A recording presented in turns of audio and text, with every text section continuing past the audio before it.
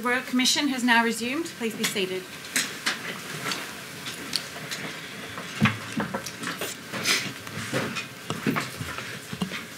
Are we ready to proceed? Yes, Chair. Ms Owen-Doran. Commissioners, the evidence you will hear this morning will concern the impact of the recent bushfires on health, both acute and chronic. It is part of our insights into the impacts of the 2019 2020 bushfire season on people and communities. That evidence will also issue open issues in relation to natural, I withdraw that, national coordination arrangements, collaboration and standards to improve Australia's resilience to and recovery from the health impacts of natural disasters. These matters are relevant to paragraphs A, B, and F of the letters patent. We will return in depth to these issues at a later date, in particular to hear from the states and territories and the Commonwealth. The impact has been reflected in the almost 200 submissions received by the Commission to date that focused on health and mental wellbeing issues. In particular, they emphasise the compounding effect left by the drought, bushfires, and now pandemic. The public submissions highlighted that the major stresses to people and communities during the bushfires were incorrect, outdated, and unclear information provided during the emergency and the loss of internet and communication. Additional trauma is also being reported of struggling to access medical services.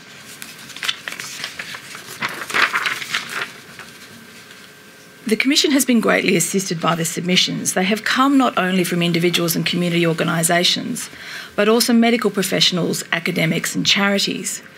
Medical colleges and health bodies have also assisted us with detailed submissions, and we thank in particular the Royal Australian College of General Practitioners, the Royal Australasian College of Physicians, the Royal Australasian College of Surgeons, the Rural Doctors Association of Australia, the Australian Academy of Health and Medical Sciences, the Pharmacy Guild of Australia, the Australian Healthcare and Hospitals Association, and the National Rural Health Alliance.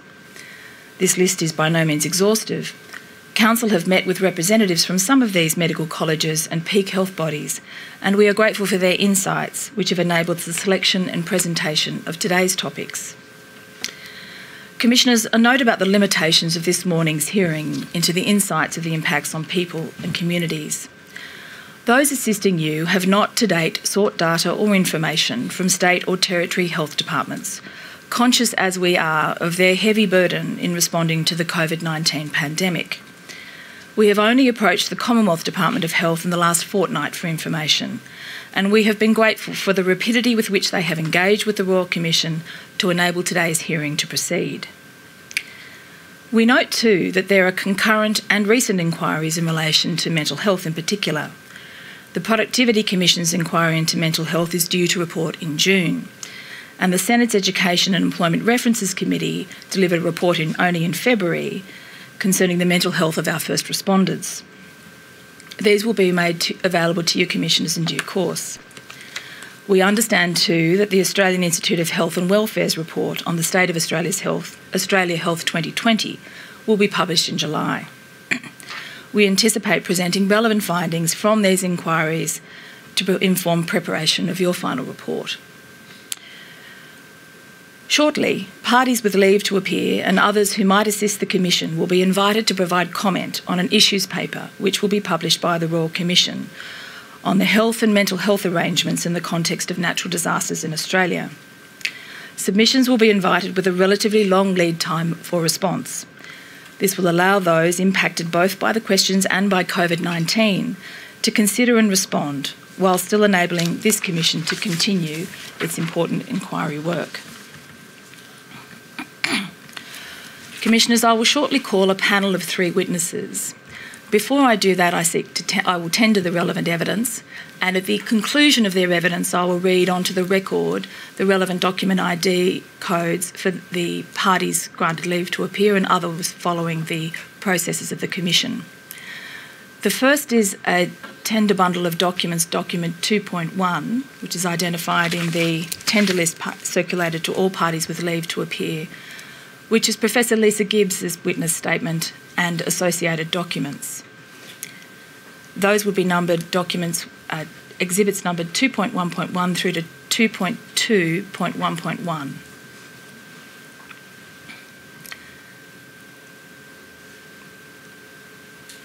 So therefore, both two point two point one point one, that's also Associate Professor Faye as well. Oh, so, sorry, Commissioner.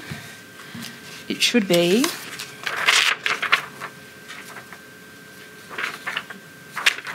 Documents from 2.1.1 through to documents 2.1.4. So those, those documents will receive as exhibits as marked. Thank you. The second witness today is Associate Professor Faye Johnston. Her document bundle is document bundle 2.2, and those will be exhibits 2.2.1 and 2.2.1.1. So those documents will also receive as exhibits as marked. And the third witness today is Dr. Penelope Burns.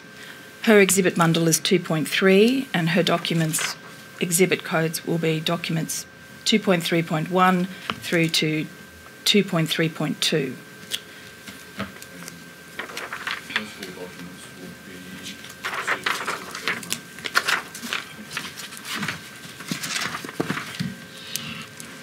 Thank you, Commissioners. I call Professor Lisa Gibbs, Associate Professor Faye Johnston, and Dr. Penelope Burns. Their evidence will be taken concurrently, Commissioners. Good morning, Professor Gibbs, Associate Professor Johnston, and Dr. Burns. Thank you for joining us this morning. Good morning. Good morning. Doctors, I'll ask. Morning, Sorry. Doctors, the first thing we will do is um, I'll ask each of you uh, to take an oath or affirmation in turn. Dr. Gibbs, we- oh, sorry, Professor Gibbs, will you take an oath or affirmation? Yes. Oath or affirmation? Uh, I beg your pardon. Affirmation. Thank you. Associate. Professor Gibbs, do you solemnly and sincerely declare and affirm that the evidence you shall give will be the truth, the whole truth, and nothing but the truth? I do. And Dr. Burns, we take turn to you. You take an oath or affirmation. Affirmation, please. Dr. Burns, do you solemnly and sincerely declare and affirm that the evidence you shall give will be the truth, the whole truth, and nothing but the truth? I do. And Professor Johnston, will you take an oath or affirmation? Um, an affirmation as well. Professor Johnston, do you solemnly and sincerely declare and affirm that the evidence you shall give will be the truth, the whole truth, and nothing but the truth? Yes, I do. Thank you.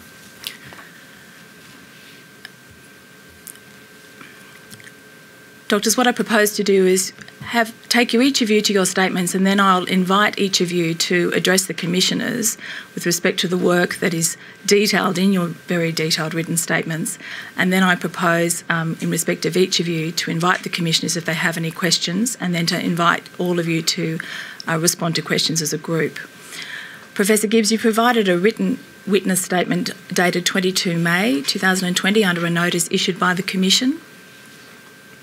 Yes, that's correct.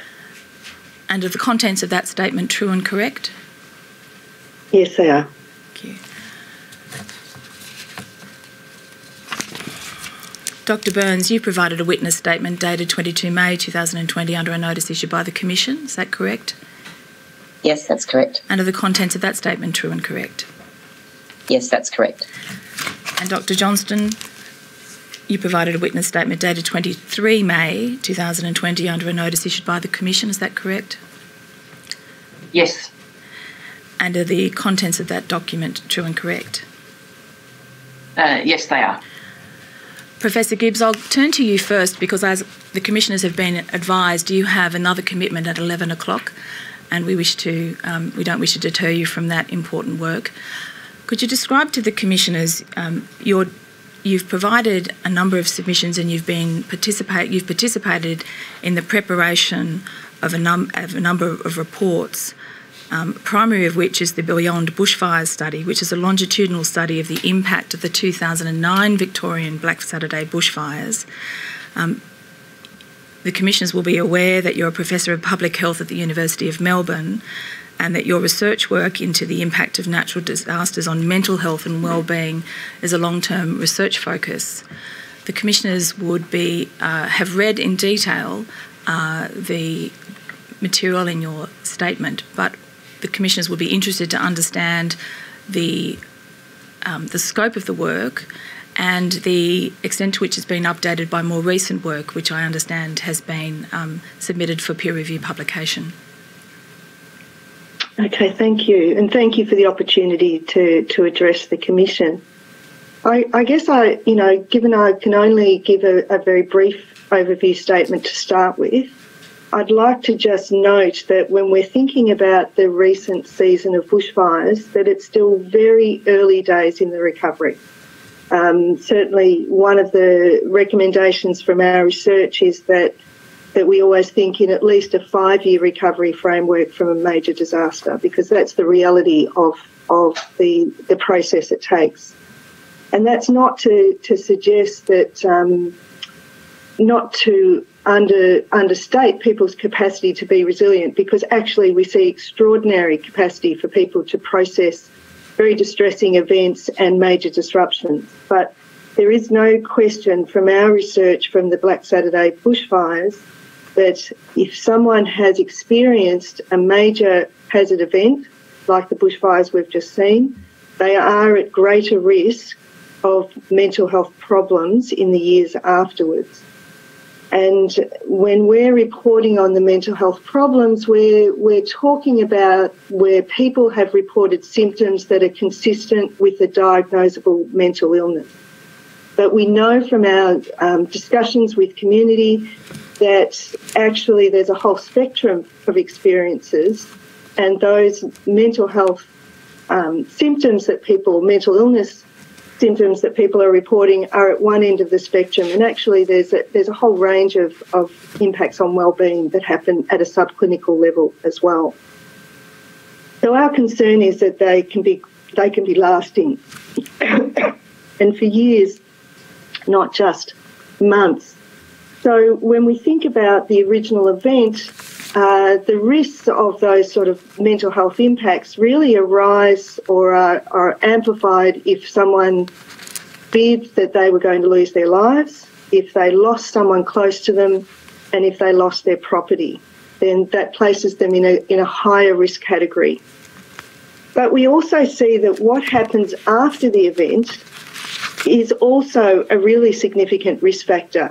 And this is part of the disruptions that we see in the aftermath of these sort of mass trauma events, where people are dealing with change of income, change of accommodation, relationship breakdown because of the strain of what's going on, potentially exposure to violence.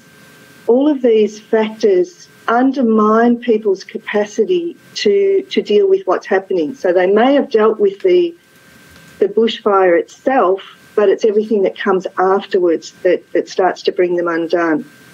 And that's a real concern, but it's also an opportunity because there are ways that we can reduce those impacts, ways that we can support people in dealing with those changes and disruptions.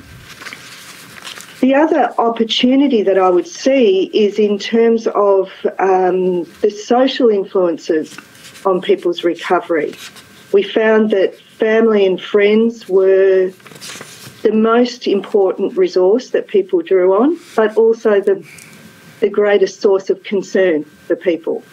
And so, some support in dealing with caring for self and others would be helpful, understanding how that works in a post trauma environment the the importance of the neighbour networks and the fa- and the friend networks are really uh, strong, but also belonging to local community groups.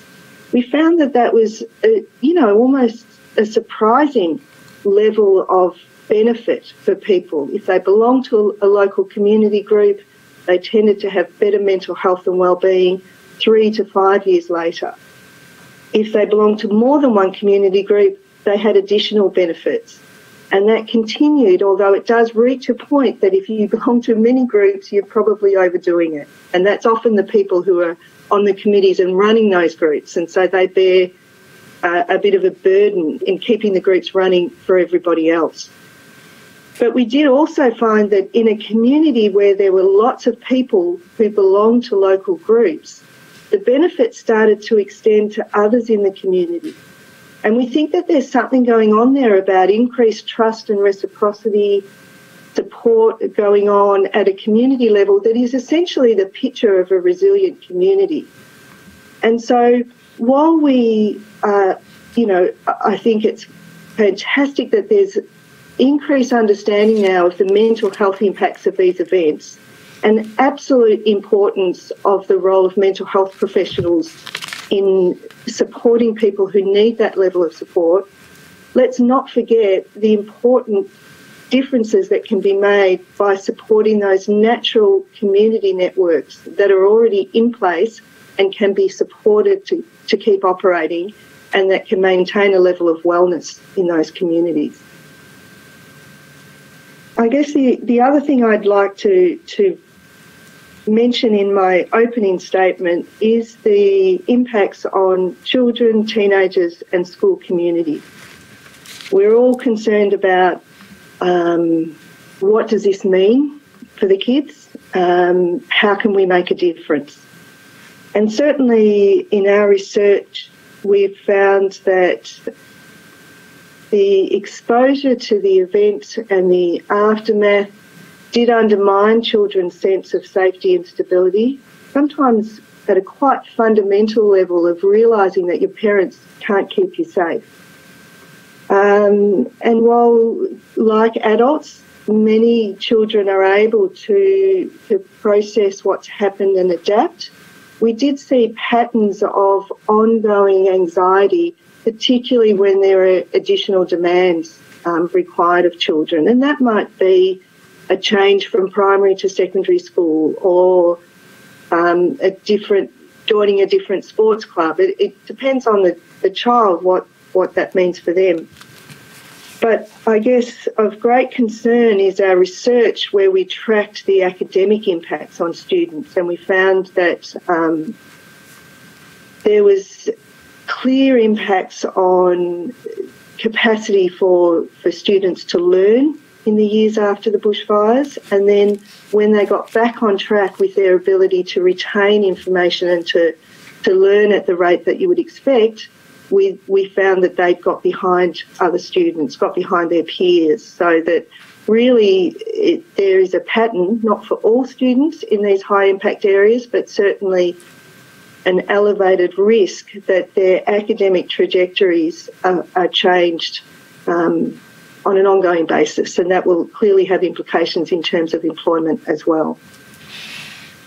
So the school communities are really fundamentally impacted by these events, and the, the level of support that's required for teachers and students is, is quite significant.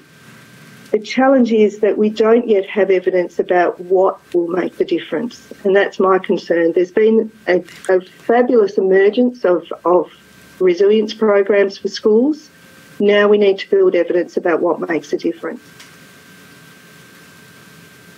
So I guess there's a lot more there that we can discuss. I'll wrap it up at this point and recognise that the season we've had in many ways is similar to the to the to the scale and intensity of the of the Black Saturday bushfires, but also has its own characteristics where we see different groups affected in different ways and the complexity of recovery within a pandemic context. So more to discuss there. Thank you. Commissioners? No, I thought that was a very good and concise uh, summary there. I think we'll we'll continue. If other if questions come up, we'll uh, we'll ask them later on. Commissioner Bennett, have you got one there? I do, um, and I'm not sure whether it's best to ask them now of Professor Gibbs because some of them may also be matters that mm. um, impact upon you know what the other what the other witnesses are saying. Perhaps perhaps I might just ask um, Professor Gibbs in relation to the fourth aspect of the work that she didn't touch on in her opening statement, which links to the reason why she needs to leave by 11. Uh, and that might. And that well, then I may ask a couple of questions to Professor Gibbs that arise um, from after, that. after that. Thank you. yes. Professor Gibbs, you've been involved in a project called the RECAP project um, that builds in part on the data and findings of your work from the Beyond Bushfire study and the related research. Uh, could you just explain or uh, identify what, what that project is and, uh, and what you'll be doing it from 11 today? Oh, yes, absolutely. So, um, what we try and do with our research is work really closely with the people in the field and and and the process there is to to find out what evidence do they need to inform their work and then to generate that evidence and feed it back to them so that they can be engaged in evidence informed practice. Uh, so we were commissioned to do the RECAP project in partnership with Massey University in New Zealand to map the evidence against the different domains of recovery that need to be considered in the in the community context. And so to recognise that we're often working in silos in supporting people after a disaster, but in their lives they're having to deal with all of the different aspects of recovery, and this is represented in the recovery capitals by um, social capital, natural capital, financial, built, political and cultural and human capital, all of those things together uh, um, will influence how people fare in the long term. So, what we've done is map evidence arising from Australian um, research as well as New Zealand research against those different capitals so that we can, we can with some confidence say well, if you're working with people in relation to social capital, these are some things you may need to consider in the field. And so this is a, you know, an iterative process working with our end user organisations. Okay, Okay, thanks. Um, Professor Gibbs, a couple of things. First, I note that you made at the end of your statement some very specific and very helpful um, recommendations arising out of your work and I'm not going to take you through those now. I found them very helpful. Thank you. I mean, the whole statement was terrific, and thank you for that. But I did, um, I did find that very helpful for us, or for me personally, um, where you actually make specific recommendations. But from what you've just said today, I've got a couple of a couple of questions, if I may. Some of them are timing sure. issues that you raised yourself. I note in your statement you refer to the fact that it takes people about two years to start rebuilding. And, you know, I was wondering, I guess, I mean, I'm going to put it all together and then get you to answer um, whether or not that has an impact as a turning point in, you know, that, that going from the negative, you know, maybe living in outside accommodation to that, even though you're still living outside, to that positive moment of at least, you know, turning into it positively starting to rebuild and matters such as that, if you've had any observation on that with the timing of the recovery. Um, the other, the other questions really relate to, um, again, my la- the last point you made about the time to get evidence as to what makes a difference. Um, especially with children. I'm turning to the children thing now. Um, what do we, I guess my question for that is, what do we do in the meantime? I mean, you know, it'll take time to get these studies, and yet we've got at the moment, we've got still in the um, immediate post-recovery stage, and you know, new disaster. What does one do until one gets those answers? Mm. Um, so far as children are concerned, and I found that quite. I mean, that that concept of of the special effects on children and the concept that you know the concern that parents can't keep them safe. I found um, that that is quite profound. But again, now just thinking, I suppose, about COVID. Um, is the impact on children of perhaps concurrent or immediately sequential disasters? You know, having having COVID come on back of the bushfire recovery and matters such as that, if you've got any observations. And the one other thing, if I may, just to add them all in together so you can do a, a holistic one, um, the other thing that we've heard about is the impact on people um, after the after the disaster of having to retell their story multiple times. Um, when they're dealing uh, with with um, access to to different um, opportunities for recovery. And I was wondering if any of your work um, can, has addressed or can address those factors. I'm sorry to lumber them all in together, but I thought it might help actually if you just think, you know, if you deal with them whichever way you want. Thank you very much. Sure, thank you. Um, and I should have said also in talking about the recap project that we're actually about to release resources that will help our recovery workers in the communities right now to guide their work, and that was why today's meeting is so important. Um, but um, the first thing you mentioned about was was the rebuild, and I'm really glad you mentioned that because this is a a point of tension often between public expectations and the reality within those communities. I think it's a very visible thing that people need to be back in homes. So if they've if their homes have been damaged or, or destroyed, it's it feels like a marker of recovery that they're back in in a, a home again. And obviously, it's incredibly difficult to be living in sheds and, and temporary accommodation and all of those things.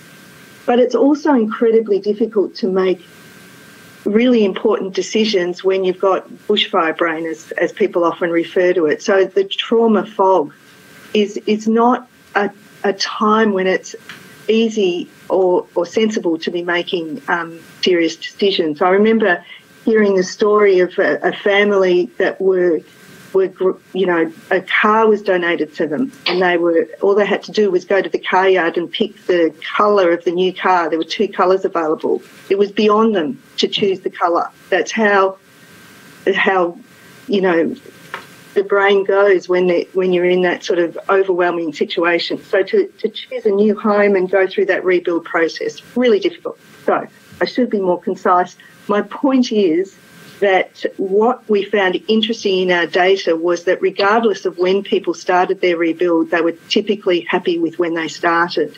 And so it is about allowing people to, to move at the time that works for them.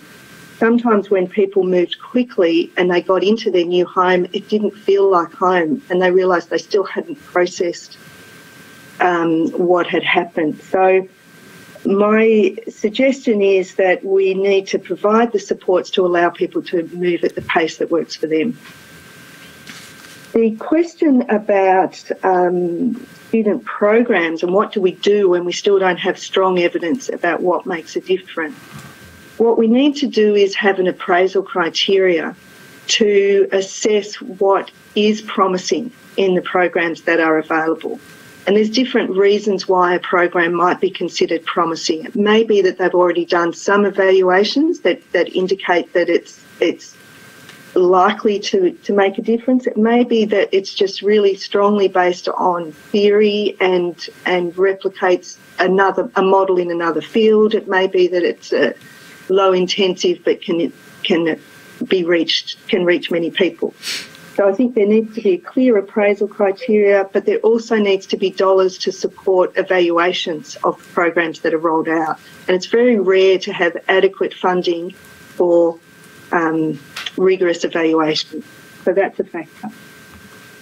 The other thing, in terms of um, you know students' sense or children's sense of safety being fundamentally um, undermined, is that it's very instinctive to want to protect our kids. And so, in doing so, sometimes we treat them as passive and vulnerable.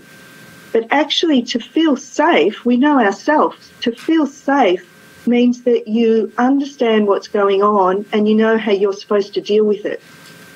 So, part of restoring a sense of safety is actually making sure our kids understand what's going on and have a role in contributing to recovery, to preparedness. And there are some really great um, disaster resilience programs that can support that process. And, and the other thing to think about with these programs for, for young people is that while many of them should be school based, makes sense, the school is the community hub, it's where they're spending a lot of their time. Our highest risk students are not going to be attending school.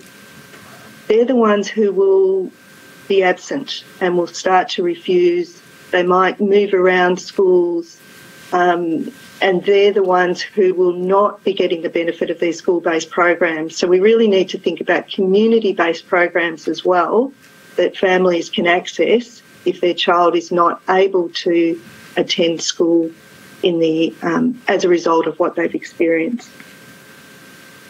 Uh, and I'm just checking what else you queried, uh, the complex recovery is something that we're really still learning about. And we, one of the things that I'm really committed to is doing research on the post disaster impacts for students and comparing our bushfire affected communities with our general school communities so we can learn about the added risks of um, disaster exposure because all of our students are experiencing school closures from the pandemic. What does that look like for our bushfire affected students? Um, and we're just in the process at the moment of, of trying to secure extra funding for that. But you know, I, I'm expecting there'll be diversity within that because I would imagine for some students it's been quite nurturing to be able to be home based with their schooling in the aftermath of the bushfires, depending on the state of their family and their home. There will be some homes that where there's an increase in family violence, and that's an awful reality. Um, but there'll be other homes where it is comforting for students to, to be at home with their families while they process what's happened from the bushfires. So we need to learn more about that.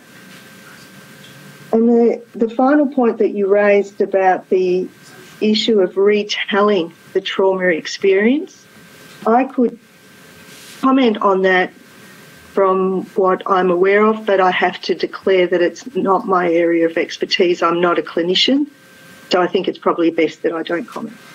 Thank you very, very much indeed.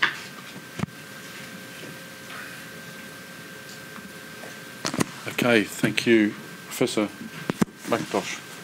Thanks, Chair. Um, thank you, Professor Gibbs. That was really helpful this morning and through your witness statement. Um, two quick questions. I just told the Chair one, so apologies, Mark. Um, uh, the first one is you mentioned in your submission or statement um, about the idea of creating a communication register. I just wondered if you knew any examples of where that's been done and done well. No, that's a really good point uh, because it would have to be, and I could check with my New Zealand colleagues if they've had something similar.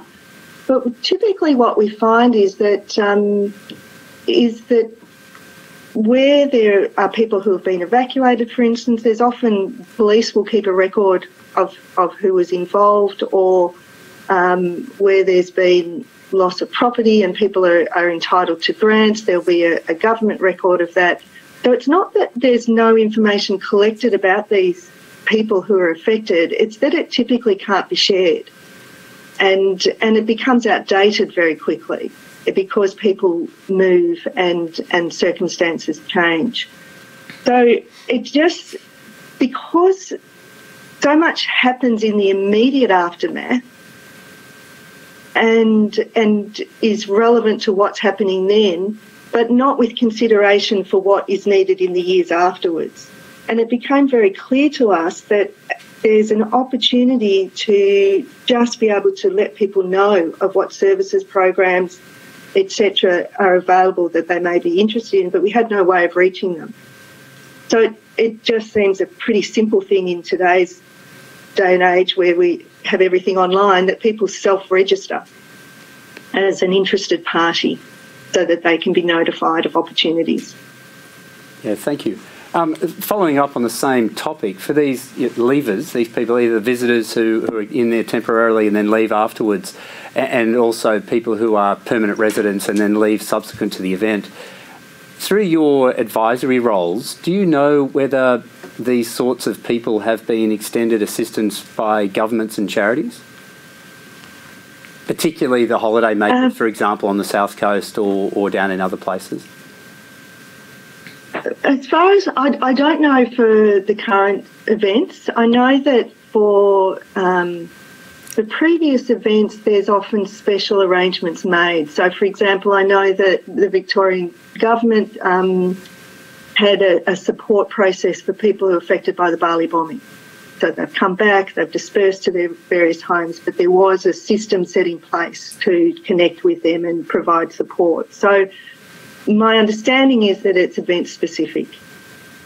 Um, and what was particularly notable for us, where we had a look at the, the people who stayed living in their community versus those who did relocate and go elsewhere, was that um, the the source of information was seemed to be coming from the original place of residence. So if they were still connected to the town, notifications, rather than it being available elsewhere. It, there was very little available for the families of people affected. So if they'd lost a family member in the fires, that they themselves lived out of the community, they often were not aware of what was happening. So there does seem to be um, a gap in the sy- systemic approach um, for those who live outside of the affected areas. Thanks, Professor. Professor, just uh, one one question. It came up in the one of the community forums that we had, where a family had been staying with uh, grandparents, I think, and children, and at the end of the uh, the fires, they returned home, but the home was actually a couple of states away, and so they were uh, separate to the community. That was uh, attempting to uh, to rebuild and had had issues trying to access support for the the children. Are there mechanisms that you know available for families that might be uh, disconnected like that, but but have truly uh, suffered trauma? Uh, I'm probably not the best person to respond to that, but but certainly there is this the the, the recognition of who and how people are affected is really complex, and there is a sort of a a notion of a hierarchy of loss, which determines who is entitled to particular services and who, who isn't, and that can be problematic. Um, but I couldn't comment on the particular systems that are in place for that. No, and I appreciate that. I didn't want to put you on a, on a spot, but I, I do appreciate you giving us uh, a very good summary of the complexity uh, around recovery, uh, in particular with children, but it, it, actually relates right across the, the community. And highlight that the recovery takes time, yet there's always pressures to try and recover quickly and move on. Uh, and many hmm. communities uh, are in a recovery when the next disaster hits, and uh, and so that uh, that adds to that that complexity as well. And I'm sure your studies are bringing those those issues out. Yeah, absolutely. And I, and there's something that, that seems to have emerged with the, the recent season that I think needs attention. And that is, and I cl- included it in my statement, that is a, the perception of these disasters has changed. They're no longer perceived as rare events. They're, they're often seen as climate change and they're a part of our new reality. And we don't know how that's going to affect recovery because the sense of hope and sense of self and community efficacy are really important parts of people's ability to deal with what's happened and to get back on track. So if that's undermined by a sense of, well, this is going to keep happening, how are we going to deal with that? I think that's, that's a real concern that requires further understanding. No, thank you for that. Commissioner Bennett? Just, just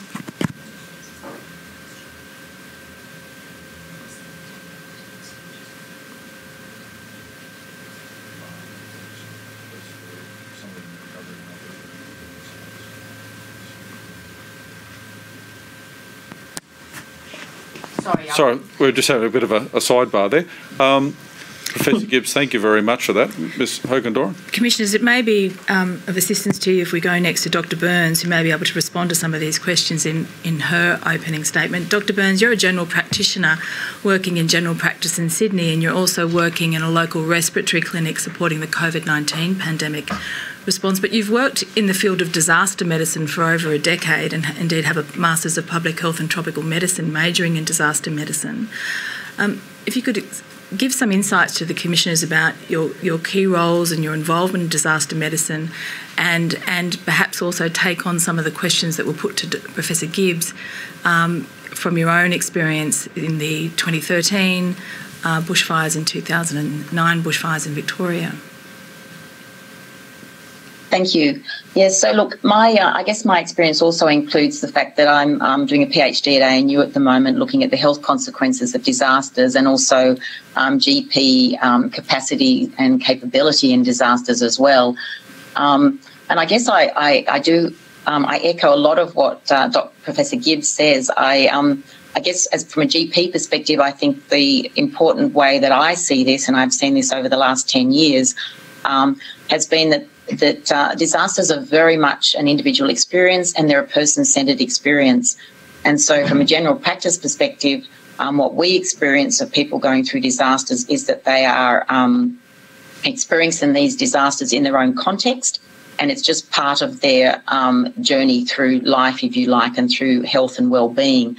And so I've seen observations from, for example, the Brisbane floods, um, where um, the help that some people might need is slightly different to the help that other people might need. So, whereas some people might need very practical assistance getting farms and fences back up, then other people might need um, more sort of support with counselling and things like that.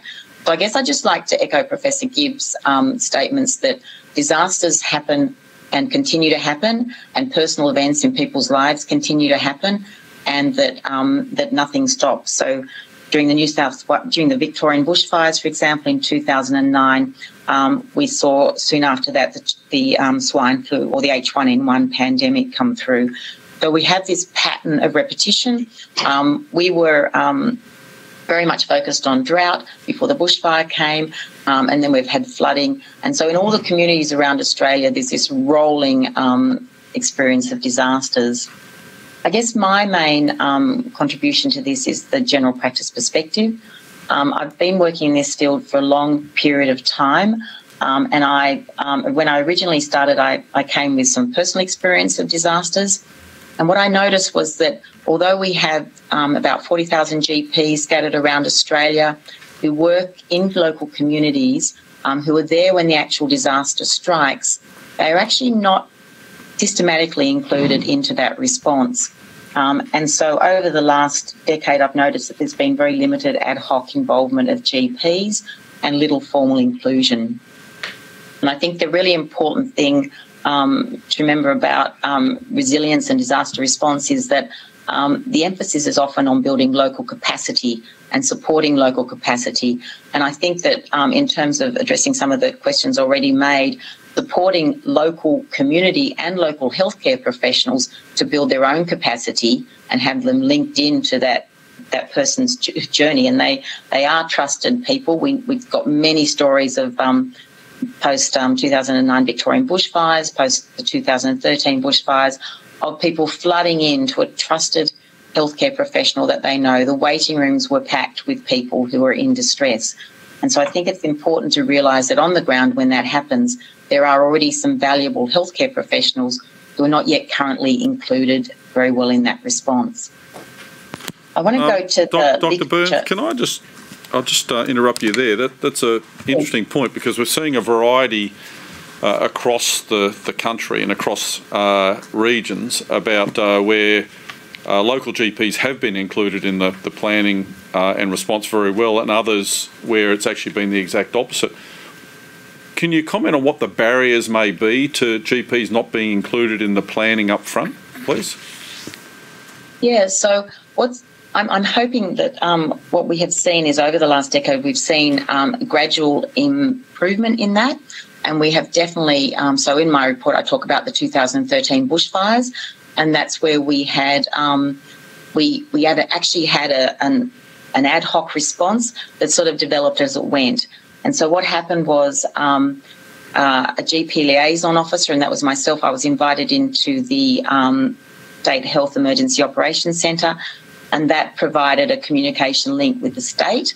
Um, down to the local level. We had a very proactive um, PHN that responded in an intuitive way to involve the GPs, and they also had a good link with the LHD, and so that that worked well. So they GPs were actually um, spontaneously included in quite a good system for inclusion in that disaster um, response. And so, following that, um, plans were developed um, and a document was created that was actually presented at the World Association of Disaster and Emergency Medicine Conference last year. Um, and is actually sort of leading the way in this field internationally, if you like, um, about methods in which um, GPs can be included through PHNs. This is only just happening. And so the, the reason it's different around different communities is that it's involved um, a lot of effort and a lot of work in one area that's already experienced disaster and then the sort of the development of systems that might work. So this is still an evolving process and this hasn't happened with all PHNs. I am aware um, in the middle of February there was a meeting of um, New South Wales State, for example, PHNs, and the idea there was to share that information and to continue to help um, PHNs um, you, sort of statewide develop their planning. So this is it's an evolving process as we try and establish ways to include GPs in disasters. Can I just take you up on that? When you say it's an evolving process, so there are discussions going. Picking up on the chair's question of what are the barriers, can I ask you what sort of thing is said as to be the reasons why you would not include GPs in a recovery situation or an immediate post disaster situation? So I guess what, what are people saying are the reasons? Um, okay, so I've done, um, I've sort of interviewed disaster managers and GPs um, following um, about six different disasters around Australia and including the Christchurch earthquakes. Um, GPs are a, a private organisation. They are not part of the public health structure. And so in the planning, the preparedness, my understanding at the moment is that a lot of that goes through that, that sort of silo, if you like. Um, and so it is it's quite difficult then to reach outside and include more private groups in that. So I, this is this is a um, this is a discussion that's been going on over the last decade, and I'm, I'm afraid I don't have the correct answer to this. Um, it would require, and I've suggested this in my submission. I think um, including GPs and inviting to them to the table at every level of disaster planning. So I would see that would be at the national level, um, at the state level, and at the local level. Uh, thank, Does that answer your question? Yeah, I think that's that's good. I, I, mean, it's interesting that that's the sort of lens looking down. But if you're a part of the community, you would look at all the providers and, and think that they all should be a, a part of this, and that, and the community wouldn't understand what those uh, those delineations are. So, thank you very much for for clarifying that. So, if I could if I could use the 2013 bushfires as an, example, um, or, or, the 2000 the 2013 bushfires um, worked well because there was a close liaison between the LHD and the PHN. It also worked well because we had disaster managers um, in the State Health Emergency Management Unit who were keen to involve disasters. And so stepping in as a GP liaison officer was a new role in that situation. And all of this was being developed as we went. Um, and um, I guess, policy and, and job descriptions and roles were being developed. But what it created was what we didn't have before, which was we had a really good communication chain between the State Health Emergency Operations Centre down to the local um, PHN and then across to some of the um, GP organisations such as the RACGP and the AMA, so that there was a combined group effort to support the GPs. It gave really valuable information at the time as to what GPs were experiencing on the ground, and that was fed up through the PHN to the LHD and also up through the GP liaison officer to the State Health Emergency Management Unit. And that gave extra information such who were more who were the more vulnerable people, did they need assistance, um, what were the GPs seeing on the ground. Um, it provided GPs as eyes and ears, if you like, as to what was happening in the middle of those communities because they are part of the communities. It also provided. Sorry, sorry, sorry, Dr. Burns. I, I, I, don't, I do want to, don't want to interrupt your, you, but I know Professor Gibbs is going, and I would, oh, yes, sure. I'd be very grateful if Professor Gibbs could make a comment before she leaves on what we're now discussing from your perspective, bearing in mind, Professor Gibbs, that you did refer to the importance of local and community um, support and and um, engagement in recovery. I just wondered if you could give us a comment on Dr. Burns's description of the of the utilisation of GPs in the um, immediate recovery processes and longer term recovery processes. Uh, I totally support the suggestion that GPs should be contributing to decisions about what's happening locally and feeding that up and, and also having an influence at higher levels. I just, you know, also support the, the, the I know from the witness statement that um, that they it needs to be trauma informed GPs that are part of that process, that we can't expect GPs without that training to be able to engage meaningfully. I think that's unfair to them and also unfair to the process. So there are some excellent um, training programs around at the moment for, for health professionals, including the ones offered by Phoenix Australia. And um, and that, that I would suggest that needs to be part of that process. But I'm, I'm sure that's you know what has been suggested already. Thank you very much. Sorry, sorry, Dr. Burns. I just want to catch Professor Gibbs before she left. No, that's actually really valuable because um, as part of the PHN, the Nepean Blue Mountains PHN plan that we had that, that's been um, created um, and is a living document that has involved um, a group of GPs that have um, provided um, an expression of interest in being involved in, say, um, going attending evacuation centres. And those GPs, part of that is that they've been strongly supported with training in MIMMS, um, major incident medical management support, and that's understanding of disaster systems, which you need to have, and also with mental health support around and training around psychological first aid um, and other issues um, in that. So I agree. Okay, thank you. Dr Burns, is there anything else you would like to, to add there before we go to Professor Johnston? Um, no, I, I, think that's that's enough. No, that was a good good good summary. just one more question. Yeah. Sorry. Sorry, just one more question for Dr Burns. Um, just you did talk about the fact there are discussions taking place and that there is an, you know it's an evolving process. Are you aware yourself of any other areas other than the one that you've been directly involved in that have utilised um, GPs the way um, the way you have either in New South Wales or indeed across across the country? Um, I'm very aware that there are other um, PHNs that are very organised um, and are organising at the moment, and I have had contact with. Um, uh, one or two PHN in Victoria following the bushfires who were were very organised. but I guess the in general, um, I think this is a new space. The Medicare locals existed before the PHNs and before that GP divisions. And so PHNs have only been around for a number of years. I'll be, I can't give you the number of years. And they have been really busy trying to work out what their scope of practice is. Um, and I think that's, um, that's now evolving. And so for, for areas that haven't ha- experienced disasters, um, there's been less impetus, I guess, to get involved in that area. But I think now, with the recent events, um, there's been a strong, um, strong move to include all um, groups.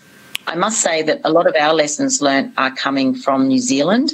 Um, I, am um, co-chair of the World Association of Disaster Emergency Management Special Interest Group um, in primary care, um, which is very newly formed, which also shows how new this idea of including primary care in disasters is.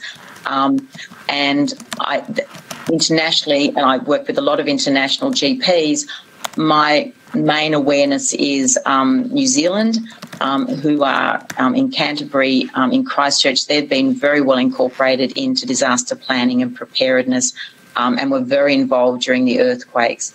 So there are examples around, um, but it's a matter of slowly moving them into process. Thank you very much. Thank you. Ms Hogan Doran. And Professor Gibbs, if you need to just dial off in the course of uh, Professor Johnston's, um, we'll we'll uh, we'll just proceed.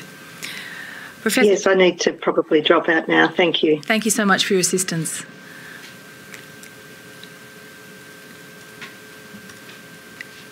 Professor Johnston, you're a public health physician and environmental epidemiologist, and you're head of the Environmental Health Research Group at the Menzies Institute for Medical Research at the University of Tasmania. Commissioners, we had a substantial number of submissions from members of the community as well as members of the of health organisations and charities directly discussing the impacts of the bushfire smoke on Australians, and many were concerned with the impact of prolonged exposure to bushfire smoke on their health and the health of their families. Uh, Professor Johnston, this is your particular area of expertise and interest, and if you might provide an opening statement to the commissioners that, that captures the work that you're doing and the concerns and issues that you've identified. Um, yes, thank you, and thank you for the opportunity um, to speak and contribute today.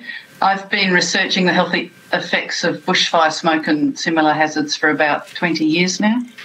And um, I guess one point about them is that Australia has, is a very flammable environment. Fires are part of our environment, and smoke is a part of our environment. So it's um, something we live with regardless, and um, and regardless of whether there is also an emergency where fires are threatening communities. So it's it's a hazard that causes harm in a lot of different contexts in fire emergencies, in planned burning, and in fires that don't threaten communities. Um, and it's an unusual hazard in that it transports itself. Smoke can travel hundreds of kilometres and affect communities hundreds, sometimes thousands of kilometres from where the fires are. And by nature of that, it affects numerically far more people than the actual fire. It can you know, the case in point, of course, was our last season where it was our estimate was 80% of the population of Australia were adversely affected by smoke from these fires. Um, so, smoke, just to explain a bit about the nature of the hazard, um, it's made up of, it's a complex mixture. It's combustion and incomplete combustion of hydrocarbons, and there's hundreds of chemicals contained in smoke gases and very small suspended particles, often um, carbon based particles. And um, there's health evidence about all of these constituents, but the one that's really important for public health and the public health impacts are the suspended particles, particularly the very tiny particles. And by tiny particles, I'm talking about ones that are less than um, particulates, I should say, just because I might lapse into this terminology, are often known as particulate matter or PM. PM is a very common abbreviation used.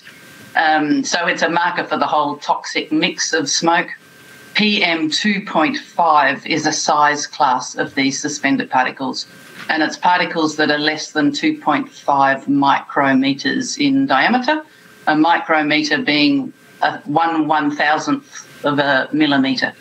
So tiny particles not able to see them, go into your lungs, cause problems in the lungs, can go into the bloodstream and cause problems throughout the body. Um, but initially, and to explain how they cause health impacts, um, the kind of responses they produce in the body are relatively small and subtle, and this is one of the um, particular public health issues with smoke. In, in any one individual, it might be a small response the body will perceive the smoke particles in the same way. It will detect a burn or an injury or a virus. It will set off the body's immune responses. It will set off inflammation. It will cause stress responses. And it's all of these responses that do the harm. In a healthy individual, they can be subtle and they'll go away when the smoke goes away. In a person at higher risk, they can precipitate serious illness and death. Um, so, what I mean by that is if you already have asthma, if you already have chronic lung disease, and you inhale some smoke, even a modest amount of air pollution that might not bother anyone else, that can make that condition worse. And in some people, it will make it bad enough to send them to hospital. Um, similarly, heart disease is very common in our community. If you're already at high risk of a heart attack for whatever reason, then an increase in particles in the air and the changes your body makes in response to that. And those changes include things like abnormalities of your heart rhythm, an increased tendency for your blood to clot. Both those things can cause a heart attack or a cardiac arrest and cause deaths. So we've got a lot of people in these higher vulnerable groups in society, and the health impacts of smoke are disproportionately um, felt by people in these higher risk groups. And there's other higher risk groups for other reasons. Older people, mainly because they've got um, a greater range of chronic diseases um, by the time you get to the final stages of life or even the latter um, stages. And young people, young people, the risk is slightly different. Unborn babies, babies, and young children are developing their systems. And because they're still developing, they're vulnerable to environmental insults. We know this very well from studies of passive smoking, cigarette smoking, urban air pollution. Um, and there's been much less work done with severe smoke events. But the bits of work that have been done show fairly consistent results. And um, I've done some of that work myself following babies and children after the smoke event associated with the Hazelwood coal mine fire. Uh, so that's health impacts. Um, I guess how that plays out. So we get measurable. The other thing is um, the relationship between the amount of smoke and the health impacts if you measure it at a community level. Um, for many health outcomes, these relationships are quite well established from studies of particulate matter from a whole range of sources, and in, in general, particulate matter that comes from a fire has a very similar size of impact. It's generally worse for lung problems, it's more irritating, but for heart problems or deaths, it's pretty similar. So we know, for example, that a 10 unit rise in PM 2.5 it will be associated with an approximate 1% increase in deaths in the community. And we know that it's generally a straight line relationship.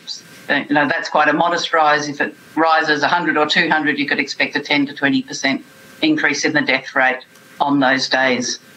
So, although death is a really rare outcome from smoke, if you've got a lot of smoke and a lot of people, then it becomes measurable. And um, what I did want to share with you was with my group, we did make an estimate of the impacts of the summer bushfires. In fact, for the last 20 summer bushfire seasons, um, but this last season in particular.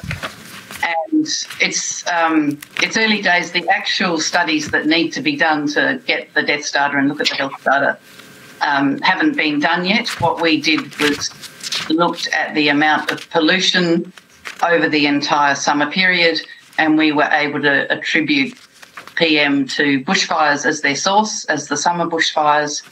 And then we were able to work out the size of the population affected by the smoke each day and the amount of smoke each day, and then apply the known relationships between admissions to hospital and increases in PM2.5 from smoke and deaths and also attendances to emergency departments for asthma.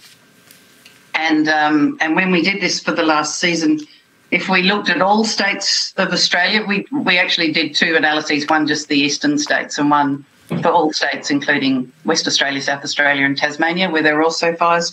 The results are pretty similar. The vast majority of the impacts were in the eastern states, but uh, we found that there were 445 deaths attributable excess deaths attributable to smoke from these fires, uh, 3,340 admissions to hospital for heart and lung related problems, and 1,373 additional um, presentations to an emergency department for asthma. So, so these these are modelled estimates. Uh, they don't include a whole range of other health impacts like symptoms like uh, loss of work time, missing school, needing medications, um, impacts on diabetes, impacts on ambulance call outs, for example. But these are the ones where there was enough evidence to be able to model the impacts. Um, the other point was that we could attribute a cost, there's standard costs associated with value of a statistical life and the cost of an admission for respiratory, excuse me, respiratory illness. Um, so we were able to work out a yearly cost bushfire smoke for each summer season. And the costs that we um, calculated, our estimates for the last season were at $2 billion in health costs associated with premature loss of life and admissions to hospitals. And that's about 10 times higher. There's fluctuation year to year, of course, with fire activity, but that was a major departure from anything we'd seen in the previous um, 20 years. Um, so that's on health impacts and why they can be so important from smoke. Um, moving now, I guess, to how we managed it as a, um, a country and a community and how we looked after people who were at greater risk of um, adverse health effects from smoke. Um, I guess my main comment and the main area, I've got a number of um, suggestions. I think there's a, a, lot of issues in terms of addressing climate change, in terms of increasing the evidence base um, for good public health advice. Um, but I think what we can do right now is get better at how we share information about smoke to members of the community um, and health impacts. for all sorts of reasons, um, we're a jurisdictionally state and territory based country and responsibility for measuring air quality and reporting air quality. There is a national standard for various air pollutants, but um, how that information gets shared with the public and the advice that goes with this varies state by state and actually varies by a surprising amount. Um, so the units it's reported in vary. Some states will report in the actual units of measurement, which are micrograms per cubic metre of air. Others will report in an index, which is another number about, well, exactly four times higher than the micrograms per cubic metre. Um, some will report that averaged over 24 hours, some will report it averaged over one hour. So that's a diversity of information. It's complex. It's hard for someone who, say, has asthma to know what they're looking at, particularly if they're looking to a diversity of sources. And we did some research on people, people and where they got information from, and there's 10 or 20 or more websites. There's all the different states and territories, there's international websites. Um, there's an app which our group at the University of Tasmania developed, which gets data from each state and territory and presents that as an hourly average. That's the only actually consistent source where you can look and see something consistent across the entire country. Um, this and then it varies the health advice that goes with each level and, and when you might choose to elevate your health advice. That's another variation between states. So I think one of my um, strongest recommendations, and I, I should also acknowledge that steps have been taken already by states and territories um, to address this variation. That was clear to every state and territory that this was a, a problem, and there was a meeting in February uh, with most environment agencies. That's another source of fragmentation, I guess, for air quality. It does require environment agencies who actually measure the air and health agencies. So they're quite different departments. Um, so they need to come together, and then all the states need to come together, and that did happen in February. And there was agreement to work towards national consistency and a background paper prepared. And I'm not sure where that's up to because I've been working solidly on COVID to assist my health department, and I'm I think that's work is still in progress. Um, the other part, part and parcel, I guess, what we need to work to in the future, in my opinion, is a clear. It's a hazard. It's a hazard that's going to increase. It's a hazard that affects all of us. We we need to learn to live with fire and smoke. There's no doubt about that. Um, so, working towards a national strategy informed by expertise that not only includes consistent measurement and messaging, but evidence based based on the research, but um, a really good public communication and education strategy because the um, this is partly results from research I've done as well. The um, the information we tend to give tends to be very simple. Stay inside and close the doors. You know who's at higher risk, but the reality is how to protect your health when there's more air pollution in the air. It's actually quite complicated. And how long do you have to stay inside? And what happens if you open the door just to go out once? And and what happens after five or six hours when we know that smoke penetrates fairly quickly? Do you have to keep staying inside? But we also know that smoke can get trapped inside. Nearly every bit of advice we give don't do exercise. Fair enough, that increases the amount of smoke you breathe. When the smoke's going on for months, exercise is really protective against heart disease. Like, when do we exercise? How do we exercise? Same with face masks. Work in some work in occupational settings. No good evidence for being useful for members of the public. So there's a lot of evidence, but a lot of education because this is a hazard that often um, is there regardless of an emergency. And the best way for people to protect their health is actually to know what's going on by seeing real time information about air quality, knowing if it's rising and falling, and knowing what to do for themselves. So self management improves health, improves quality of life, and that's what I think we need to be aiming for. So that's I'll leave it there. And um, yeah. thank, thank you, Professor Johnston. I, I think that was a good summary. And, and, towards the end there, you hit on a couple of points that actually is concerning the, the Commission. And I, I noticed in your your submission to us, there was one one uh, sentence that uh, took me particularly in the fact that there was simultaneous reporting of good and then hazardous air quality in one one particular location, and I think uh, any system that has that level of discrepancy is uh, is something that we uh, will be uh, looking at and what steps need to be taken. And we are chasing it up with other other agencies as well to see what the way ahead is uh, is here. Uh, and having lived in the ACT over Christmas, I'm acutely aware of the smoke. and as you said, trying to manage that and keep that out of a house is is quite quite difficult. Commissioner Bennett, questions? Uh, yes, yes, I do. Um, uh, I have to say, I was also struck in your report, and it was uh, by the um, way in which you've dealt with the different way the information is dealt with in different parts of the country, which is um, quite extraordinary. And, and, I think the example you gave just now about an, a person suffering from asthma, who, for example, may move from one state to the other, or, or you know, not know where to go for that information. And I, I did know your reference to the app and I did look it up last night myself, actually, when I read your information. So thank you for that. I have, um, I have a. Uh, um, uh, and I and I do take and I understand that there, there is now. You say that there is now a move to um, standardise things um, across the country, and, and, and that's something that you've been a part of. So I won't go into that at the moment. Can I ask a really um, basic question? And, and I, it's it's you raised in your paper also, and you mentioned now masks and you mentioned portable air filters. Um, is that, I mean, bearing, and I think you said that the um, particulate matter is, is um, less than 2.5 microns. Isn't there um, a, a, way in which one can have masks that will actually be of, you said they're of no utility, or they're not established utility. Um, why not? Why not? Why, as a matter of theory, can't you have a mask that would keep out that size of particulate matter? And would you also comment on the portable air filters? And I'm thinking, A, for example, in the context of uh, people's homes, B, for example, in schools, and, and how that fits in with, let's say, air conditioning because um, a lot of office blocks are air conditioned when people work. And I think there was a view last last bushfire season, a that you know you were better off if you were in an air conditioned building, but b people in air conditioned buildings so they could walk into the foyers and smell the smoke. So.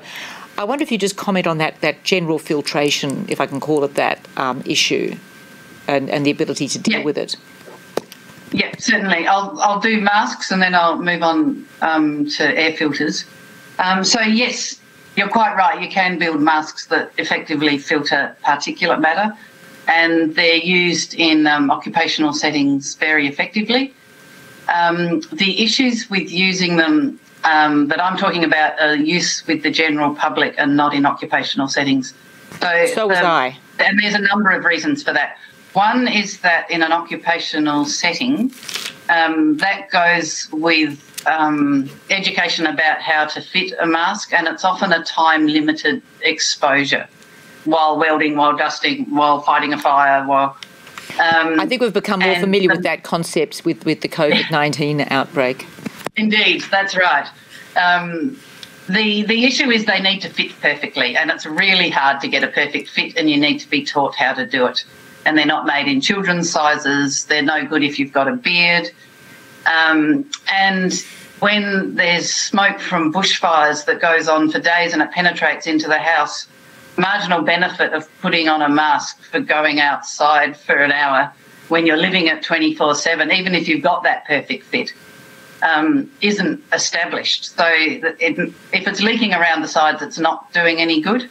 But um, the, I, the, the other point about them is if you actually look at the studies, not so much of how well the material filters the particulate matter. If you look at studies that also look at health endpoints, um, they show two things. One is that there's increased work of breathing. So if you've already got a lung problem where you've got trouble breathing, if if it's not causing increased work of breathing, it's probably not filtering the particles, but it can it can make things worse and people can get more fatigued at a time they don't need to be more fatigued. Um, the other is that there hasn't been any good studies that have actually shown a health benefit in terms of those markers of inflammation and other. Of, of the 11 or 13 studies that have evaluated health endpoints, I think one showed a benefit in otherwise healthy people who had fewer markers of inflammation. About half showed some sort of harm in terms of increased work of breathing, and the other half didn't show a benefit or a harm. So the fact that they're quite technical to put on and there's all these other uncertainties um, means that to advise entire members of the public to go out and get them for a prolonged episode um, isn't based on great evidence. And maybe we can improve that as we improve the evidence, as we improve the design. But at this point now, um, it, it's not there. Um, when it comes to air filters, there is much more robust evidence and evidence linking um, use of portable air cleaners that filter particles in homes, leading to improved health outcomes. Um, so, in my mind, that's actually the best buy because it does um, clearly work to remove the particles. There's other components of bushfire smoke that are irritating and toxic that it won't remove, but particles are the main one. Air environment in your own home. It's much easier to seal a child's bedroom or a living room and have that as a clean air area. And then if you open and shut the doors, the cleaners then carry on reducing the particles so they're not trying to. And those have shown a health benefit. The research there for Australia is lacking. Our housing, mostly that research has been done in North America and some in Hong Kong, but air conditioned or heated, well sealed housing is where most housing stock tends to be a lot more leaky and particles are a bit like a gas; they'll leak in relatively quickly. That it does. We do equilibrate to outside air pollution levels relatively quickly, um, but uh, they're the, they're the best buy. They're a barrier financially. It's two or three hundred dollars. We need to do more research on exactly which rooms and how to use them in Australia. But that's the probably the intervention with the best evidence for um, protecting health. Thank you very much. Um, Air conditioning, just briefly, probably helps particularly new systems in new buildings. They do have HEPA, high efficiency particle air filters, known as HEPA filters, but people come in and out of those buildings. So there's partial benefit um, from those as well. That's very helpful. Thank you very much indeed. Thank you, Professor. Commissioner Macintosh. Uh, thanks, Chair. Thank you both for your evidence this morning and your statements and all the other help you've given us uh, to date. Um, I just have two questions for Dr Burns. Um, we know that rapid assessments, so rapid damage assessments, are carried out post disasters in, in a lot of areas. Do you know whether those assessments cover health needs and health impacts? Um, I probably um, I, do believe that they they do um, in a broad perspective. I guess if I could talk from a general practice perspective um, and from experience of um, GPs on the ground, is that um, I think um, we don't actually um, the health consequences following disasters are things like we there's documented um, evidence in the literature um, about increase in blood pressure in large numbers of people immediately following disasters. There's um, increased risk for myocardial infarctions and those sorts of cardiovascular events. There's increased risk from patients discontinuity of medication. So a lot of people don't have medication continuity. Um, and there's also, we know there's an increase in exacerbations of not only asthma, but other chronic health um, conditions. And all those happen in the first days and, and weeks. Um, there my my understanding and my knowledge there's no sort of community rapid health assessment of those events any assessment will be more around more higher acuity um, injuries and obvious events one of the issues um, that I see is that um, the literature review I did, I retrieved originally um, a large number of over 4,000 articles, and only 2% of those reflected what was happening in primary care. And I think the issue is that we have a huge amount of um, chronic and lower acuity um, healthcare events that are ser- seriously impacting on people um, in the emergency, in the acute aftermath, and in the days, weeks, and years afterwards that are probably not considered as much as they could be in these assessments post disaster. So, I, to answer your question, I don't know um, the answer to that, but from a primary care perspective, I do know that there's not that sort of um, that assessment done. Great, thank you. Um, does that um, answer your question? It, it, it does. It does. Um, I'll just take you one other question. In your witness statement, um, I believe it's on page 16, so that's PBU 500 001 0063. You you say that um, there's a need for permanent integration of GPs into state and territory disaster plans and responses in Australia is needed. That's the statement. Um, and Uh, but elsewhere in your, your statement, you focus mo- mainly on New South Wales, which I think is the area which you primarily practice and where you study. Um, are you able to give us any information about the extent to which that is happening in other jurisdictions, or is it something that we, we need to explore further elsewhere? Um, I'm afraid I'm not able to comment on that, although um, I have heard news about COVID involvement um, in South Australia in the GP news, um, but I'm not able to comment on that. I was involved originally in, well, I am involved still, I guess, in the GP roundtable that used to meet from 2013 on disaster planning and preparedness, but I. I, I understand this is hard to, this is sort of a, a difficult area because we have no systematic inclusion of GPs through all those different levels at the moment. And the, the pieces of inclusion that we do have have been created sort of at a local growth level or a ground up level. Um, and so, what I would hope would happen in the future would that there would be systemic inclusion. One of the key issues that this creates is that it means that GPs are not supported and are probably one of the more vulnerable members of the community when these events occur because they are very much on their own. So to put that in my words, what I hear you saying is at the moment it's very much bottom up, so it's um, uh, very hard to tell what's going on, and you're calling for a much more top down system to ensure that we get sort of complete coverage and complete inclusion of GPs in emergency management. Is that a fair summation? Yeah, I think I think that's a very um, estimate. There have been wonderful uh, um, input and creation of um, some um, involvement of GPs at various levels, but it's very um, ad hoc and it's not well systematised. And so, one of the things I see, I'm on a lot of different um, committees, and one of the things I see is that um, groups are making decisions about what GPs can do without having a GP at the table, and it, it can be um, inaccurate. So, I think it's important to have GPs at the table at the various levels so we can inform planning and we can say how we can contribute um, and hopefully become systematized, systematized part of the response and the recovery. And there's many, many um, uh, stories from the five years, six years, seven years, um, as Professor Gibbs was alluding, post disaster, where people um, are still recovering from these effects. And these are also not only mental health effects, these are physical health effects as well. And so, one of the things I would like to see, and you know, as Faye's mentioned, I would like to see um, a more comprehensive examination of what the health needs are. We don't want to silo people into pieces. Um, we need a really strong biosocial approach to health, and we need to connect, connect, contextualise this for each different community because the needs are different.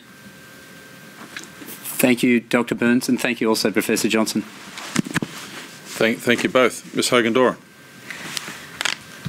There's uh, one matter, Professor Johnston, you referred in your evidence to um, having done an analysis of the 20 consecutive fire seasons since 2000 and estimating a cost of the, of the smoke related health costs. I might just have that pulled up. Operator, it's DFJ 501 001 0001 at page 10, and it's figure 2. If that could be zoomed in.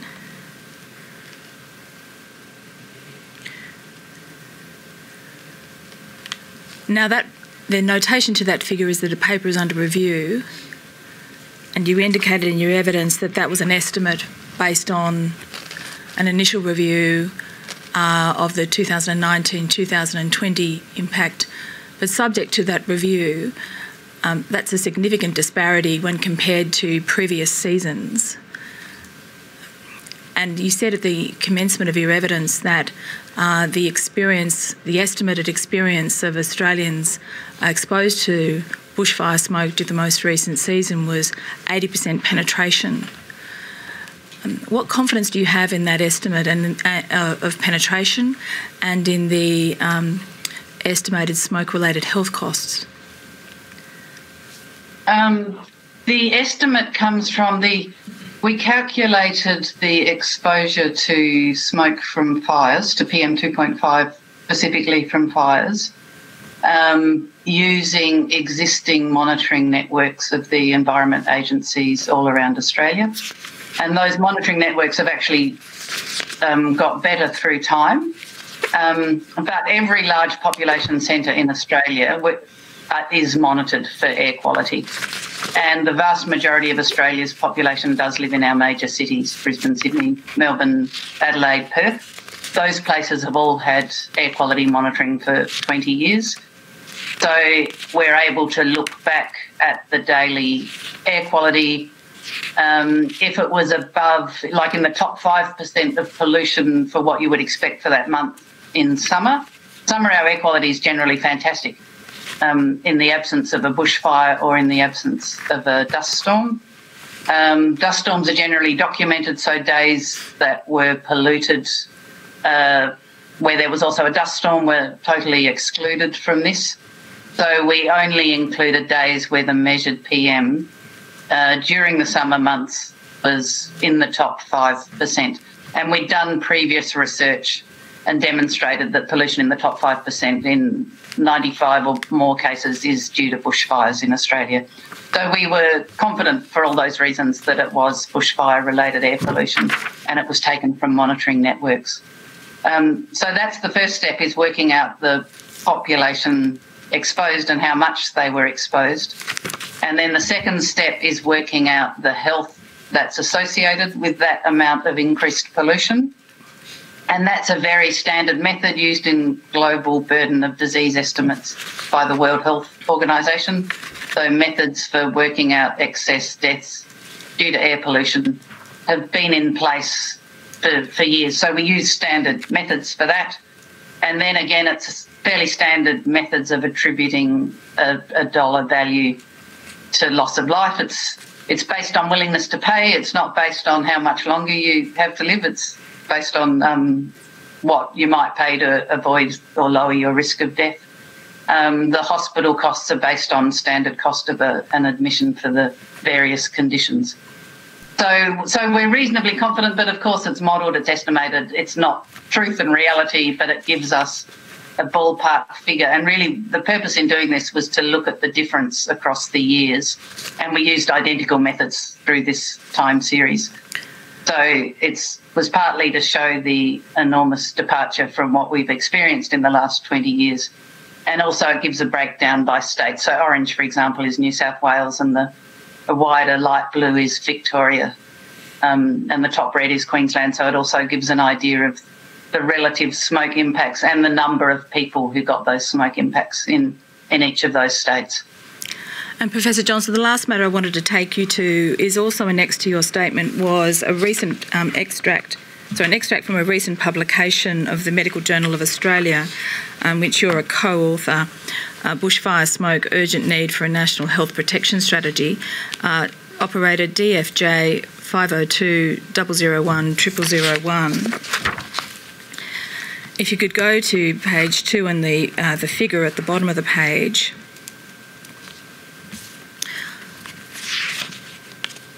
One of the matters that you refer to in your statement is that in different states and territories there are 24 hour average uh, air quality indicators measures, and in others there are hourly um, uh, air quality measures. What's the importance of an hourly uh, measure being provided?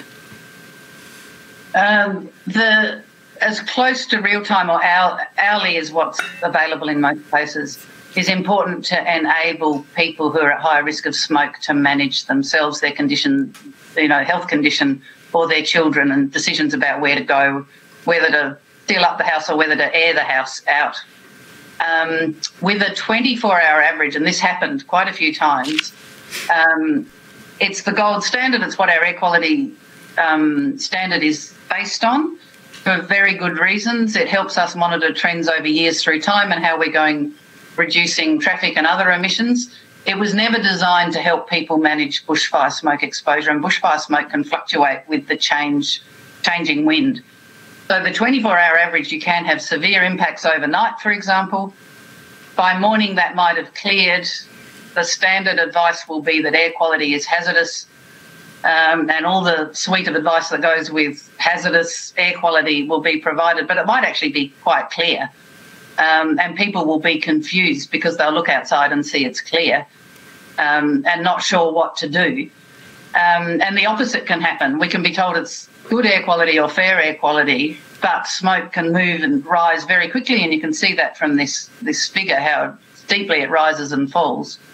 Um, then people, the air quality 24 hour average will say good or fair, and then people will feel obliged to work, to go out, to go to school, uh, while experiencing quite considerable health impacts. So it's um, it's just not useful for an individual to manage themselves, and that's um, that's what the real time data presented in a in a way that's interpretable can can offer. Thanks, Professor Johnston. Commissioners, any questions? No, no, thanks. That was an excellent answer, uh, in fact, and it showed the you know, different collection requirements for different uh, different needs and the high level of fidelity for medical uh, standards. So, thank you very much to, to you, Professor Johnston, for that. Ms Hogan Doran. I know the time, Commissioners. Um, propose that that concludes the evidence of uh, Professor Burns, Dr. Burns, and Professor Johnston. Unless there's any additional questions, uh, we could. I'm not sure of the position of the commissioners, but otherwise we would propose that we take the morning adjournment. The only thing I would be tempted to do would be just to ask each of Dr. Burns and Professor Johnston if there was any very short matter that either wished to make a comment on in relation to the evidence they've heard from the other witnesses to date. Professor Burns, perhaps you might um, go first. Yes, no, I, I think um, I really appreciate actually being part of this and listening to the other evidence and um, and both um, both presenters, the information they presented actually is very useful for GPs um, experiencing these um, events. I guess one of my comments would be um, that uh, I, I, have been involved very much in mental health effects following disasters, and I worked with Professor Beverly Raphael during the Victorian bushfires in 2009, and we saw a lot of children um, not a lot of children, a lot of uh, teachers um, who were managing children and went through that experience. I guess one of the things I'd like to comment is that um, one of the um, mental mental health is probably one of the key things that GPs see a lot during these events, um, and regardless um, of what where they're directed, people will turn up to their general practitioners, and they, you know, I think from from my research um, interviewing people, you know, 90 to 100% of um, consultations following and during the early days of a bushfire will be related to mental health or will have a, a mental health component. And although these um, these are distressed people, these are not people who have um, diagnosable medical conditions. Um, and so, one of the key roles um, is of the GPs is actually to calm people down. Um, and I know that um, you know, I've spoken to GPs where um, the patients have turned up on the doorsteps covered in smoke, just wanting to touch base and make sure that it's okay. And, and, and you know, with that disaster brain sort of asking for what they need to do. So I guess what I would say is that um, there is a huge mental health impact in disasters, and that's documented is huge, but there's an even larger one that's not documented. So the disaster um, research um, that includes primary care is minuscule. And so I think that there is still yet a lack of understanding of the true impacts of disaster across all those different areas um, because we are probably need to think more broadly and think um, around um, people's care um, after disasters. So we need to include um, all those different groups the elderly, the, the young, the families, but we also need to look at things like um, effects on people's um, employment and um, the social determinants health, effect on their progression through schooling, all those things, and and also um, those people that um, might have other um, disasters that then occur, like um, again stories of you know people have their own ongoing health effects that occur during these events. So I think my my observations of disasters so far would be that I really feel we need to broaden the scope and the um, consideration of conditions that we include when we're making disaster planning and uh, recovery arrangements. Thanks. And Professor Johnston. Um, yeah, thank you. I'll just make a comment in my research on, on bushfires and the public health impacts. Um, smoke, I guess, is just one of many health impacts from bushfire disasters. Um, threats to public health water supplies and catchments is another obvious one. And then there's the health impacts, physical and mental health impacts. Um, physical being injury, you know, immediate accidents relating to vehicles, but injuries from fires and radiant heat and so forth, and then mental health impacts. Um, and I'm, I'm not referring to biodiversity or any other impacts. Or, or the other one is, of course, loss of infrastructure and loss of power and the um, health and social impacts that arise from that. Um, and probably, and this is my opinion at this point, um, the, the ones that are most important for ongoing public health at the time and ongoing, I would say, are the mental health impacts and the smoke impacts because they're widespread, they're persistent, and um, and they can last. Particularly, mental health impacts can last um, a considerable, like years. Um, same with smoke if you're talking exposure very early in life at a vulnerable time. So that's that's like that's my opinion, I guess, and acknowledging the wide spectrum of impacts.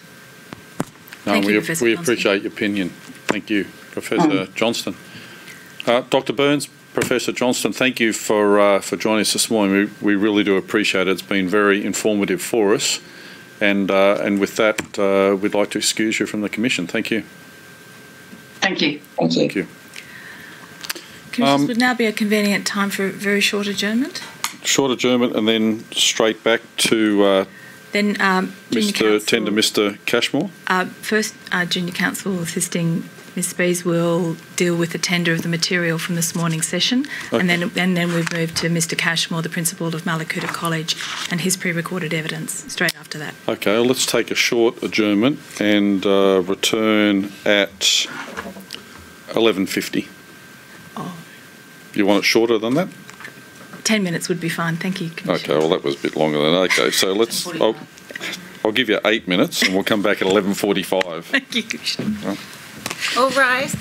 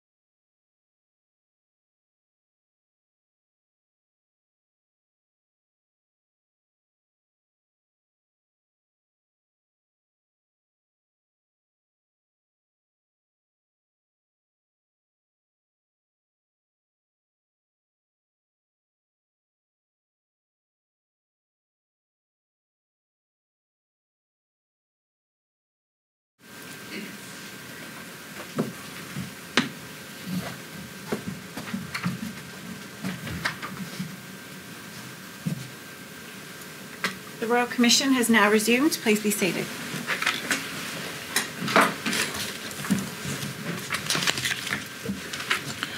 Uh, Ms Spees will deal with the document tender and then the subsequent video. Ms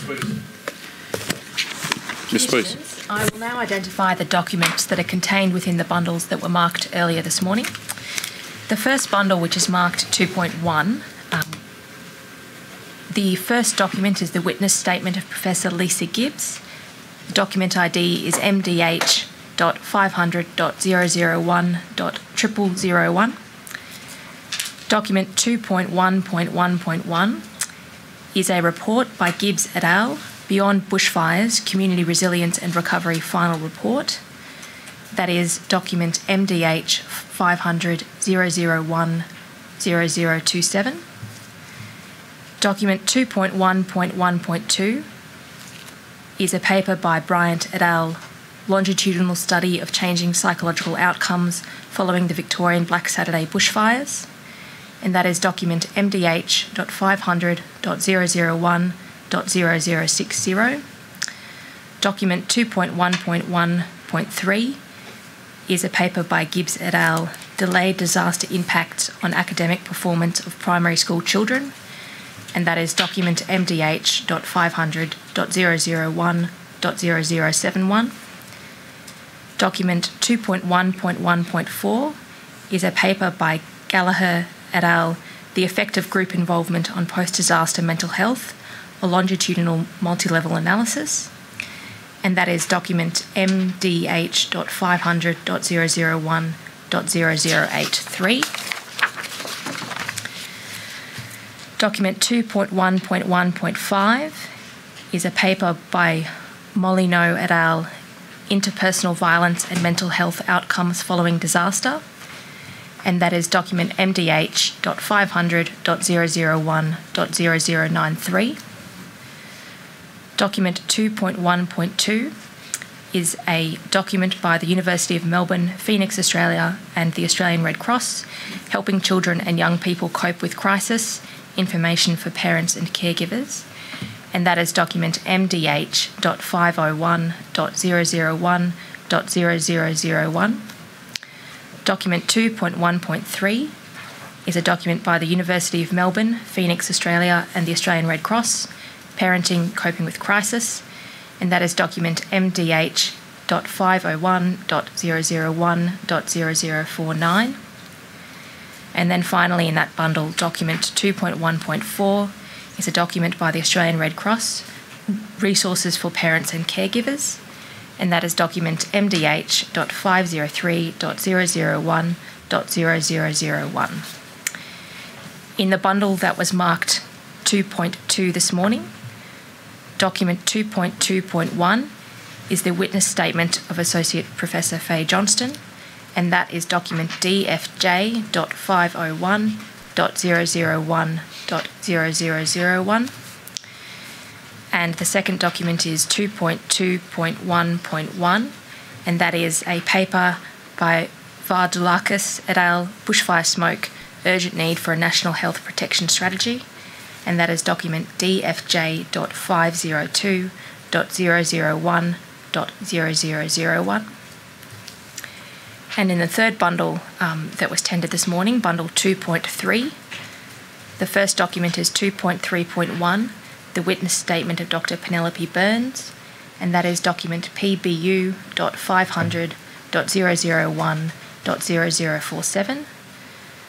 Document 2.3.1.1 is the Nepean Blue Mountains Primary Health Network document Planning for Disaster Management, and that is document PBU.500.001.0001.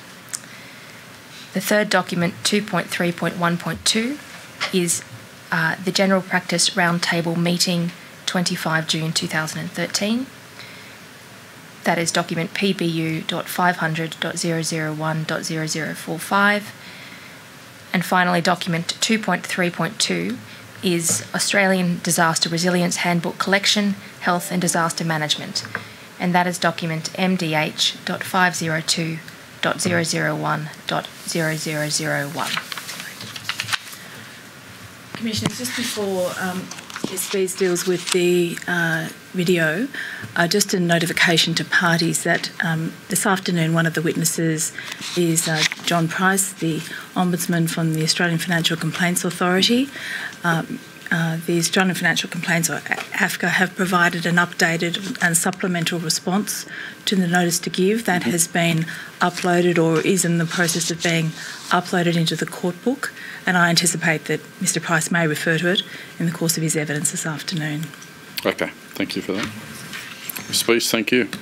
Commissioners, next we're going to hear from Tim Cashmore, who is the proud principal of Mallacoota P12 College Mr. Cashmore describes his personal experience of the fires that surrounded Mallacoota around New Year's Eve and also discusses the effect on the Mallacoota community. Mr. Cashmore's evidence has been edited to include a map and several photos referred to by Mr. Cashmore in his evidence. In addition, the video um, includes two maps as an aide memoir and that they have been inserted in the video to highlight the features of Mallacoota referred to by Tim Cashmore. The original footage of Mr. Cashmore's evidence, along with the separate documents referred to by him, are available. Commissioners, I tender the video of Mr. Cashmore's evidence, which is document RCN 700.000.0002, and the transcript of Mr. Cashmore's evidence, uh, which is document RCN.500.001.2188. And Commissioners, that is at tab E2 of uh, the bundle.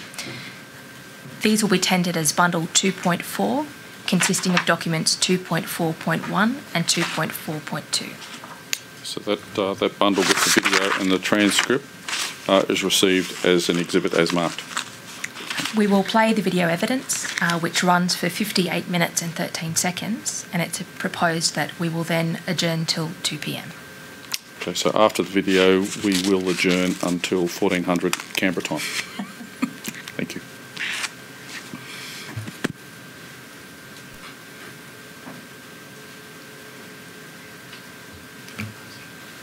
How did you come to live in Mallacoota, Mr Cashmore? So my wife Rebecca, who's now the business manager, we arrived here in October 2011 and we were going to stay for a year but now this is my 10th year and we love it here. Um, I came from the northeast of Victoria and I was helping look after about 84 small schools right across the northeast of Victoria right down to Kinglake, mm-hmm. right up to um, Wodonga and Corryong and over to um, Yarrawonga and those places, uh, and Shepparton. So we came here and uh, I'd been a principal for a number of years before that and uh, this is a great place to be. So you've been in quite a few places in Victoria. Have you had experience before the last summer of bushfires and bushfire seasons? Yeah, um, yes we have. Uh, I suppose in a previous life I spent a fair while in Corryong, which is a pretty strongly fire-prone area in terms of grass and bushfire and farming bushfire, and that's probably been reflected in what's happened recently. And also involved in, in Black Saturday, we were in the middle of Black Saturday when it broke out.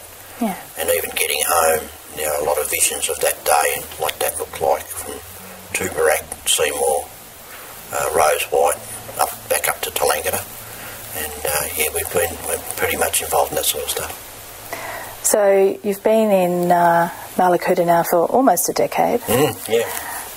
What's your role been here in that time? Okay, so my, my full-time job is a principal here, mm-hmm. um, and it's the privilege and the price of being in a small town.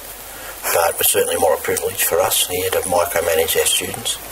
Uh, I've taken a couple of strong interests in the golf club, so I'm vice captain of the golf club here mm-hmm. in the um, or vice president of the golf club and was vice captain, uh, which is going through a major change at the moment. And I probably find that I've served on the MDHSS board, um, the local hospital board, for a number of years. Uh, that's probably enough because it's a pretty full-time job. How many kids are at the school here? Uh, this year 141, which is probably an increase in enrolment over the last couple of years. I think the peak at Mallacoota was 220, 240, Mm-hmm. but there was a sharing of the abalone licences, which probably decreased some of the town's opportunity. Uh, but we're holding well, and, and we are the only school. There will always be a P12 at Mallacoota because our nearest school's a long way away. And how many kids doing their final year this year? This year we have about 13, which is a fairly big cohort for us, and we do VCE, VET, and VCAL. So we stretch, um, and a lot of us are, a lot of my staff and teachers are individual faculties. Um, a couple of English teachers, a couple of maths teachers, but certainly our primary structure in, in um, early years um, and, and uh, middle primary and later primary are sort of standalone composite grades, and then uh, some pretty great experts in their field in terms of the secondary model too.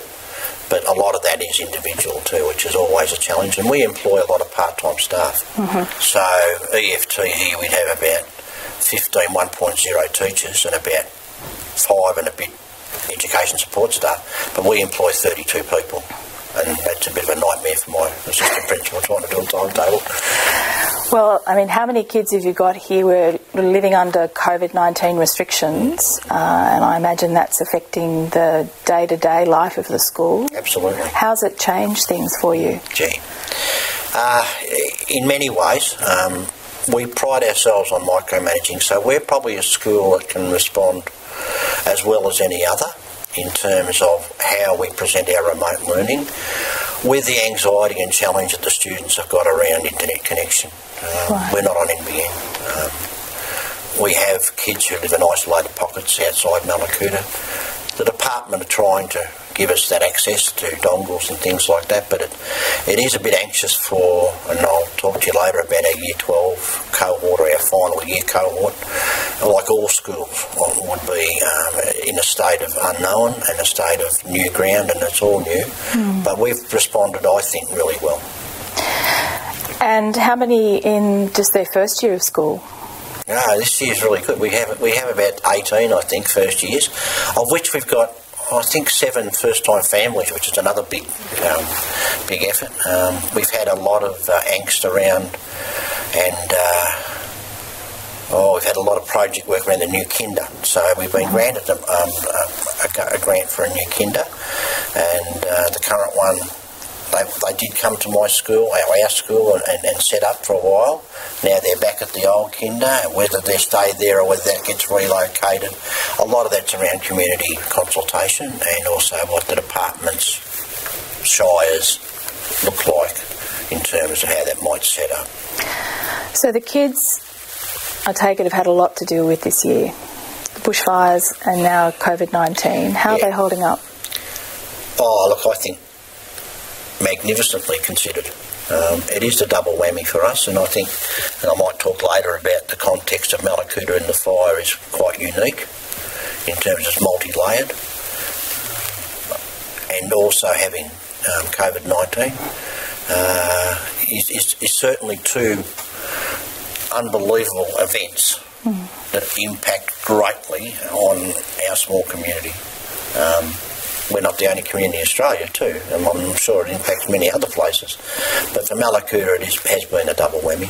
What's what's the community like here? I mean, who are the people that live here? Mm, oh, well, there'd be better people than me to talk to around this, but uh, the, pr- uh, the pride of Mallacoota is around its um, strong voice, around its strong environmental footprint, its very strong artistic footprint, both performing and visual arts, and about the connection to environment. Um, uh, lots of examples of that. I suppose historically, from what I know, Mallacoota, as you said before, is a halfway place between Melbourne and Sydney. So we've had a lot of quite well-known performers drop into Mallacoota and perform, and still do, over many years. And we have a really strong arts council, which was run in, in a festival-type event through the Easter breaks and things like that. But I think uh, in terms of what we're doing in Mallacoota, uh, they, they're strong. Uh, there is, um, it's not without its own set, set of conflict. Uh, we have a, a group of people who are independent owners, strong uh, willed businessmen called the abalone industry, the divers, and a strong environmental footprint. And, and people might remember the the challenge of building Bastion and what that would look like as an environmental issue and what that looks like in terms of access to um, ocean access. Uh, and my job here is not to have an opinion about that um, and to support my community. We run the Mallacoota Mouth, which is a really magnificent newspaper. Um, it comes out weekly. It's 40 pages. Yep. It's done brilliantly. Uh, but from my point of view, uh, my school council has asked that I, that I edit that correctly in terms of not publishing things that are too controversial. Um, and that's always a work in progress around me and others making a judgment about what can and can't go into the mouth. But the voice of the people here is really strong, and, and it's one of the attractions of Mallacoota. As, as diverse as it might be, it's passionate. And because we are so isolated, people need to make their own own fun, their own sense of identity. Uh, and it's you go back through the history with a couple of people here, and there's some wonderful stories that go on, and probably I've better not tell too many of them here. So it sounds like there's there's a number of people, artists, self-employed, um, some small businesses. Yeah. Who are the big employers in this area? Okay, so the co-op would employ a lot of people. Uh, the co-op works on a system now at the moment where it's got its own cannery, or had its own cannery, and hopefully about to be rebuilt. Uh, So when you say the co-op, you mean the abalone? yeah, the abalone co-op, yeah, and, and that's exported. You can't technically buy abalone in town because it's all canned and sent away. Um, they would probably be a big employer, as would the Malacoo District Health Service and the school. And then we've got what we call our local shopkeepers. Uh, we call it the CBD down at Mallacoota. Um, and they're, they're, they're a strong group of people too. And we have an enormous amount of volunteer groups. Right. Over, I'm going to guess, well over 30. And that's not bad for a, for a town of under a thousand people.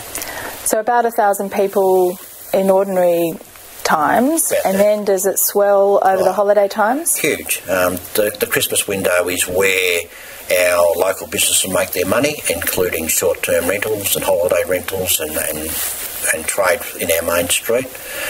Uh, That could swell anywhere between uh, eight and ten thousand people. Um, we have one of the largest caravan parks on the foreshore in the southern hemisphere, run by the um, local local um, shire, East Gippsland Shire. But there's also a lot of holiday accommodation around Mallacoota, and a lot of people um, would watch this, and many would have been to Mallacoota uh, in in, the, in their days. And so the local community, from what you say, sounds like they rely on the income from the Christmas period in particular for the rest of the year. Absolutely. Right. And, and of course, the double whammy of, of the bushfire and COVID uh, has certainly um, challenged them. So it's pretty quiet here now. Oh, well, yeah, I think I might have mentioned to you there's only the one coffee van in the street selling coffee, so yeah, it's, it's a pretty popular thing because we've got all our contractors in clearing at the moment, or Yep. starting to clear. And uh, yeah, most of the things are pretty well shut down.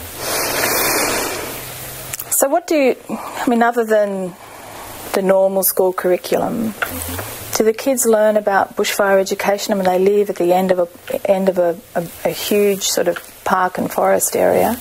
We, we do a lot of work over the years in connection to. Um, we've had some really great programs run here. Uh, we've joined with Parks Victoria and, and uh, uh, doing uh, camera shots of um, feral animals at night time. We've joined Parks Victoria with water quality. Uh, our advanced program. Um, absolutely. Uh, we supply here um, a really good program for surf lifesaving. So our students, although we haven't got a pool in Mallacoota, we have the pub pool to learn to swim in. And that's probably about the size of this table. But we also have a lot of connection with uh, Mallacoota Lifesaving Club in supplying guards. They do their bronze here and they do their gold, and they drift into volunteering for working for uh, Royal Lifesaving, and that's a really great program. We, we patrol the beach at Bastion Point in the summertime for the welfare of our holiday makers, and that's a really great connection. And are many volunteers part of the CFA or part of the, the, Okay, the we do have some, including um, one fine young fellow who was one of the centre fighters uh, in response to uh, what happened New Year's Eve and, and, continues to be part of that CFA unit. So there are other people as well. Uh, but he, he's a special boy who's um, out at Gabo Island working and doing things for and trying to do his Year 12 at the same time, which is always going to be contestable right now. And a number of our students uh, volunteer in all sorts of ways. So, in the lead up to Christmas last year and the, and the summer season, what kind of preparations were underway to, for the potential risk of bushfires? Yeah, it's a good question. I'm probably not that qualified to make the comment. I can make an observation, but um, I think the standard stuff around um, the conflict between lack of resources for some of our instrumentalities um, and trying to manage uh, the forest is really a contestable thing when you've got um, on one side the logging contractors and the other side the environmentalists. There's a balance in between, and people like DELWP and uh, CFA and uh, parks have to respond to that with limited resources. And the people I've mentioned there, there are some beautifully wonderful people in that industry, doing straining every inch of what they can do under under enormous pressure. So Mallacoota is right in the far east of East Gippsland. Sure. And there's one road in and one yeah. road out. Yeah. And otherwise it's by sea or from the uh, airfield about eight kilometres to the south. Yeah. So was was there a sense that there was a potential to be cut off with fires? Well, it, again, um, there are probably better qualified people to answer that one, but from my point of view, there was a sense before New Year's Eve that the fire that had started had the potential to get out of control. And did you get any? Did you? Is there a system of messaging or information that you received or monitored? Um, yes and no. Uh, we go. The school actually goes through a bushfire preparedness. Okay. So Can you we tell get me a bit about that? We get a grant every year to employ contractors here to make sure our our school is as fire ready as possible. And that's removing leaf litter, cutting back, uh, making sure we haven't got a lot on the ground, tidying up. Um, sealing up, making sure we're ready. Um, that's that's been happening since we've been classed as a bar school, a bushfire school. So um, that's that's part of that thing. But remember that the bushfires probably started and affected areas uh, as late November uh, around Swift Creek and those places. Um, but for us, it was around the fire that started down down south southeast. Near Wingan River. Yeah, yeah, near, near, near the Wingan. Um, and that, as it came, uh, it was an increasing piece of um, anxiety in the town. We had, for instance, where I live on that corner there, a little D4, D something uh, bulldozer in to just widen the one track again. Um, the resources that they call upon. Um, somewhere between 16 and 20 odd fire trucks came in. And they've come up the line so they were from as far away as Bendigo. Being shunted up the line. Uh, I think they wanted 50 uh, and that would, I don't know how much that would have mattered um, in terms of what, what came and what was fierce. Um, but there was some preparation uh, certainly from our um, professional and volunteer bodies Yep. around what, what looked like could happen. But the ferocity of what did happen was extraordinary. So, for yourself, you live on Terra Nova Drive, which is around near Bastion Point. Um, did you have a bushfire plan for your own home? Yeah, we did. So Beck and I greened as much as we could, and that much I do know. Um, so back in November, looking at the fire season, we, we greened as much as we could, and and that included part of the this very narrow fire break that this, that's there, um, and locked up the house. Uh, we left the night before because um, Beck had never been in a bushfire, um, and it was just at that time, and neighbours helped each other. My neighbour helped him, and us, and across the road tried to help to get prepared, and some did stay. Um, but we, we evacuated down to the wharf area. So they decided to make the resort, uh, the place of last resort is the hall. So we'll just look at the map. Yep. So you're over here in Terra Nova Drive, which is just off Bastion Point Road, which is the road that takes it all the way out to the jetty, where eventually um, the evacuation was mounted. Absolutely. But over here is the main road, which is Morris Avenue, is that right? Yeah, Maurice Avenue. Maurice Avenue. And you just said about the wharf, which is down at the end. Down the point. So the CFA declared the hall, and there's Captain Stevens Point, or Stevenson's Point, and that area along there was where people should assemble. And so what you're pointing at is this is the foreshore area where there's uh, caravan parks. So just looking at the map, we've got come down through the main road down to the foreshore area. You talked before about all the caravans and the camping. It's all the way along this foreshore area, and there are these small And sort of backs up uh, around the back here too. and around um, to Devil to the lookout and the Devil's Inlet. Yeah. Okay, so on the foreshore, um, there's the wharf, and you were just saying that the um, they've been designated a community hall as a place of Yeah, of, of, uh, last last resort or the place to move to. Um, and that's next to the cinema or near yeah, the cinema. that's, that is the cinema. It is the cinema. Yeah, known as the cinema too. So it's a multi-purpose, Sure. and that's a concrete structure with a sort of oh, not roof. all too much concrete in it, but it certainly has some structure to it. Okay. So you were telling us were down at the wharf. Mm. Do you want to take us through what you and your wife did? So this is on the 30th. Yeah. You so we stayed the night down there with friends, and I suppose the first thing that we really realised, you could smell the fire, um, but and you could see the red glow a fair way away. But during the very early morning, a couple of the fireys came round and said, "The head's going to come. You need to get." We were just um, I don't know, 50 metres, 30 metres from the wharf itself. You need to evacuate right to the wharf. The wharf was a central point which I thought was a good place to be because that's where they were pumping the fire trucks. So they had a pump, big pump operating, and the trucks would pull in and they'd load up.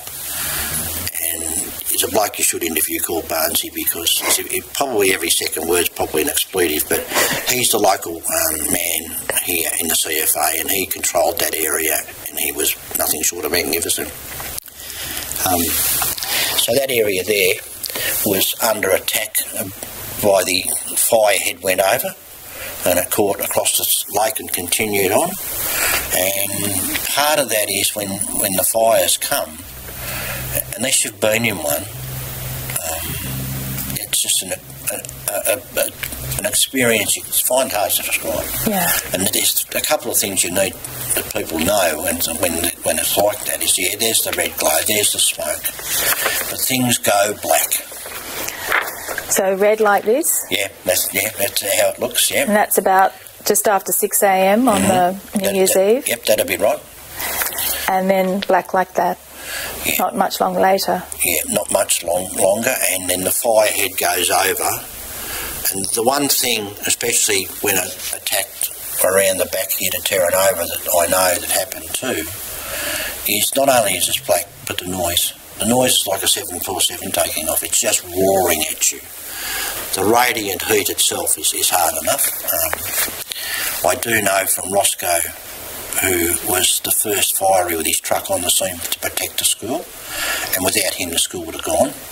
He did run out of water, but, um, but just fortunately another truck, one of the school, maybe the Scoresby truck came in behind him and backed it up. He's been at my school three times. He walks in, he sits down, he cries. He, and he's one of the strongest men I've ever met, and he's given himself to us. You've given us a sense of the intensity and the trauma, and I don't want to dwell too much on that because I'm sensitive to um, those memories don't seem to to to fade No, they don't. in They- the short term. And they can even be amplified, but Mhm. you know, we've done a bit of debriefing and I'm happy to talk around that. The other part that probably would be worth noting is the amount of feedback I got from people who stayed in the hall, and I'm glad I didn't stay in the hall because So it was a designated spa- space, yeah, wasn't it's it? black, but you can't see anything. You can't, you can't see what's coming.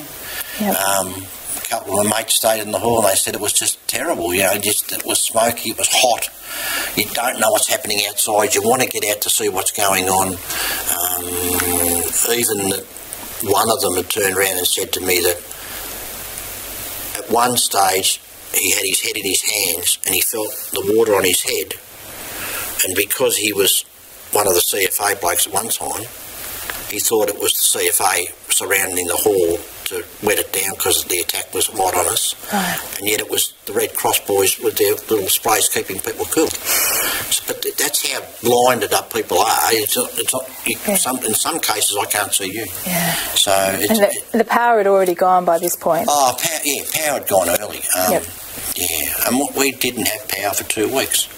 And that promoted the next stage, which, which was around fire management and evacuation. And that's something that I'll never forget in terms of what it was. So let's go forward to that point. Mm-hmm. During the course of that day, announcements were made that the Navy, HMAS Choules and HMAS and Syc- Sycamore would be sent around. Um, that would obviously take some time before they would arrive. Um, what was the sense in, in the, the town and the community at that point? I think it's an individualised thing because everyone was focused on what they needed to do or reacting to who they, where they were, and what they were doing themselves, and with their loved ones or family or children. Uh, for Beck and I, we took off round to Terra Nova Drive to see if we'd survived, and we went down the street, and there's house after house just flattened. And ours stood well. Yeah, we cried.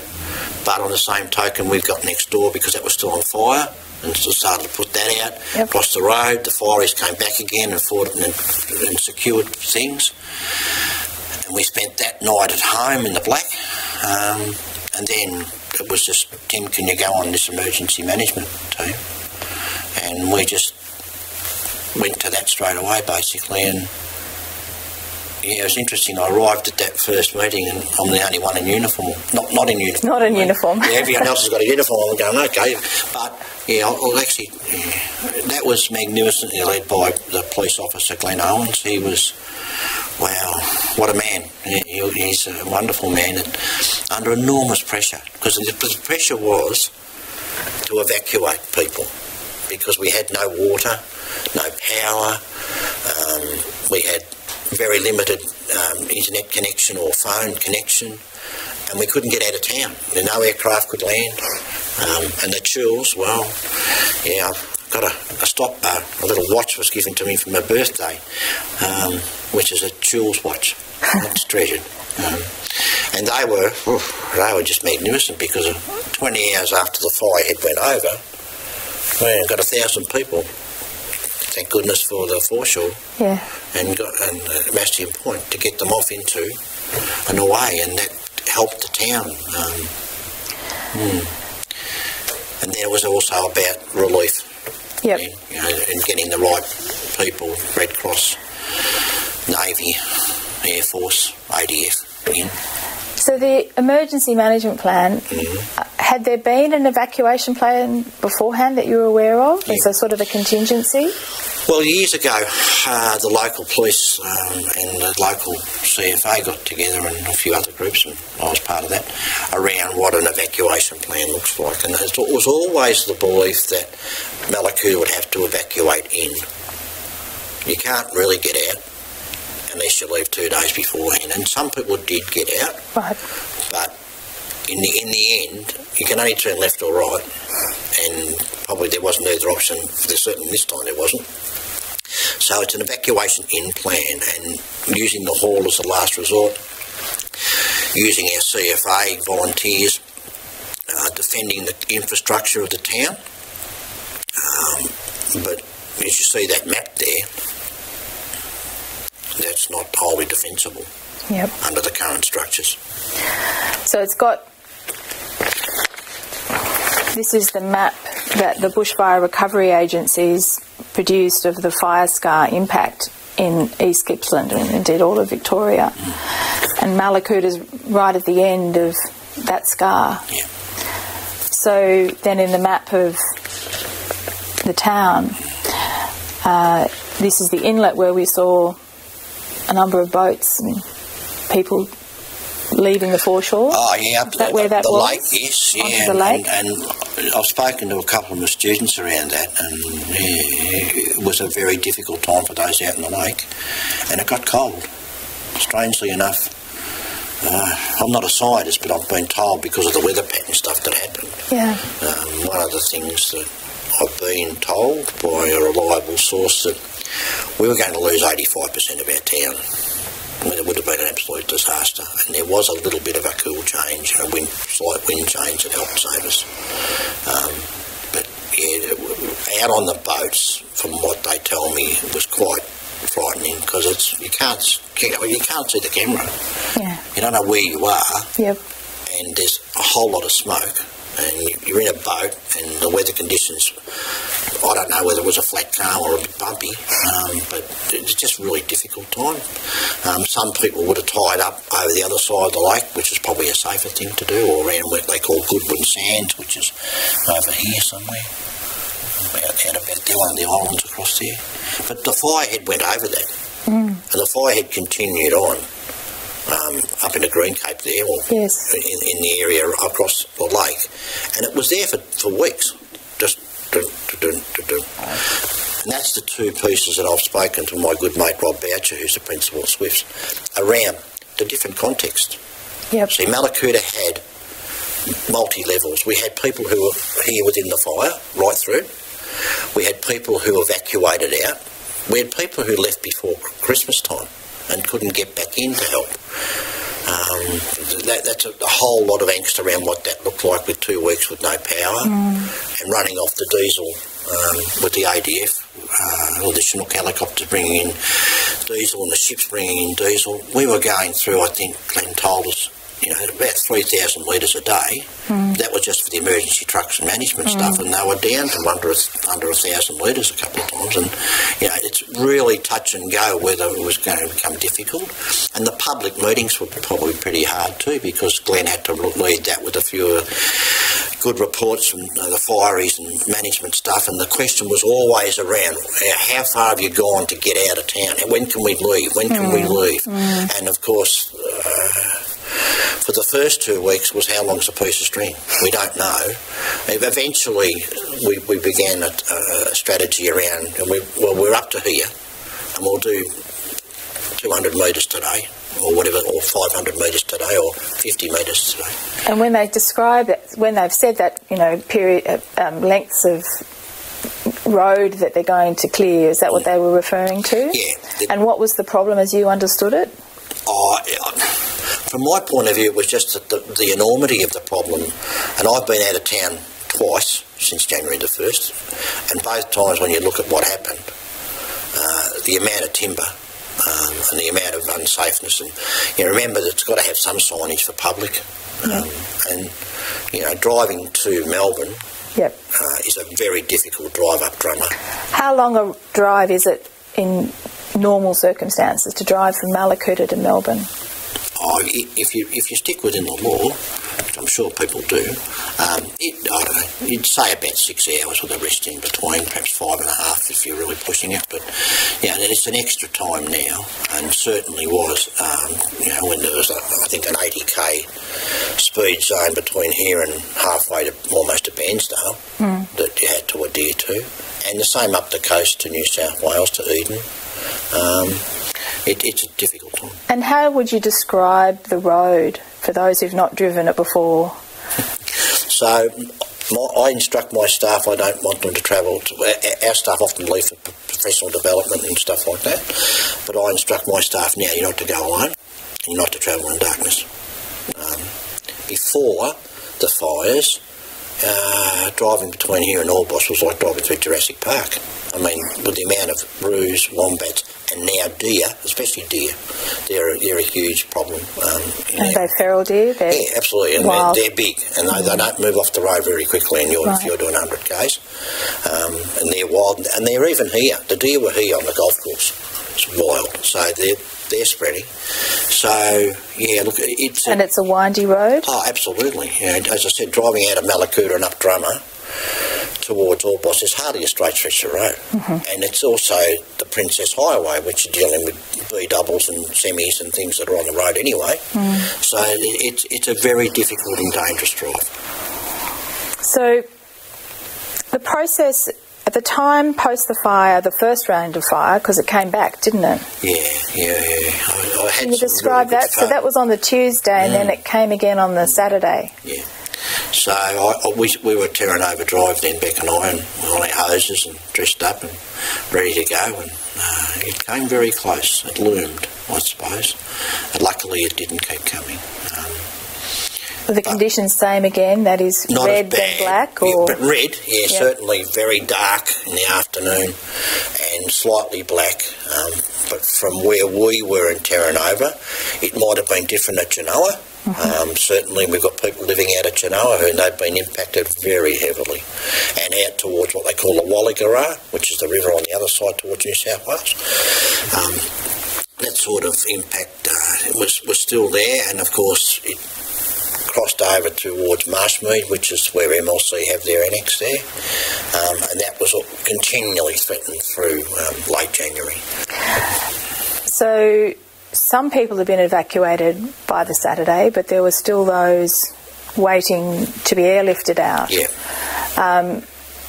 The, you've described this, the, the fires coming back on, on the Saturday, so still heavy smoke, still interrupting the, the, the plans, I guess, to evacuate. oh, yeah.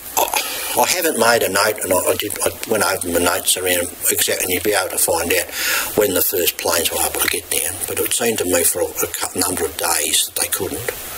Um, and when they did, um, with the um, the Spartans, as they call it, the mini Hercules, and wow, and to see, you know, Chinook helicopters and, and, and even um, all the private charter coming in, twins, twin engine aircraft, and uh, then of course the uh, Air Force brought in a couple of their really quick um, modern helicopters, which uh, were good. And we had a, a fantastic relationship with the boys from the ADF who looked after the the uh, fuel and the bladders. Because the one thing I perhaps didn't mention was that two days before the fire preparation, is uh, Telstra put down a couple of generators out of the golf club, which was always the plan. So they came in on big semi trailers. Right. So big diesel generators. Yeah, yeah, and that's where they had to put the bladder down, fill it up, make sure it got off the ships, and the ADF boys were magnificent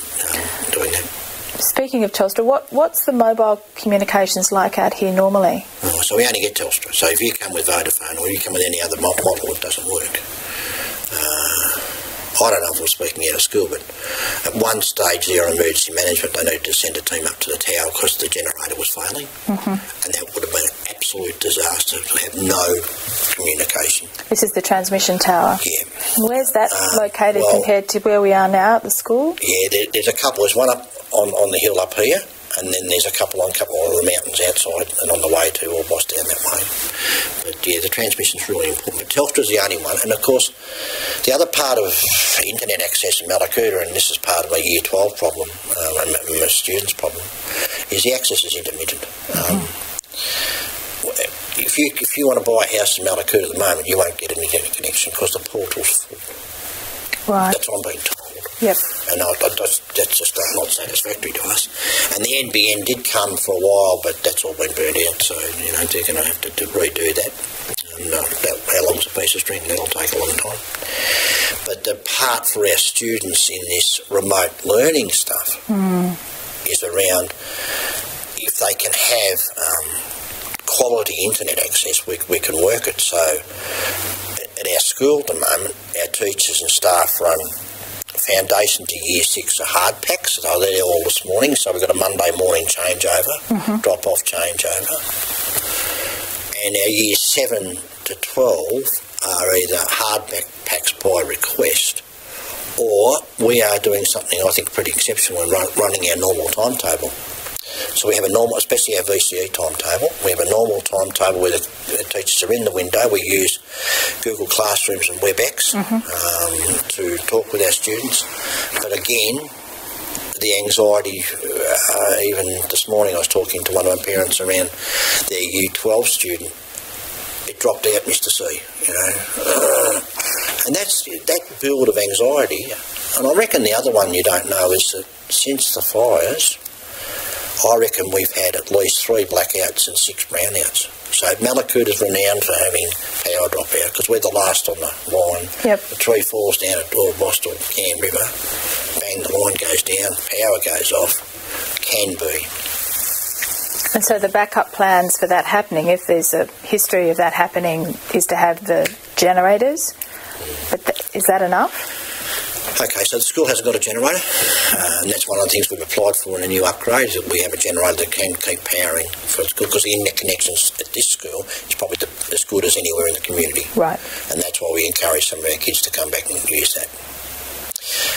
Um, yep, but a generator for the town in terms of its internet connection, absolutely. Um, I'm not a techie in that regard, but I don't care what it costs, but it's just a given for towns like ours to have something like that. But then, you've, of course, you've got to be able to resupply the, the fuel for to run the generator. Absolutely, Yeah. yeah, and that's yeah, that's an interesting thing. So, you said a moment ago about the anxieties that the kids are having with managing schooling in the COVID environment. How are kids responding or living in the aftermath of the fires themselves? So, take us back to say January, then February. You attended the community forum in March, and we're now in May. Yeah. So, yeah, it's a good question. What we've tried to do as a school, um, we have a really strong education support group of teachers here that are well established, and without being too glib, it's a bit of the village runs knows the student pretty well. Um, so we've aligned all our home groups an ES officer to check on wellbeing and engagement, keep on checking in.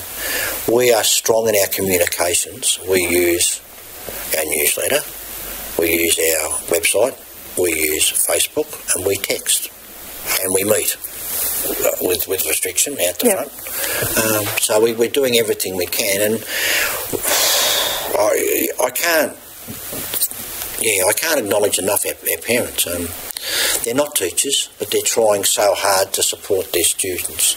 Um, we want them, of course, back at school, and they will come back to school hopefully sooner rather than later. But we are governed by our Victorian Health Minister and by what our government want us to do, and that's fair enough. But the issue was, it was interesting if you go back to the fires, Dominic, in terms of the first day at school. Um, was really interesting. Oh, kids won't come. They don't want to be here. You know, they've gone through this. Well, we had 85% of our kids come, and they were keen. They were, just wanted to see their friends. They wanted to get together to tell their story. And it's a bit the same here at the moment. You can see that some of them want to get here to tell the story. Sure, they've got the third appendage, they've got their mobile phones, but um, it's not the same as being here, and, and the socialisation of that's really important. What kind of support have you had? Uh, have you had additional resources to, in the aftermath of the fires? So we were lucky. We had, oh, I don't know, the preempt, one of the preeminent uh, psychologists in Australia, Dr. Robert Gordon here. Um, and I'll never forget how he started because it was day one and it's all the staff back, so there's 30 people sitting up in the library and they get Tim's, you know, two minutes and they will roll their eyes, is me, but that's good. But it was good to, you know, welcome them back. And I'll hand over to Dr. Robert Gordon, not knowing anything what he was going to do. Yeah. And he's um, a middle-aged man, very softly spoken, and he's sitting next to me. So he stood up. He said, "My name is um, Robert Good, and I'm here to talk to you about what's happening." And then he sat down. I went, "Hmm, "What you doing?" And no notes, no overheads, no anything. He just spoke calmly to our staff about the science and the cognitive structures of what kids will go through through trauma Yeah. and how that would look for you as a staff to have the, the strategies in place to try and support them. And he spoke. Oh, hour and a half, hour and 45, and there wasn't a, a word said. It was just unbelievable. So he was the first part of another psychologist who was here, and also some CRTs, uh, relief teachers, who mm-hmm. three relief teachers here, because I needed to gauge how our staff were feeling. Um, you know, some would come in the morning looking pretty fine, and 11 o'clock they'd, they'd, they'd probably need a rest. Yeah. So we had um, three of our staff lose everything. Mm-hmm. Uh, we had at least five families who've lost everything, and then a lot of fire impacted people too. So we needed to manage that, and we continued to have support through January and February. Uh, we had a, a, some really high quality people. Uh, Nusha de Cruz from the department, who is a wonderful triple SO, was here. The one thing that happened is a bit like the fireys, which I draw your attention to. Um, in the emergency management and in the uh, relief support for the school, people come, but they only stay for two weeks. Mm. So there is a rollover of, okay, what does a succession plan look like? And especially in the emergency management team, I reckon that can be improved. Um, yet there's a whole lot of tooling and a whole lot of storytelling, a whole lot of data that these people will be dealing with. But because of OHS, and I understand that, they have to be rotated. But it is that continuity, especially for kids who don't want to keep retelling their story. Yeah. Who want to make the relationship with their their person who's supporting them and make it a longer term relationship. Uh, we're very lucky right now with St Vincent de Paul, who um, we're actually talking about this today as a panel. We're employing a psychologist, um, which to get help in Mallacoota in terms of psych or OT support is just a contestable thing because we're so far away mm. and people don't apply. Um, is that we're going, looks like we're going to get someone here for the 12 months, which is going to be really supporting our school and well-being and, and our kids' engagement. But that's just one part of the strategy. Yeah. Um, yeah, getting the staff back too together will be really important. That'll look interesting. So you've spoken about mental health issues. What about other health issues in the for the kids and for the staff? Um, there's been a lot of devastation, a lot of homes, a lot of old homes that have been destroyed. So one of the things that happened, um, which was a bit uh, probably not an easy thing to manage, was around air quality when we came back, uh, and we had to get enlist pretty strongly. My assistant principal Kathy did a great job with that, in, and I in terms of getting the EPA involved and getting air quality measurement involved. We had air quality measurement outside the school. The air quality looks like this. We still have staff who don't want to stay in their homes because the homes next door are devastated and they're a bit um, they're, they're concerned around the quality of you know, the asbestos stuff and things that happen. And I notice when the teams Grocon's a major contractor here, um, and they're working in their teams, um, there's a, quite a few homes that are contaminated. They need to wet it down and de- deliver that stuff off site. It's a long way to Warboss to get rid of that. Yes. Um, the steel and the concrete, I think, has been offloaded here. But that length, I think it's a six hour truck return to get rid of that stuff, and that's going to take time. Yep. Um, and of course, the rebuild will be really interesting. Um, I don't know the figures on Tathra, but Tathra was a town hit a couple of years ago pretty hard. They lost X amount of homes. Not many homes have been rebuilt. How many homes lost here about? Oh, over 100. Out they say uh, 140 odd dwellings and sheds and things. Out of how many is a good question. I'm not sure. You'd have to ask the Shire about that. But when you think about a thousand people, there are a lot of holiday homes here. Yep. So that would be X amount of homes. Um, but it's still, you know, when you drive around the top end where, where we are here and up the other end of town around Karbeethong, there are a lot of homes. Um, and also around outside of town as well. So your road is Terra Nova Drive. There's a lot of homes gone in around yeah, you Bastion and Bastion Point down out, here, to the, out to the wall. There's there eight or ten homes just in that little area there, down, down towards the point. And then there's homes up here, and then the devastation of homes in that area, Stanley Avenue, and up the back of Betka Road is another area. And then way over here at Karbeethong there's homes, and there's a few homes that got into Coulls Inlet, and there's a few homes, of course, in the main drag coming into town. But where we are, we're we're not far from where these homes have been devastated in Bastion Point and Terra. No, we, we're, we're, we're 100 yeah, metres. Yeah, well, a bit more than that, but on the same token, up the back of the school here, there's, there's the CFA shed. The CFA shed was under attack. The school was under attack. There's fire areas in the school ground along the fence line at court, yep. and underneath a couple of the classrooms up the top there, court. And if the fires weren't on the scene then, protecting the, those assets. Yeah, yep. the, the, those assets they, they tried, tried to protect. Yep. Yeah. So, Tim, what I want to take you through now is the before, during, and after, and ask you to think about how things might have been done differently or what can be improved for next time, just from your own observations, maybe just within your own home, in the school, in the community. So, in the preparedness, getting ready for a fire season, what what's important and what more might be done. Wow. Okay. Um, well, if I look at it from, if I look at it from sort of like fire management which was the initial part of it. Uh, the preparedness beforehand, um, we have to manage our and protect our town better. Um, we have to resource, strongly resource our agencies like um, Parks and DELWP and the CFA to make sure they have a chance. Um, and that includes forest management. Uh, I'm not an expert in forest management, but from a personal point of view, the fire breaks that I look at aren't wide enough. Mm-hmm. Um, and there is plans by good people to uh, that were actually sent to um, government agencies beforehand that again weren't taken up. Um, and we need to work strongly with our, all our stakeholders in making you know, Mallacoota that unique place, but well protected place too, that we can I mean, you can't fight a fire like we, we, are in, but you can fight ember attack, mm-hmm. um, and you have a chance to defend.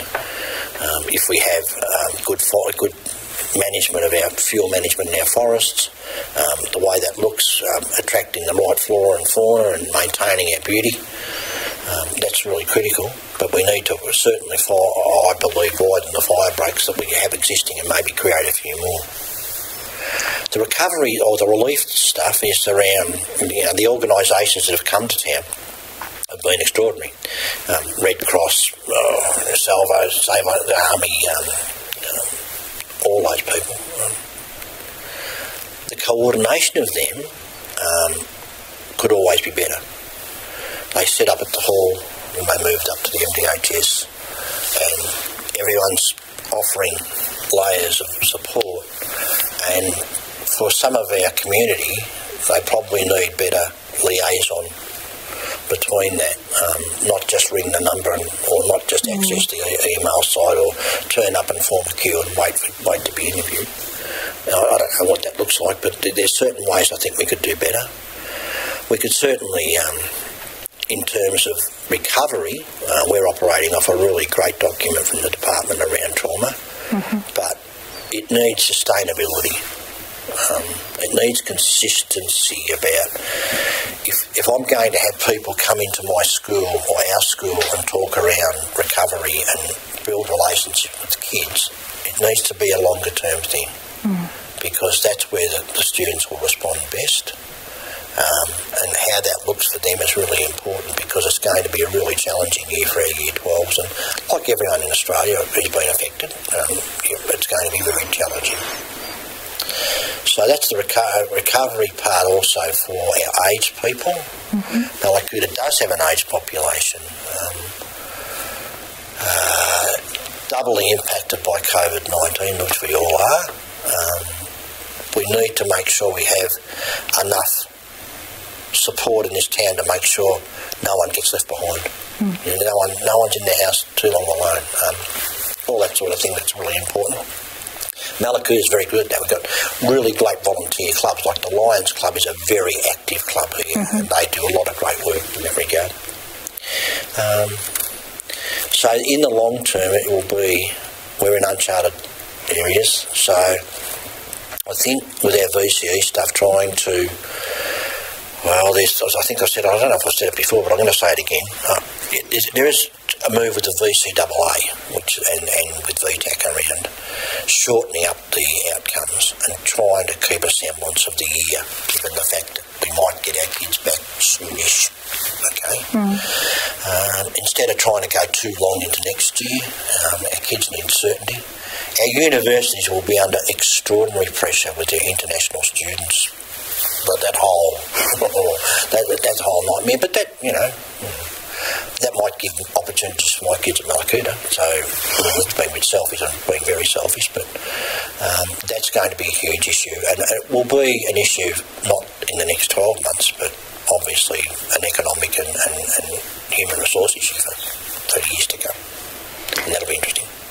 So it's been a very significant year for you as the leader of the school community.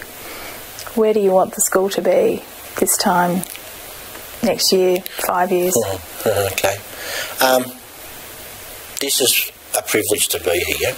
Um, it's probably the most uh, oh, privileged I've been in any, any vocation, in any time and anywhere. And I can see that the next you know, six months, 12 months, 18 months, five years will be a really important part. Uh, Mallacoota will rise, um, and it is rising now. Um, I have enormous faith in our community, and I believe it will be a vibrant, um, really strong, contextual Mallacoota stamp, which is a really interesting thing to say, around what we offer our kids here, because we can micromanage, and we are very successful at doing that. Um, so that's why I'd hope for a whole lot of support for our community and our staff here. Um, our staff are quite extraordinary in trying to stretch, so they'll continue to do so. Is there anything you'd like to tell the commissioners? Now, you met with them on the 19th of March in the community forum. Right.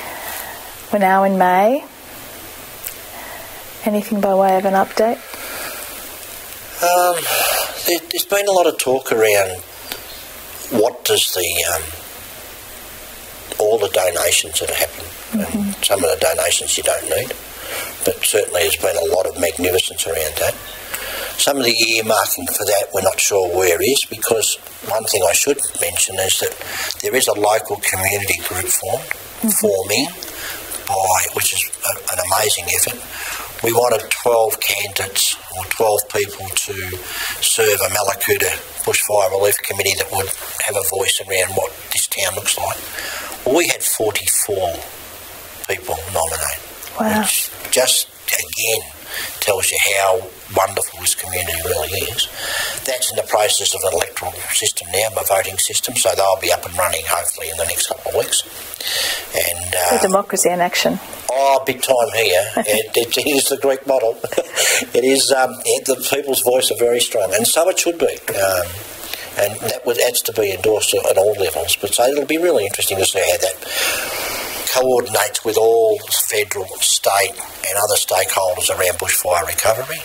Um, and I look forward to being part of that from the schools. I'm not, didn't nominate.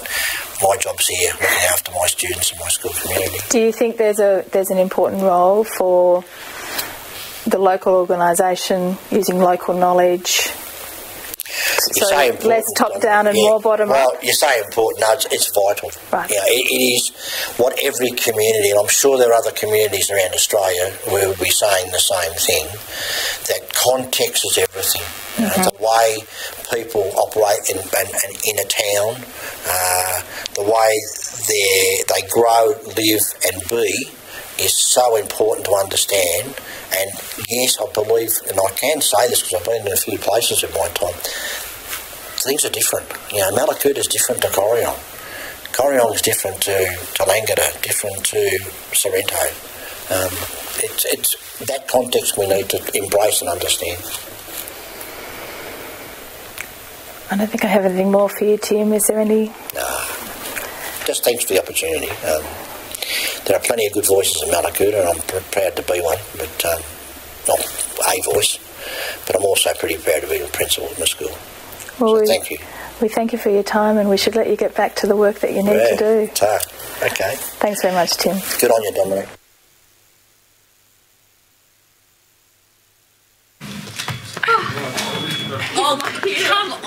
The Royal Commission has adjourned and will resume shortly.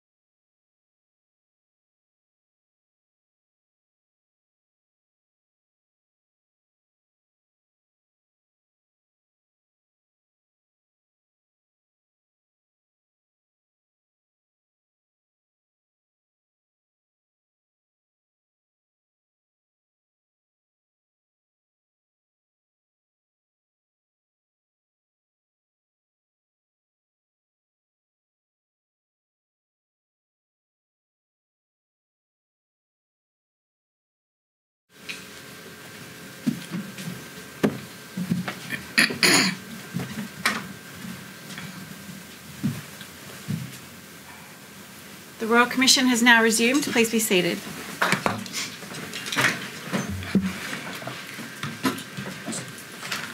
Ms Hogan Doran. Chair, Commissioners, this afternoon we are going to focus further on the insights into the impact of the 2019-2020 bush, bushfire season upon people, businesses and the built environment. Tomorrow we will turn to the effect on the natural environment and on Friday we will specifically focus on critical infrastructure, including power and telecommunications. Uh, first up, um, Junior Counsel Assisting Dovey will take the Commission to a number of documents we have received and which describe the scale of the recent bushfire season and the damage caused. We'll then have three witnesses um, John Price from the Australian Financial Complaints Authority, uh, Kate Carnell, the Australian Small Business and Family Enterprise Ombudsman, and Noel Clement from the Australian Red Cross. But to be clear, our main focus today is on the damage caused by the recent bushfires and the support that has been provided to assist people in recovering from that damage. This baseline evidence is only the first stage of our investigations. It's guided by the terms of reference into, among other matters, how arrangements for recovery from natural disasters might be improved. There are several areas we will touch on today which merit further investigation and to which we will return in future hearings to specifically investigate community and industry and organisational concerns. In particular, these appear to include issues around the effectiveness of insurance as a risk mitigation tool and the involvement of charities and volunteers in response to and recovery from natural disasters. Counsel Assisting conducted a panel session last week, virtually, with representatives from consumer groups Choice, the Consumer Action Law Centre, the Financial Rights Law Centre, the Australian Communications Consumer Action Network, as well as Mr Price from AFCA. This discussion, along with a detailed review of public submissions and stories of community witnesses, are feeding into our ongoing investigations in this area. The evidence adduced today is not designed to address all these issues, but simply to begin to set the scene upon which the Commission's further investigations will build. Uh, Ms Dovey will assist you, Commissioners. Thank you. Ms Dovey. First up, I tender the bundle effect documents, which are in the tender bundle as item 2.5. There's nine documents in that list, and I'm not proposing to read out the document numbers all at the start. I'm going to read them out as we go through each document in turn. But they will be tendered as number 2.5, numbers 1.9 through there. These are materials which we've drawn out to demonstrate the scale and effect of the 2019 to 20 bushfires. I'm going to start with the national picture, then take a bit of a look at some state figures in one particular state, and finally share some extracts of submissions demonstrating the effect at a local government level. Turning to the national figures, as the Commissioners are aware, on the 6th of January 2020, the Commonwealth Government established the National Bushfire Recovery Agency for a period of two years to lead and coordinate a national response to rebuilding communities affected by bushfires across large parts of Australia. The head of the NBRA, Andrew Colvin, the National Bushfire Recovery Coordinator, is going to appear next week to give evidence at the end of this hearing. The NBRA has very helpfully provided, in response to notices, information in advance of Mr Colvin's evidence, which evidenced the scale and effect of the recent bushfire season. I'm now going to bring up some of those documents. The first document to bring up, please bring up document PMC 501 001 0003. This is at tab F1 of the Commissioner's bundle. It's an animation which runs for a minute and 25 seconds, and it shows the progress of the fires in the southeast of Australia between the beginning of September and the end of February, the most recent season. The active fires are shown in red, and the burn scar left behind is shown in yellow. Next week, when Mr. Colvin appears, we'll see a version of this that shows the whole of Australia, but we've started with an up close version because it more easily evidences a couple of features of the fires. One is that the fires didn't progress at an even pace, but often exploded in bursts across the country, challenging firefighting resources. And another is that the fires often surrounded period, loca- particular locations for periods of time and then sometimes went away to come back. And so communities were facing imminent threat for long periods of time and sometimes trying to move to recovery only to have the fire return.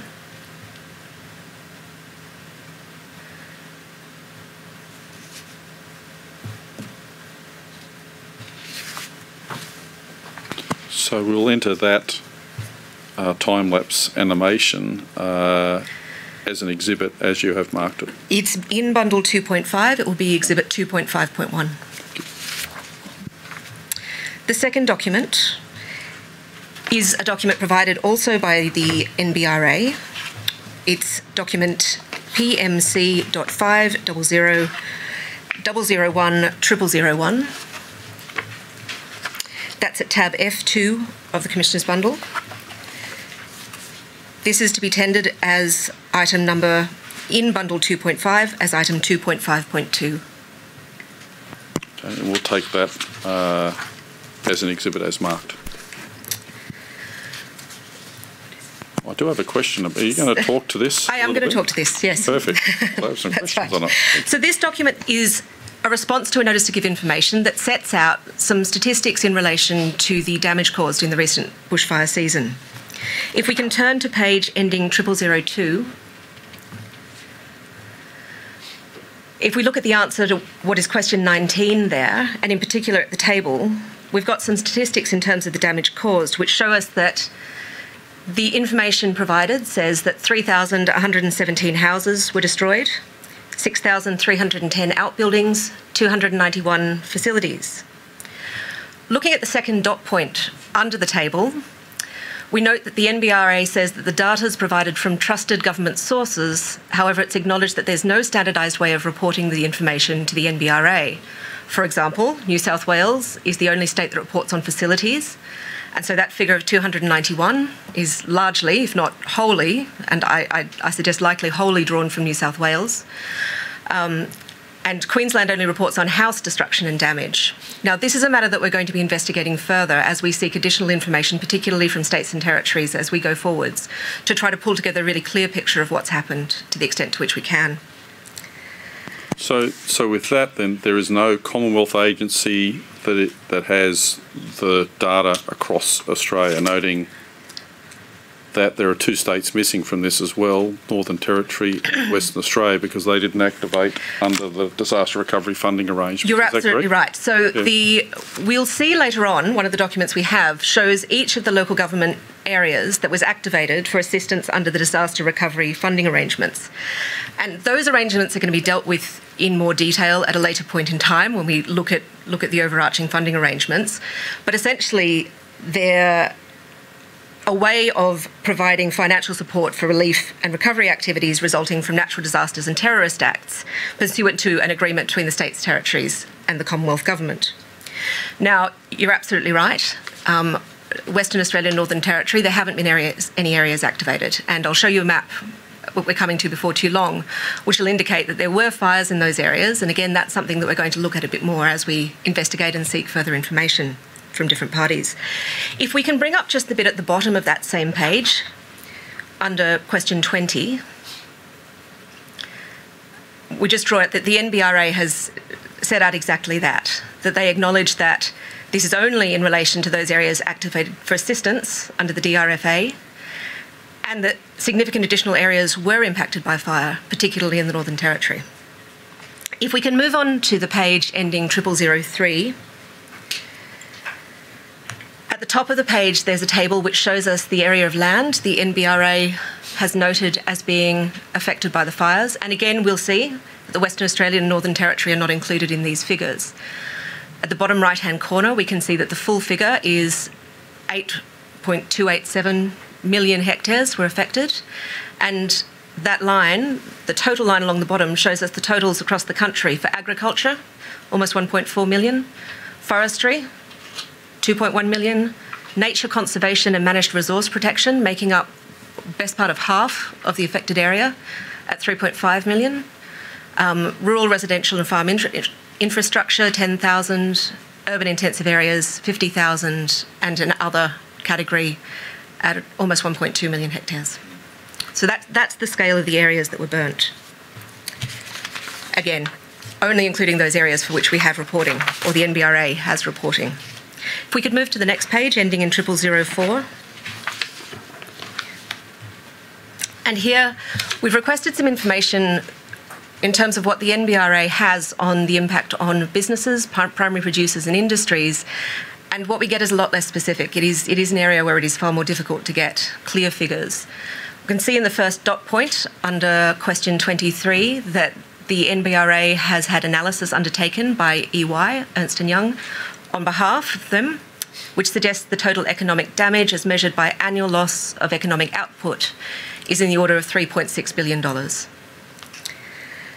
Um, if we can go further down the page. Sorry, to can the, I just uh, clarify Certainly. that? Is that against the same standards as previously, which is not all states, or is that across Australia? That I? I think we might get them to I uh, think, I think it's a that. question which needs to be deferred Okay. and put to the NBRA so that we can clarify what these figures actually mean. And I think it's also going to be a process going forwards Okay. because the NBRA themselves are relying on information coming from each of the states. Okay, uh, we'll just let them know that, that, that we would like to have an understanding of that data. Absolutely, thank you. Moving down to the third dot point information provided by DAWE to the NBRA. We can see that there's an estimate that approximately 2,600 agricultural businesses were directly affected by the bushfires. And, oh, sorry, again, these are located within the local government areas. And then moving down to the next dot point below that, the most affected industries include tourism, forestry, agriculture, and horticulture. And there's some statistics in relation to some specific industries that have provided information. 1% of Australia's vineyards were burnt, 4% of the wine grape production was lost, um, some statistics in relation to the apple and pear industry, and also noting that the forestry industry was particularly hard hit, but the full effect isn't known because but 17% of Australian productive native forests were burnt and 6% of Australian plantations within, were within fire impacted areas. So that's a work in progress essentially that we're going to have to look at a bit more. Just down at the very bottom of that page, under question 24, We've asked a question about specifically looking to small businesses and information on small businesses that were affected. And what the NBRA says that in those areas that were activated, there are approximately 640,000 small businesses. If we move across to the next page ending 0005,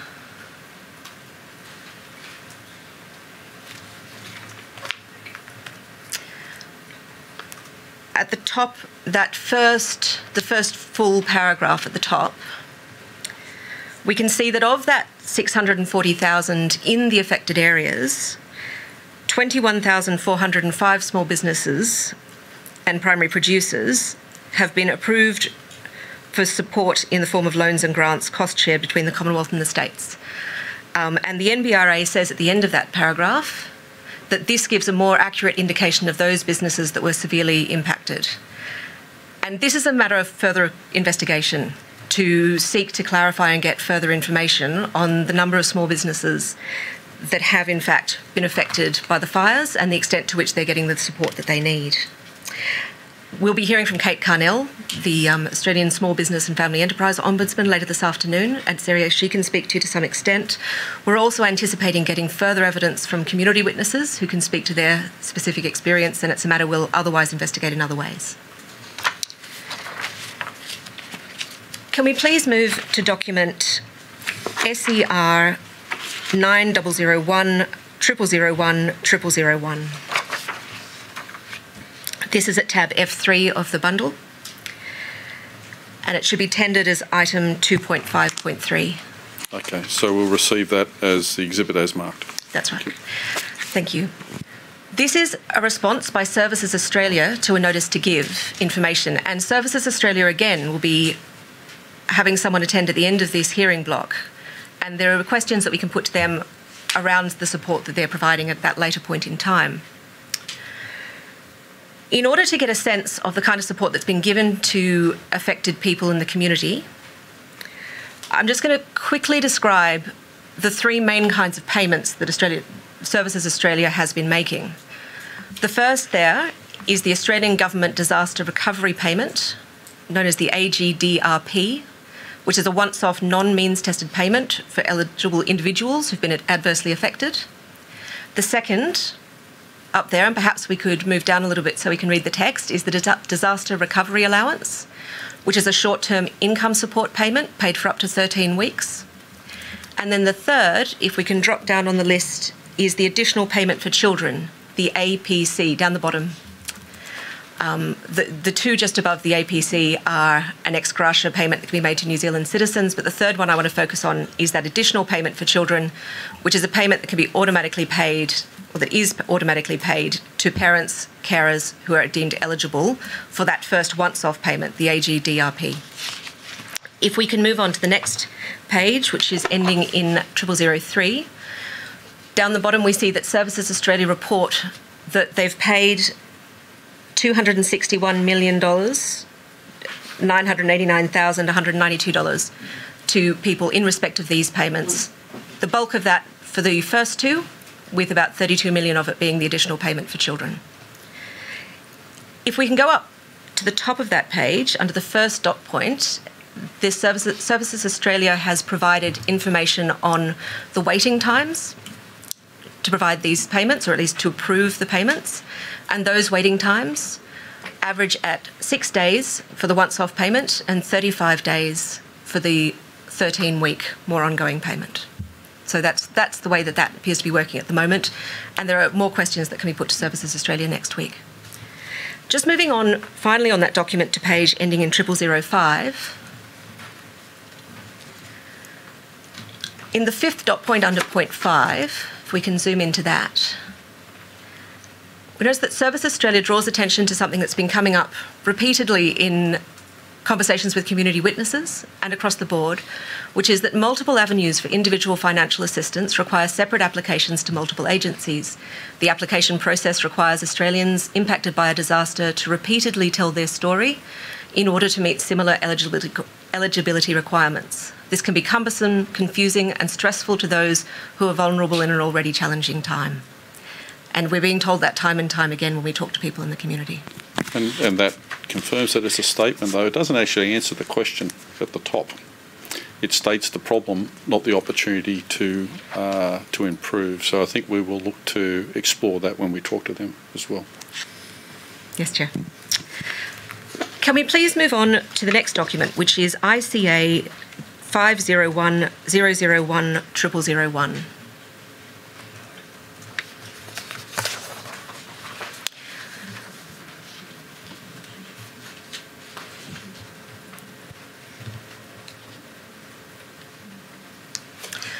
This is the first of two documents we've received from the Insurance Council of Australia. We've made two requests of them and they've helpfully responded two times. This first, I'm going to actually the second of the two requests. It's at tab F4 of the bundle. It should be tendered as item 2.5.4. So we'll take uh, that exhibit as marked. And if we can move to the page ending in 0002. At the table at the top of this page, the Insurance Council of Australia has helpfully set out some statistics showing the number of insurance claims and the value, the estimated value of the insurance claims, which is in there at about $2.2 billion at this stage. And you can see it's broken down between domestic building, about 1.2, 1.2 billion, um, commercial property, 719 million. Um, business interruption, 54 million. Commercial other, 51 million. So businesses are getting some assistance through this way, and we, we can try to track that down. And we try to pull these pieces together to get an overall picture of the damage that's happening to people. If we can go down further down. Closed, closed.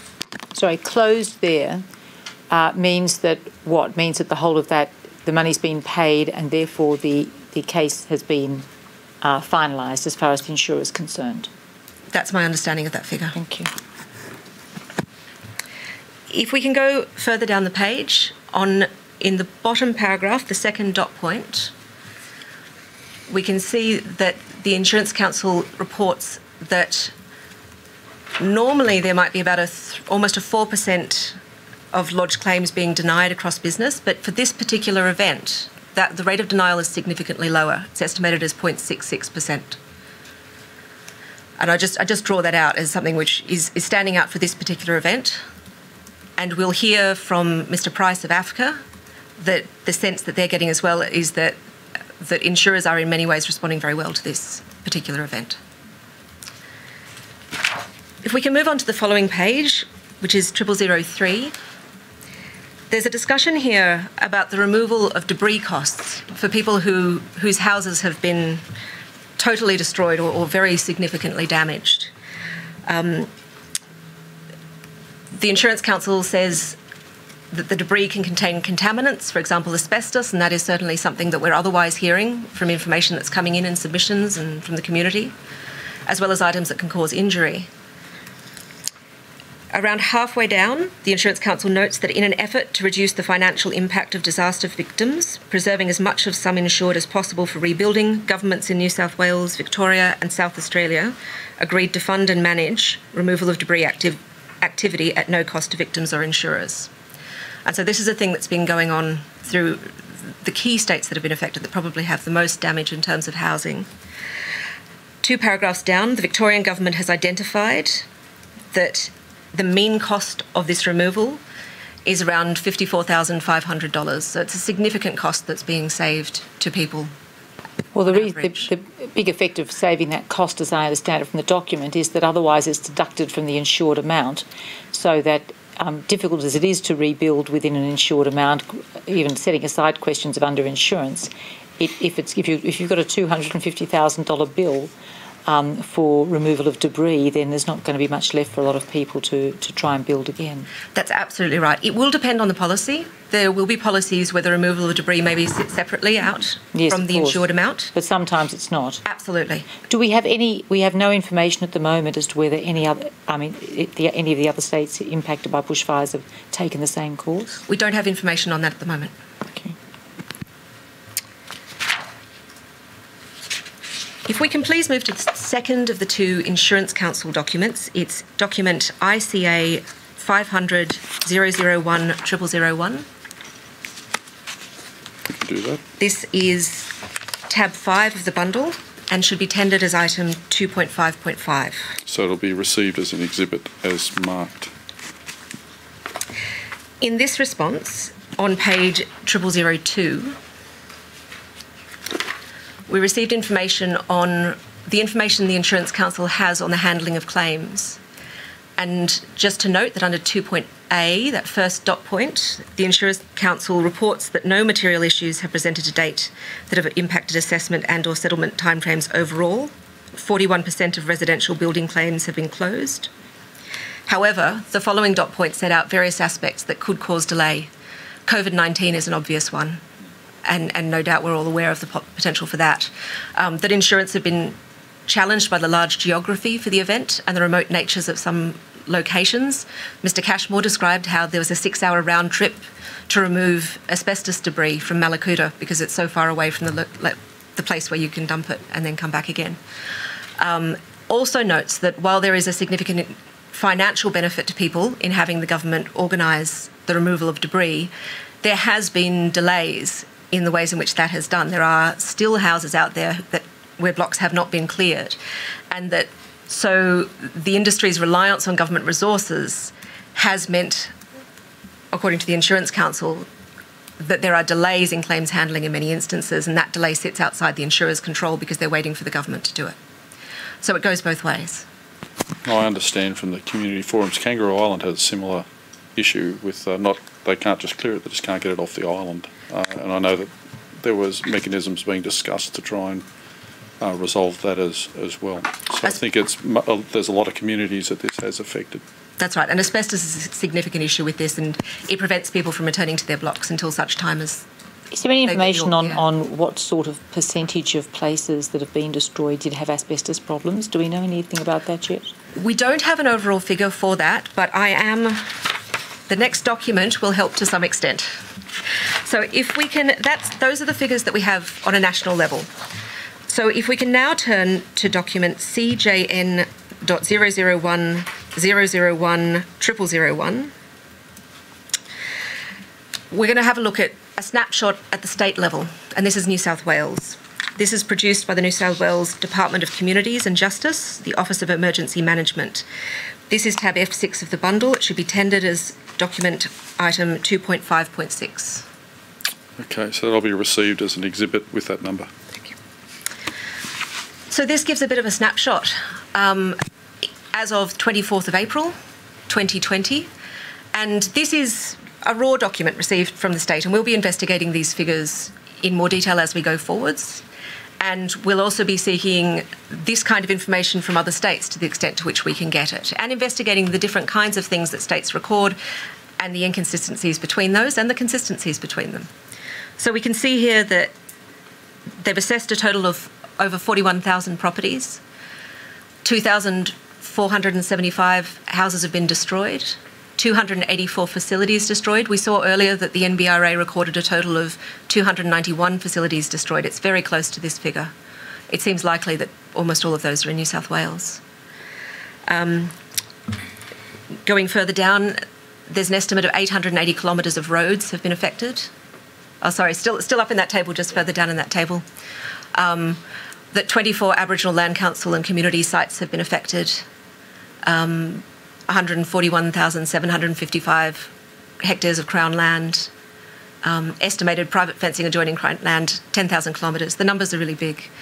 Moving further down, if we can go down to the animal and agriculture section of the table.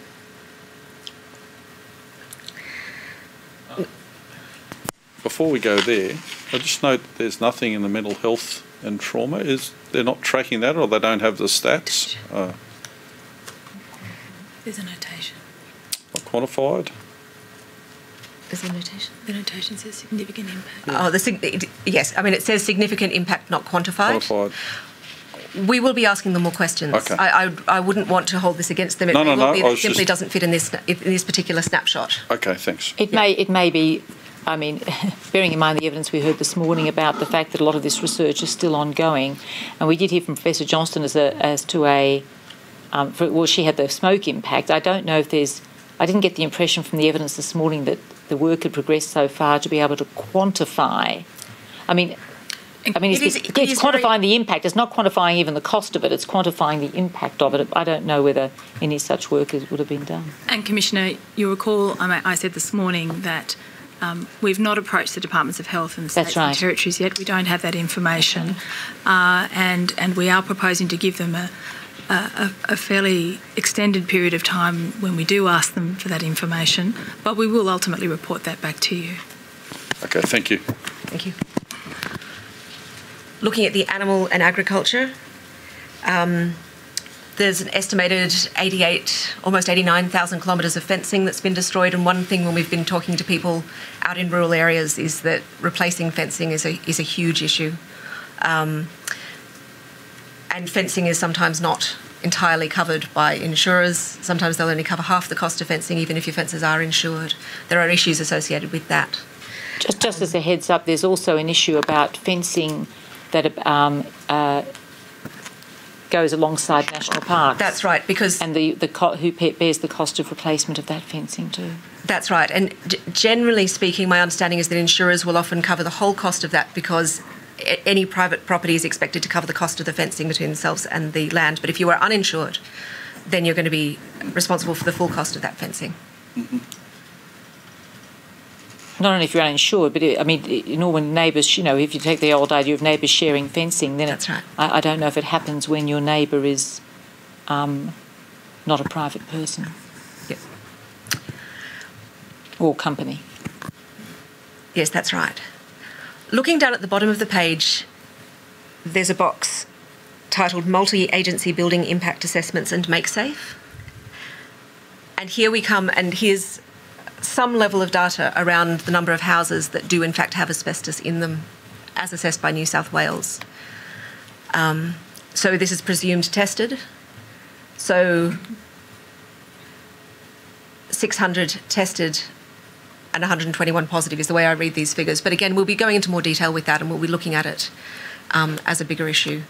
Um, it is in any event a material number of people who have asbestos there. To move on, that's that's what I was I'm going to go to in terms of the state level. I'm now going to move to the local government level, and to start with that, I'm going to bring up a document um, number RCN 900 008 0001. And this is a map again provided by the NBRA. And this shows in grey the declared local government areas that have been declared for assistance, and the red is the burn scar.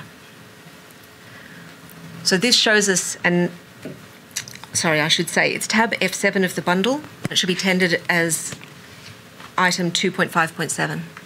And it will be received as an exhibit as marked. Thank you.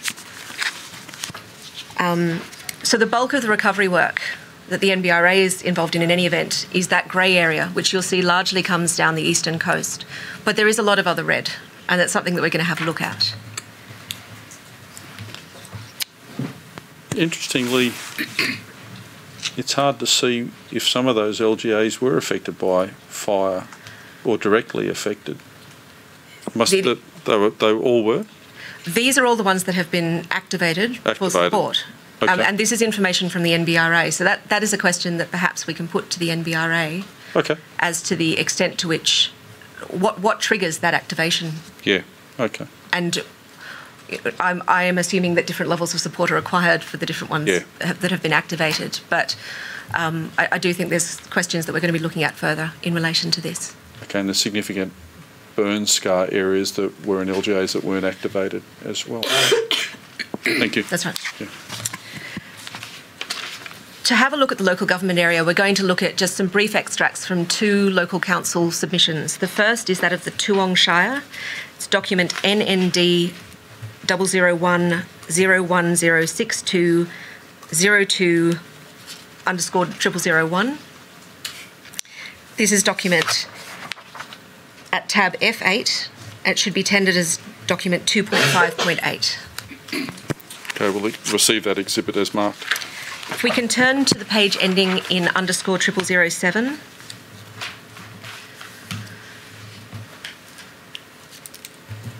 There we are. So this is the Towong Shire. It's in the northeast of Victoria, and it sits just under the Murray River. The the top border is the Murray, and this shows the extent of that shire area that was burnt in these fires. That's a very significant extent.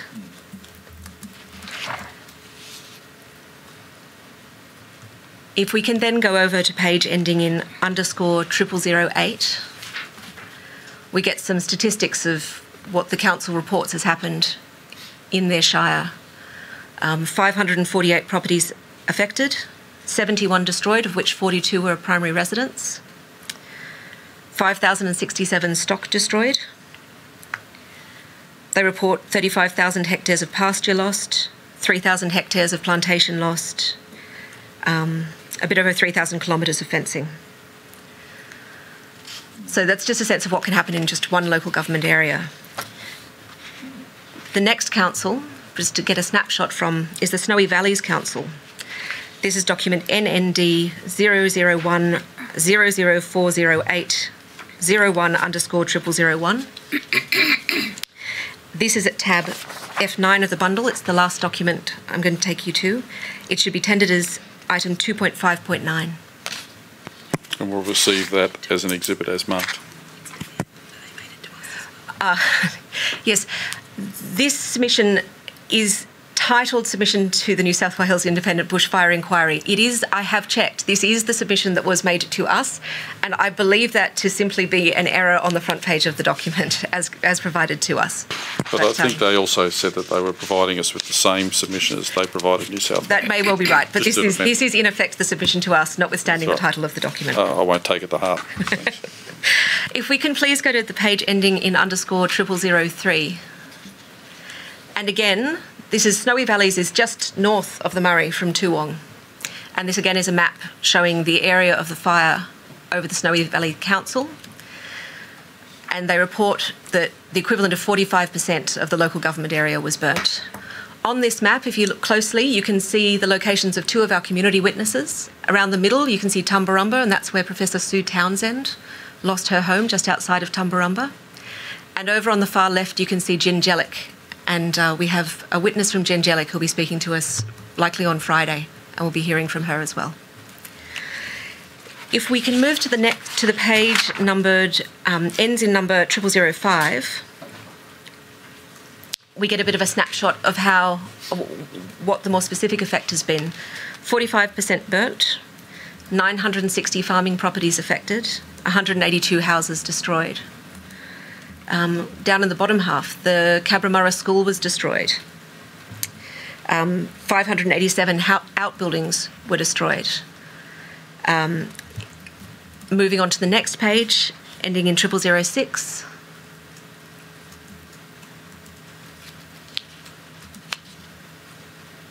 Um, we can see two businesses were destroyed, 46 facilities, 44 houses were damaged. They lost the Batlow Cannery, the only Community Hall, the Union Jack Hall, the Paddy's Fall toilet block, um, and 100,000 hectares of agriculture. Um, I probably should have also said this is this is a local council in which there was a fatality and 12 injuries, which was noted on the previous slide as well. So that's just a snapshot of what it can look like in the local area. Um, these are just figures and they don't tell us what it was like to be there on the ground, and that's also why we're hearing from community witnesses. This, this was one of the areas that the Commission visited, and it was uh, quite telling uh, right. right around the area. And from memory, Batlow was one of the towns that was declared undefendable, uh, but people pulled together to defend it. Mm. So. Yeah. Thank you. Thank you for that. Completes the tender. That completes the tender. Thank you. Thank you. Commissioners, I'm now proceeding to call in fairly quick succession. We have three witnesses this afternoon, and then we have the video evidence of Kirsty Hargraves from Mallacoota, small business um, employee in Mallacoota. Um, I'll deal with the documents first. I tender the Australian Financial Complaints Authority response to a notice to give. It's behind tab G1. Uh, that's dot code FCA 500 001 0001 and the supplementary data update which we received this morning um, that's behind tab G2 that's FCA 501 001 0001 and those will be tendered as exhibits 2.6 with document numbers 2.6.1 and 2.6.2. They'll be received as exhibits as marked. Thank you. I call John Price.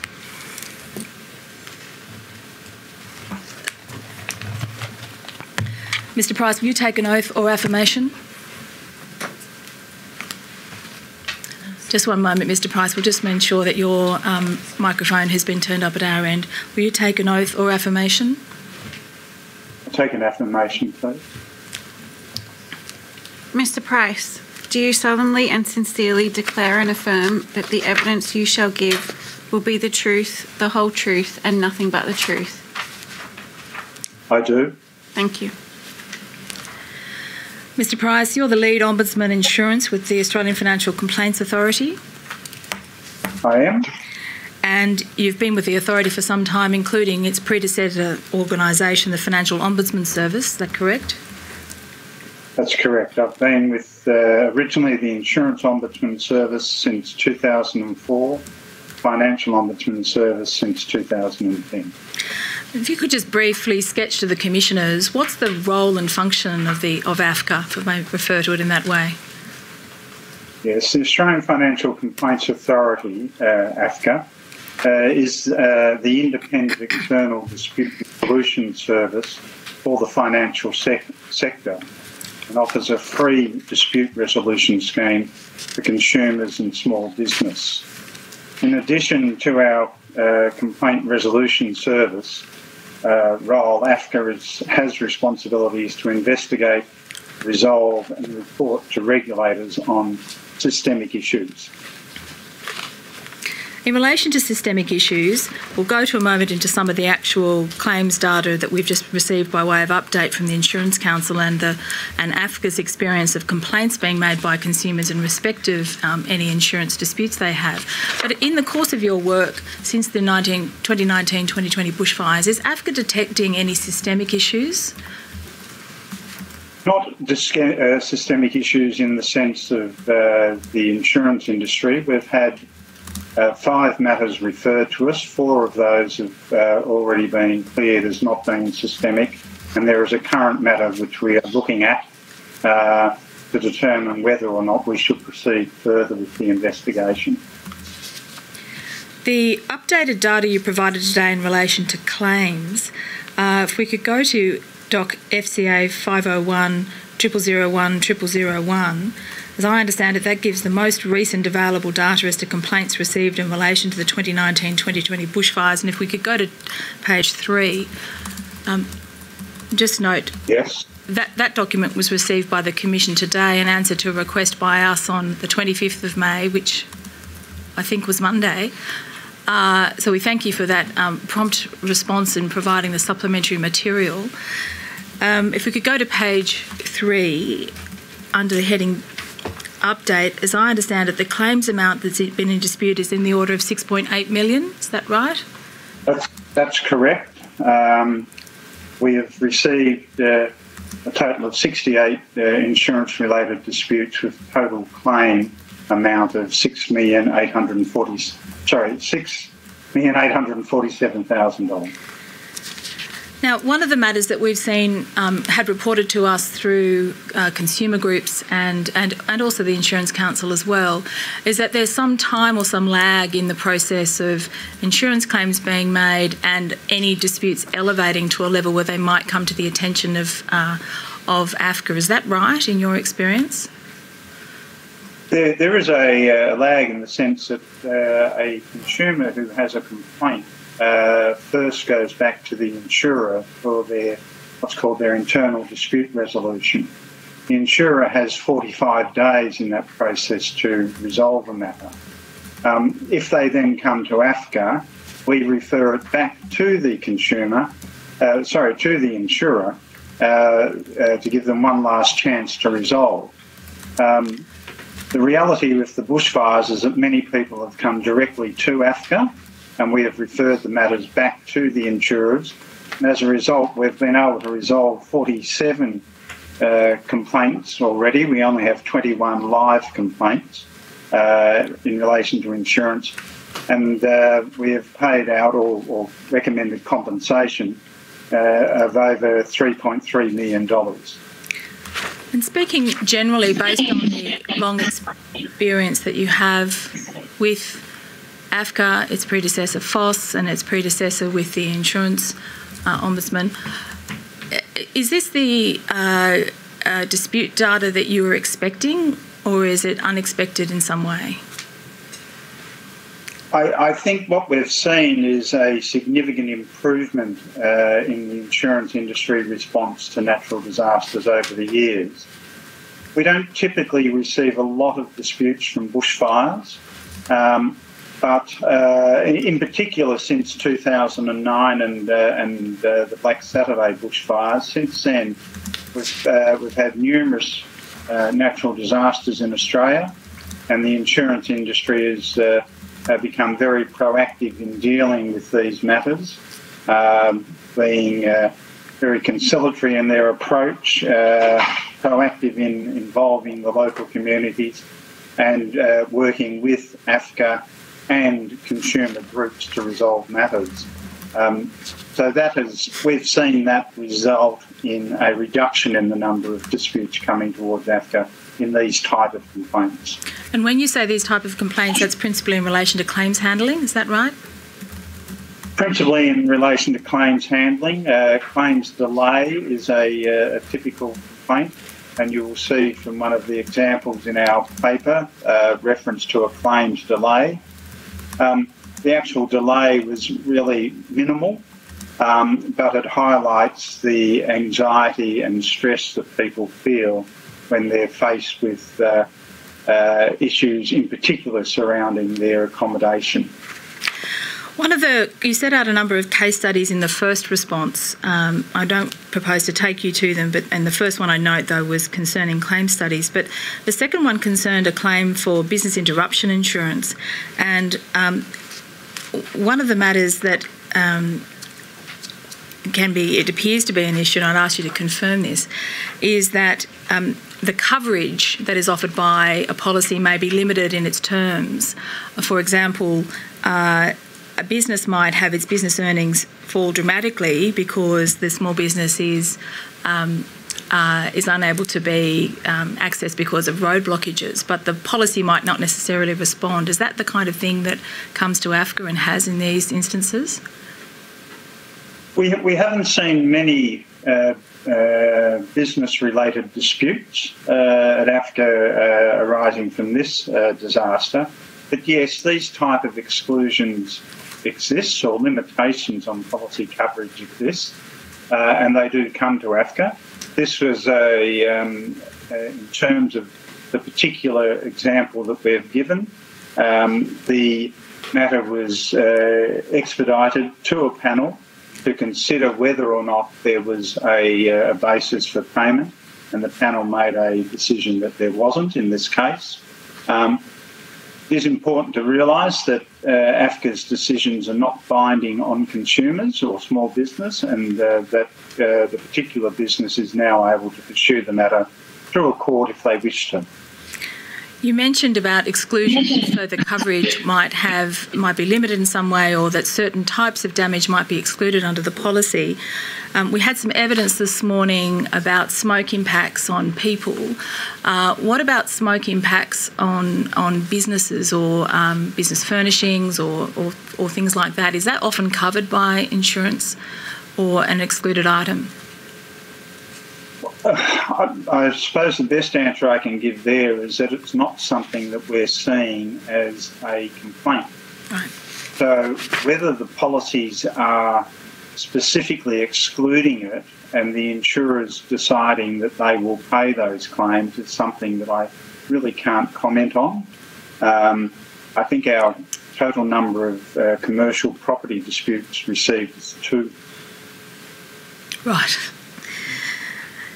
Is it, it's possible, is it, that those kind of complaints might be pursued in other forums, other forum or other bodies? it's certainly possible that that might occur, although uh, AFCA has the ability to deal with matters uh, involving complaints of up to a million dollars uh, and award, uh, uh, in general insurance, award compensation of up to $500,000. So you would expect most of these matters if there is a dispute, would come before AFCA. All right. This example we considered just a moment ago was uh, a claim in relation to business interruption insurance, but um, ultimately a consideration of the terms of the policy suggested that the claim that was made was outside the terms of the policy. Are you seeing any issues in relation to consumers' understanding of the terms of their policies and what might be covered or not covered when they either purchase insurance or when they ultimately come to look to make a claim on their insurer? Yes, I think the biggest single issue that we have in general insurance is disclosure. Uh, not disclosure by consumers, but disclosure of the terms and conditions of the policy. There have been numerous uh, studies um, by the Insurance Council of Australia by the Financial uh, Rights Legal Centre, by ASIC, and there was a Treasury discussion paper uh, that commenced in January last year uh, that acknowledged that consumers do not understand the extent of cover uh, under policies. The PDS that's provided to people, product disclosure statement, uh, is in reality a complex legal document. Um, questions is, uh, about whether the policy is a defined events policy, an accidental damage policy, whether it excludes cover within a certain distance of fire or, uh, um, or, or, not, uh, are all not things that people are looking for when they're purchasing a policy. It would appear that people purchase on the basis of price and advertising. I think we're all guilty of that.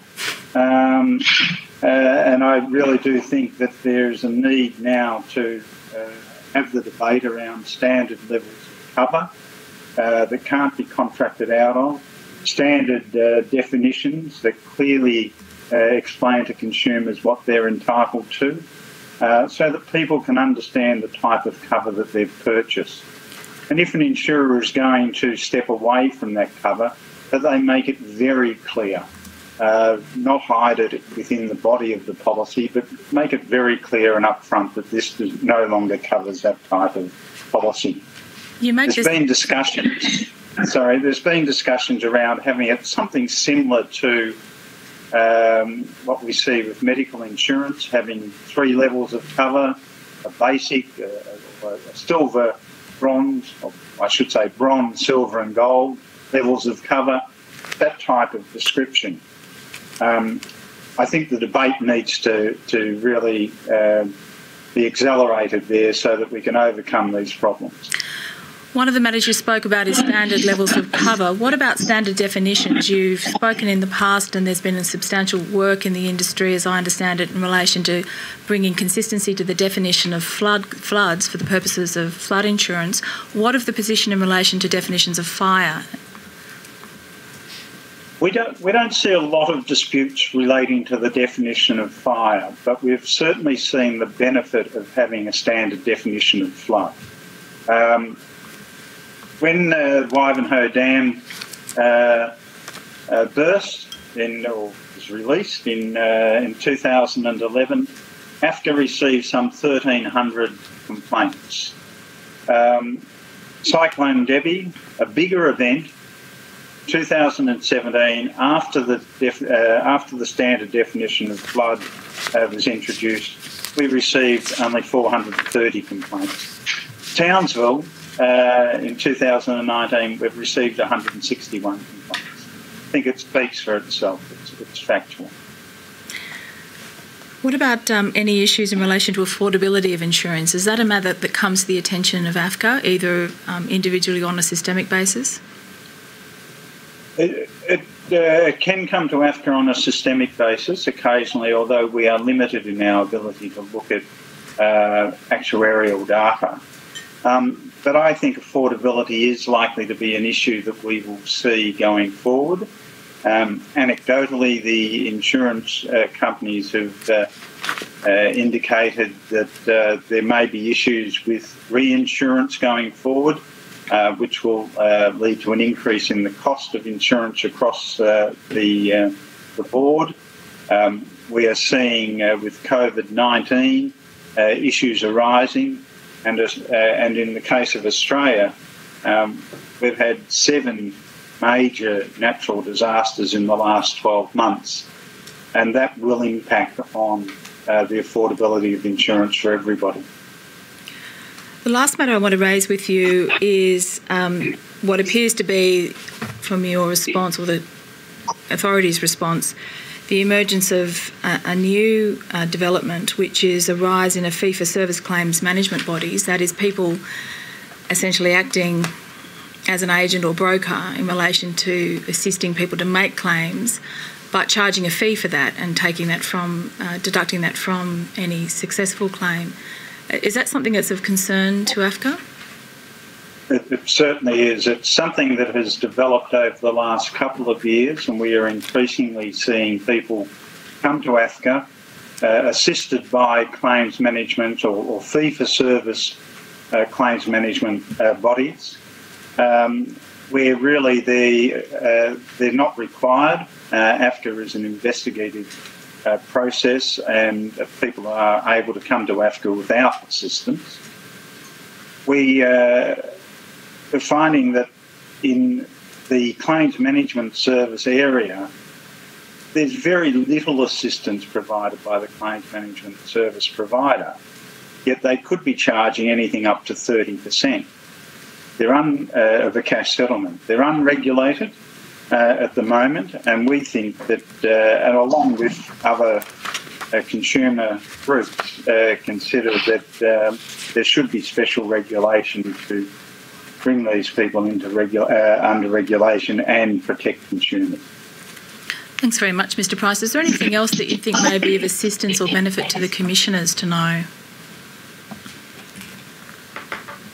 I think, in terms of the, uh, I've made the comment about the industry being proactive, and I think it's instructive for the Commissioner to understand that AFCA as a body in the last 12 months or thereabouts has received close to 100,000 disputes. In the last financial year, we've received over 14,000 um, general insurance disputes, yet we have only received 68 uh, general insurance disputes related to this bushfire. I think that indicates to me at this stage that the uh, insurance industry has performed uh, reasonably well and proactively in dealing with a lot of these matters. Commissioner Zen. Yeah, thank you, Mr. Price, and thanks for joining us this afternoon. We appreciate that very much. I've got a couple of questions for you. It's more, they're more process questions. And you talked about floods and uh, how that's improved over over time with insurance. But is there any is there anything dictating that insurance companies have to tell you if you live in a bushfire affected area when they uh, when you take out insurance? There is in a flood affected area, but it, sometimes bush, bushfire affected areas aren't as obvious to, to people living in suburbia. No, there's nothing. Yes, sorry, Commissioner. There, there's nothing that I'm aware of requires an insurer to inform a person they're in a bushfire affected area. Um, uh, and uh, I appreciate, in particular, with uh, the changing climate, uh, that more people are likely to be impacted by bushfires in, uh, in the past. Yeah, especially I guess if someone has a an on a, just a rolling policy that rolls every year, and during that time the classification of your property changes, but you may not be aware of it. Uh, is one, and I know that that uh, from some community engagement that has been uh, one of the issues. The other one I think came up early in our community engagement uh, was where some affected people early on in the fires, noting this fire season went for about six months. Early on in the fire season, took an early, chose to take an early payment uh, payout that included removal of debris and all that. And then later on, governments came out and uh, and chose to cover that uh, that removal of debris. Is there any comeback for insurance policy owners in that, or is that the deal's done and uh, and everyone moves on? Now, under the General uh, Insurance Code of Practice, uh, if a person's received a cash settlement, uh, they can come back uh, if they believe that cash settlement's inadequate within 12 months. There's no such time limit on AFCA. A person could certainly come to AFCA any time if they believe that the settlement was inadequate. Um, it's certainly one thing that has occurred, and I perhaps should have raised this when talking with uh, uh, Ms Hogan Doran. Um, part of the issues we receive are around delays, um, and there have been uh, questions raised around delays caused by the failure to remove debris. Unfortunately, the government sponsored program um, has often been the, uh, the catalyst for that delay, preventing the uh, insurer commencing the repair work. My understanding, uh, uh when the government uh, undertook the, to remove uh, the debris, is that the insurance companies would apply the money that would otherwise have been spent by the insurer in removing the debris, they would apply that to the sum insured. Um, I think uh, what we do need is to have some clarification around that to ensure that uh, consumers are being properly compensated and that uh, the uh, removal of rubbish has occurred as promised by the uh, by the government. Thank you. I appreciate that. I'll just go to the other commissioners and see if they have any questions. Commissioner Bennett. Thank you. I just have one one small question. I understand you said there were 68 uh, only 68 uh, complaints that have come to AFCA in relation to the bushfires. And I understand that it's difficult geographically because the bushfires were, were not evenly spread throughout the country. Is that, but um, in terms of the nature of the complaints, is, are you, is there any geographical um, comment that you can make in relation to them? I mean, is there any kind of complaint that has been uh, more closely identified with a part of a state or a, a, particular area, or is that just not something you can really deal with, or it doesn't really apply because because we had so many more bushfires in Victoria and New South Wales, for example? Well, the uh, obviously we, we have in our um, submission provided a bit of a uh, map to show the distribution of the complaints.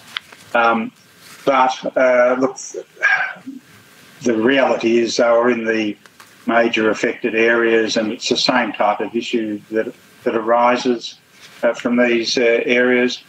One of the problems, uh, and, and I think it's created by the obvious and understandable level of anxiety and stress that people suffer, is that if you have a uh, an insurance assessor go out, and I had a particular example um, uh, in Batemans Bay, whilst uh, the area around Bateman Bay was uh, still burning, AFCA received uh, an email or an SMS, I should say, from a person that was barely intelligible. Um, that I rang that person late at night, concerned for their what was happening. Um, the person was able was quite articulate. Um, they had already received 12 months temporary accommodation payment from their insurer at their request, uh, but they'd had an assessor come out who indicated they would require three quotes um, before they could get uh, their total loss insurance payment. Now, that clearly wasn't the insurance company's policy. I rang the insurer that night the following morning, they had somebody go and visit that person in Batemans Bay, despite the fact that there were fires everywhere, uh, and the matter was resolved. It is that communication piece during these uh, events that is so critical to everybody uh, to try and ensure that we don't get people unnecessarily upset. Thank you. That's a very thank you for sharing that story with us. Uh, Commissioner, the the map that was referred to by Mr Price is at FCA 500 001 0001 at 0005. Just get that up, and then Commissioner Macintosh will have a question.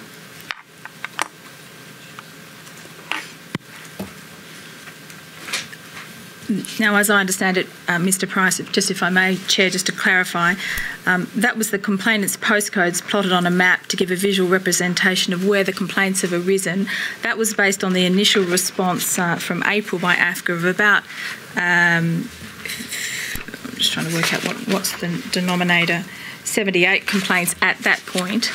Um, but nothing that's been provided by way of update indicates there's any material change to that distribution of complaints. Is that as you understand clarify it? The, yes, I, I, that's right. I should clarify. AFCA has received 110 complaints in total, but only 68 relate to general insurance. I think my question though was whether or not there was any, eh, whether there was the nature of the complaints varied particularly um, across locations rather than the numbers? No, the nature of complaints doesn't vary. Thank you. They're consistent. Thanks, Chair. Uh, thank you, Mr Price, for your evidence. Uh, quick question. What's the uh, best way of finding, finding out how many claims have been handled by claims management providers, either in this event or in previous events? Um, I'd love to know. Uh, the um, I, I, I, think probably through the insurers um, who would be seeing those. AFCA is keeping uh, a record of, uh, uh, of, what's coming in now, um, and we're closely monitoring uh, the performance of the claims management services. We have under our rules the ability to not accept a dispute from a claims management service if we believe that they are not engaging in proper conduct. Um, but otherwise, we're, we're quite limited uh, because of the, the fact that they are not regulated. Thanks very much. Thanks very much. Thank you, Mr. Price. Chair, that's all I have for Mr. Price. Thank you so much, Mr. Price. Might Mr. Price be excused? Mr. Price can be excused, and thank you very much for joining us. Appreciate that. Uh, Commissioner the next witness is Ms Carnell. I'll just take this opportunity, no, I won't, I'll just call Ms Carnell.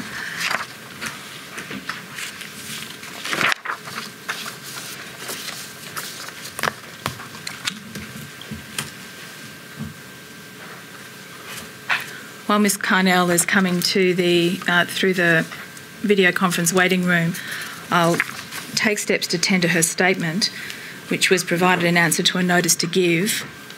Uh, that's code CAR.500.11. Sorry, I'll withdraw that. I'll start that again. CAR 500 001 0001. Okay, we'll take that, uh, receive that exhibit as marked. Ms. Carnell, would you take an oath or affirmation? I'll take an affirmation, thank you. Ms. Carnell, do you solemnly and sincerely declare and affirm that the evidence you shall give will be the truth, the whole truth, and nothing but the truth? I do. Thank you. Ms Carnell, you provided a statement to the Commission in answer to a notice dated uh, 22 May 2020. That's right. And are the contents of that statement true and correct? Yes. Just a moment ago, we heard uh, some evidence from Mr Price from the Australian Financial Complaints Authority. Uh, the Australian Small Business and um, Family Enterprise Ombudsman, uh, to what extent is it a similar uh, uh, organisation or authority to AFCA, and how is it different? Okay, it's it, it's uh, it's very different. AFCA has a capacity to give compensation uh, where there are complaints against people that are members of AFCA, um, are, are, registered financial um, operators, banks, insurance companies, and so on. Um, the act that sets up my office gives us two roles. One is an advocacy role, which uh, allows us to have inquiries to provide advice and input into government policy direction uh, to um, to advocate on behalf of small to medium businesses. It's that's defined as under 100 employees in uh, um, in our in our act. And our other um, role is an assistance role where we look after individual small businesses that have got problems uh, with big business or alternatively with the federal government. We work quite closely with the small business commissioners in each state who have coverage of um, issues surrounding state governments um, and issues that are that are based in that state, shall we say. So we all work together to ensure small businesses um, are covered and supported. How big is the small business community in Australia? Uh, that's a, is always a very interesting question, but there is about 2.3 million trading small businesses in Australia. If we don't talk about uh, um, uh, self-managed um, super funds, you know, a range of uh, of uh, non-operating ABNs or whatever. Mm. So there's 2.3 million, and interestingly. Um, 97% of those have fewer than 20 employees. And of those, 75% of those have fewer than five. So a very large percentage of small businesses in Australia are really quite small. Do we have a good sense yet of how many small businesses were um, affected by the 2019 2020 bushfires? Look, it's hard to make it's hard to make a comment, but the sort of figures that were, I suppose, um, thrown around a bit was that we were talking about 200,000. We were talking about a large number. But remember, that's not surprising if, on the basis there's 2.3 million small businesses in Australia, and in that area that the bushfires uh, um, burnt through, um, there was a large number of, of towns and so on, and um, rural areas that often have lots of small businesses. What are the kinds of issues that you've been hearing in your role as Ombudsman from small business after these bushfires? Look, what we, um, I suppose, what we heard initially uh, was a, a, range of small businesses who were literally overwhelmed by the whole situation. Um, as you can imagine, that not only did many of them, or a, lot, a number of them, lose their homes, but they lost their business. Uh, as well. They lost their their farms and so on. Um, and in the first instance, the great dilemma here was lack of um, consistent information. So there was information coming from state governments. In some cases, there was insurance companies on the ground. There were charities.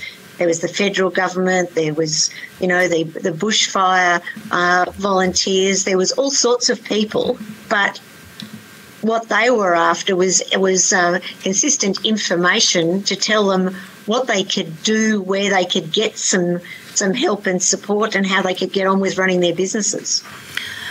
And the location of a number of these fires was down the coast of New South Wales and in Victoria, and of course also up yeah. through to Queensland and, and, in areas such as Kangaroo Island and, and, and the Adelaide Hills.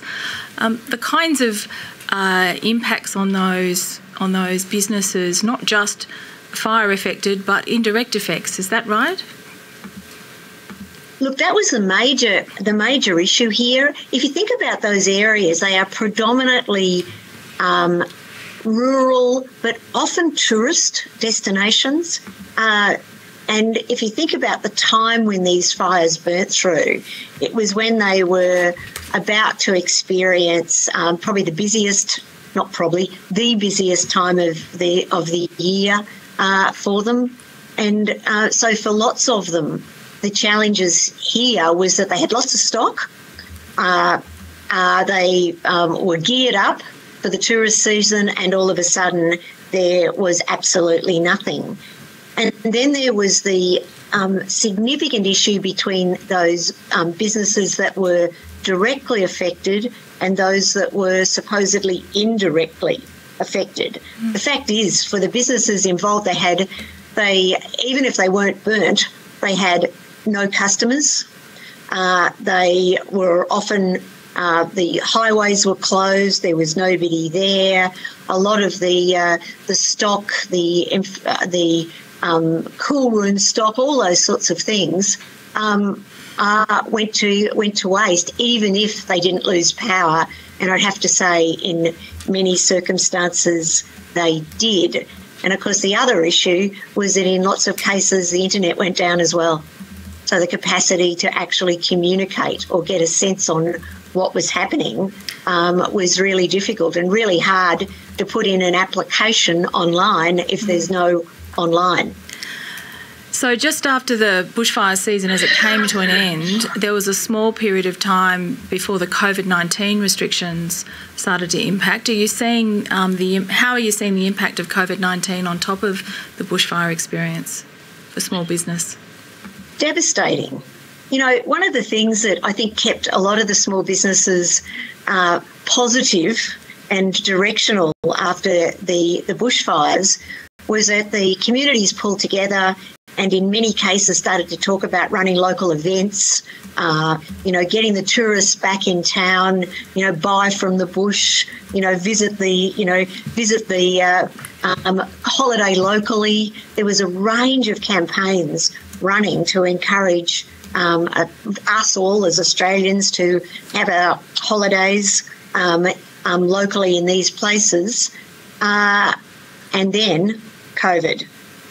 And so then nobody could go anywhere. So the work and effort and lots of and lots of times expense that had gone into uh, organising local events for the you know to get the tourists back uh, all went for nothing as well. Uh, so the you know the devastation for the people involved was was significant, and so was the complication of this. Already, we had the scenario where it was incredibly difficult for many small businesses to work out in the first instance, whether they were directly affected or not directly affected, whether they could get uh, one of the uh, the loans or not, um, whether they could get the fifty thousand um, grant or not. Um, and then there was, you know, then after that there was the ten thousand dollar grant for people for businesses that weren't directly affected, and then on top of that you end up with the COVID scenario um, with a whole range of other information and challenges that they had to get their head around. So, really difficult.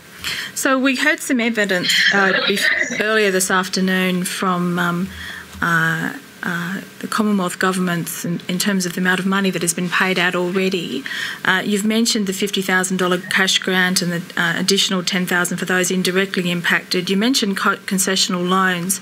Are they up to up to 500,000? Is that correct for for That's small right. business right. who've suffered either significant asset or revenue loss?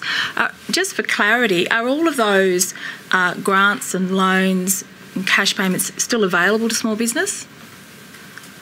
Um, look, they are. Um, the I mean, yes, they are, as well as the, the, new COVID the new COVID ones. Some of the challenges, though, if we, if I could just focus on the fifty thousand um, grant for a moment, because you know lots of small businesses weren't confident enough to get a, to to put themselves further into debt even though the loans were incredibly generous, but it still meant debt, and it still still meant you had to be confident enough you could pay it back. So they were really, on the whole, at least in our experience, looking for the for the grants.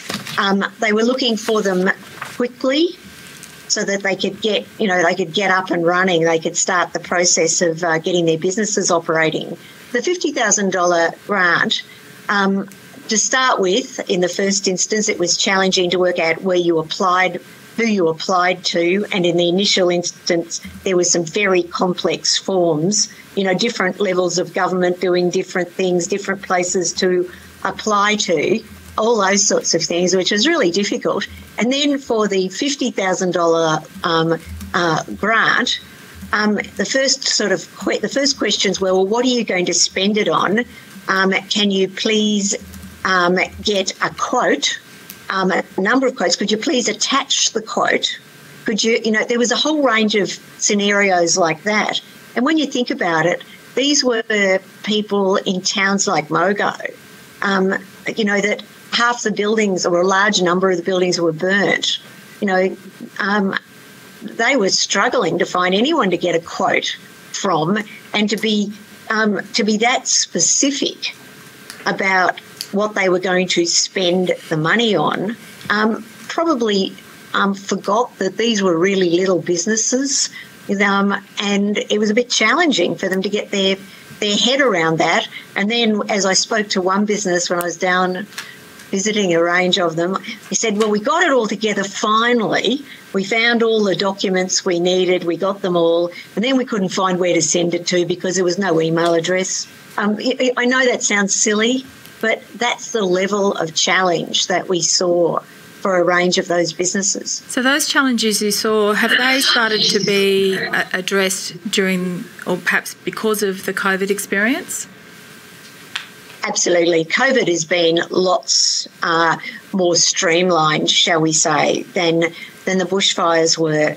And of course, for COVID, because you know, as it would be quoted, we're all in this together, that um, everybody was sort of tr- is being treated similarly in particular um, in, in, particular industries. You know, restaurants, cafes, and so on have the same rules. The dilemma with the bushfires is there was this mixture of affected, um, directly, you know, directly affected, not directly affected, um, not sure whether you're affected at all. Um, so there, there wasn't the level of ease of information because it depended a lot on um, on where you actually sat. One of the recommendations you made in your um, in your statement is uh, an improvement for the future would be to have the overarching frameworks with the approaches that are going to be delivered thought out and in place in advance before the crisis actually yes. hits. An aspect of that what kind of communication channels or what kind of things could be improved by way of facilitating that processing, sorry, application and processing and payment process? Well, look, we think that the National Cabinet approach has been really successful when it comes to COVID 19, brings together the decision makers from the various states and territories with the Commonwealth Government, and decisions can, um, can, um, can be made um, and and distributed uh, reasonably quickly. And we think a similar approach could be done, you know, with the appropriate governments, um, you know, where there isn't other forms of natural disasters, whatever they might be. We think that worked pretty well. Um, but the, the thing we'd like to sort of stress is that when things are announced, it's really important to announce them either with timeframes or when they are about to be delivered. The thing that um, causes small business a, a problem is they hear that something is announced. There's going to be, you know, JobKeeper or there's going to be a $50,000 grant. They hear it on the news. They hear um, the appropriate politicians say it, and then you can't find it anywhere. In fact, it's really not available now, um, and it's a bit hard to work out when it will be available. Um, that might not sound like a big deal, but if you're trying to run a business, if you're trying to keep the, the show on the road, having clear knowledge of um, when things are going to be available and who's going to be eligible is pretty important. The last matter I want to raise with you um, is a web portal that was designed uh, and is referred to on your website called My Business Health. We had some evidence this morning from uh, Professor Gibbs, who spoke to uh, and, and, and others, in the, um, including Dr. Penny Burns, of the impact on people of their mental health issues that they might experience in the immediate aftermath. And you said earlier that a number of these um, small businesses are going to be 20 or less employees. Um, what what kind of intersection is there between personal mental health issues and the and the issues involved in running a small business? Huge uh, interface, as you can imagine. You just put you try to put yourself in a position of a small business on the south coast of New South Wales that went through um, the bushfires, didn't have a Christmas, um, you know, didn't have any Christmas trade, was just starting to think, you know, maybe we're going to make it, maybe we're not, and then COVID happens. That's they've been in the business for 20 years. Their house is, you know, their their loans are secured against their home. So if they lose the their business, they lose their home, um, it's pretty stressful, you know, to put it mildly. It's a bit hard to work out how something could be more stressful in many ways, apart from maybe losing loved ones. So the issue, the issue of mental health and the the, the balance of business health and mental health and well-being are really important. So my business health site attempts to bring together what a small business needs to do to keep their business healthy, and it focuses on things like what grants are available, what does cash flow look like, what do you need to do to keep your business going. With you have to look after yourself, and gives a range of um, support lines like the Beyond Blue COVID support service, a range of other um, other support services that are available. Because you know, think about small businesses, small business people, is that they'll look after themselves last. They'll look after their their families and their staff, and they'll try to get things happening, you know, happening again, and so on. And then they'll think they should be tough and strong. And the fact is, nobody's that strong. So the challenge for we believe, based upon evidence and based upon research, is that it's important to not make it about mental health as such, but to make it about how you get your business back on track, how you can actually get through this um, scenario where you bring together wellness and mental health with your business health and try to uh, encourage that to happen. I'm um, also deputy chair of Beyond Blue and was CEO of Beyond Blue for a while. And one of the things that Beyond Blue learnt during the Victorian fires is that um, for lots of people and small business people particularly, it's not the first couple of months that are the problem.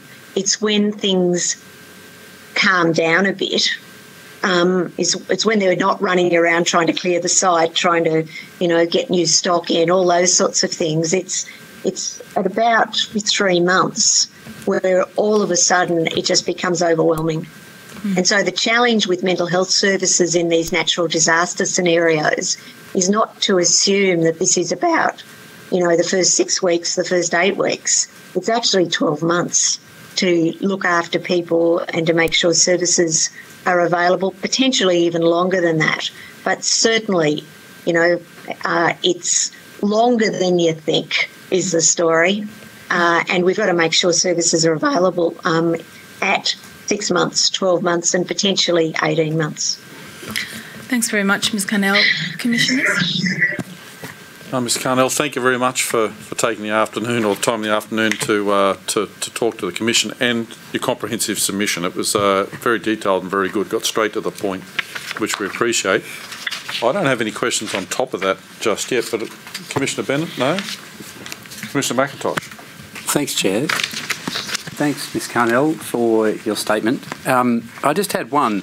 In, in your statement on a number of occasions, you, you really pushed the point on uh, the need for a single point of contact for small business. And I just wondered whether you'd given any thought to how such a system might work, given that natural disasters occur at, at a local scale, they occur at a regional scale, they, they occur at a state scale, and then sometimes they occur at a national scale, how we could design a system that can accommodate natural disasters occurring at different scales and by virtue of that the fact that you run into different government agencies and also charities working in this space uh, we believe that the best outcome is for this to sit with the federal government in terms of the planning, you know, along with um, state premiers, and then have a rollout mechanism through local councils um, where where appropriate. So there needs to be buy-in by three levels of government, but somebody has to be responsible, shall we say, which needs to be the federal government, because in most cases that's where a chunk of the money flows from in fact, almost all cases, it's where a lot of the, the dollars flow um, flow from. And so have in place a mechanism prior to natural disasters where it's really clear what the communication mechanisms will look like and what the organisational mechanisms will look like. So if you're having a, um, a cyclone and floods in Queensland, then um, the same mechanism comes into place, but it's a matter of the Queensland Premier um, and the Queensland infrastructure, along with the federal disaster management approaches, which will include, um, you know, which will in the in, in the end include banks and the ATO and others. But we've decided, you know, how this works before it happens and how you roll that out in a way that there's not mixed messages all over the place. And it's also important to make sure that that the way we do it is fit for purpose. One of the when we first rolled out the fifty thousand dollar grant, it was being run through um, Services Australia, I think, in the first instance, and um, it was being almost seen as a um, as a welfare payment, but it was a payment to small businesses, and so the the whole you know, these were people who'd never actually filled in a wealth, you know, a, a Centrelink form in their life in many circumstances. So we have to think through what it actually looks like for the people who are at the other end of this and what's fit for purpose um, and what isn't. And you'll only do that if we plan early. Thanks very much. Appreciate that. Uh, Commissioner B, do you have a question? Yes, I do actually have a question. Thanks, Ms Carnell. Um, with the idea of having a single point with the federal government, state government and roll out through local government that you suggested, do you see the charities being being put through the same um, organisational framework, or I mean, rather than I mean, with under the inverted commas control, close inverted commas, then of, of government? Is, is that part um, of your look, scenario? I think obviously Look, obviously they, they, they need to be, particularly um, particularly the charities that are really involved in uh, in disaster management, like Red Cross. Uh, they have um, a great mechanism, a great rollout capacity to you know to get people on the ground um, quickly. Um, providing, you know, basic support in those scenarios. So there's, you know, they would need to be part of that, but it just means that they're, you know, in the meetings, in the loop, know what they're supposed to be doing in the first instance. Um, and you know, it just seems it just seems really logical. And the importance of having buy-in from so what do the banks do in that scenario where there's no um, where you can't get money out of the bank, there's no terminals that are working. You know, there's just all those things that can be sorted out um, prior to the event, not at the last minute. That just raises that leads in a little way to the second question I had, which is um, I'd understood there was also um, some activity from the from big business, um, from the business council. Mm-hmm. Um, have, have you seen uh, whether any impact from that for small business? Oh, look, um, um, uh, the Business Council has rolled out a program of they've uh, they've got some um, some containers, you know, that uh, were made available by some of their members, and they've they've taken those out to areas where businesses got burnt and um, sort of provided some capacity for the businesses to get up and running again, which is which is which is great. Um, it's fantastic, but the dilemma comes is that to get those sort of things happening, that that probably happened in the last month, and for a lot of the, the businesses that are burnt, they burnt on New Year's Eve. So, I mean, I'm not saying it was, you know, I think it's fantastic what they've done, but, the challenge um, in getting this right, getting this, you know, getting support out quickly, is that is actually getting support out quickly and helping small businesses know what they can um, ex- what they can hope for, what they can expect. So if they know they're going to get the fifty thousand dollar grant, so they know that, um, even if it takes you know a couple of weeks to get it, they can plan around it. Um, which is the single point of contact approach, Thank so you. that you can get information, you can know what's happening, and you can get it quickly. Thank you very much. Thanks, Ms Carnell. Appreciate that. Ms I have Hogan Doran? nothing further from Ms Carnell. Might she be excused? Yes, she may be excused. Ms Carnell, thank you again. We appreciate you taking the time. Thanks very much, Commissioner. Thank you. Thanks. Uh, commissioners, you've heard just then some evidence from Ms Carnell concerning charities in answer to a question from Commissioner Bennett. The um, just by way of update, one of the matters that the um, commission team has been pursuing is the um, uh, the donations that have been received uh, by charities and their distribution of those those donations. Uh, on the 1st of May of 2020, uh, the Commission issued a notice to give information to the trustee for the New South Wales Rural Fire Service and Brigades Donations Fund. Um, quite promptly received a response from the fund. Uh, uh, informing the Commission that on the 16th of April, the trustees had filed a summons in the Supreme Court of New South Wales seeking orders uh, for judicial advice to assist them in relation to the administration of the donations that had been received in recent months by the fund. And subsequently, we received a detailed response to the notice, um, which identified, amongst other matters, that approximately $114 million had been um, collected from um, in the uh, during the 2019-2020 bushfire season from individual community and foundation donations and bequests. Uh, just yesterday. Um, the New South Wales Supreme Court gave judgment and advice uh, in relation to that application.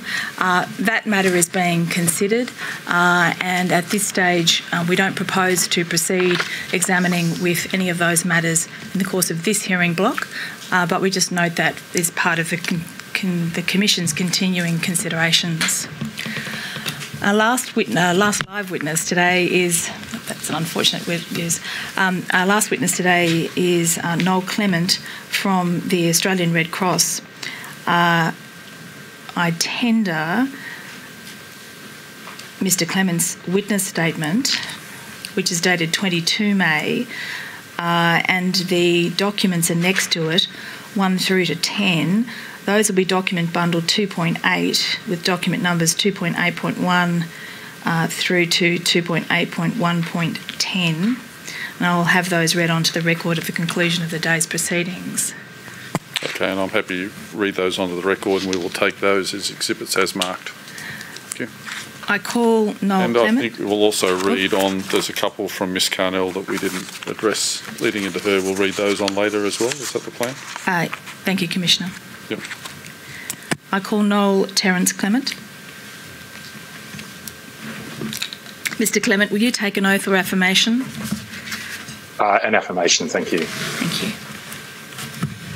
Mr. Clement, do you solemnly and sincerely declare and affirm that the evidence you shall give will be the truth, the whole truth, and nothing but the truth?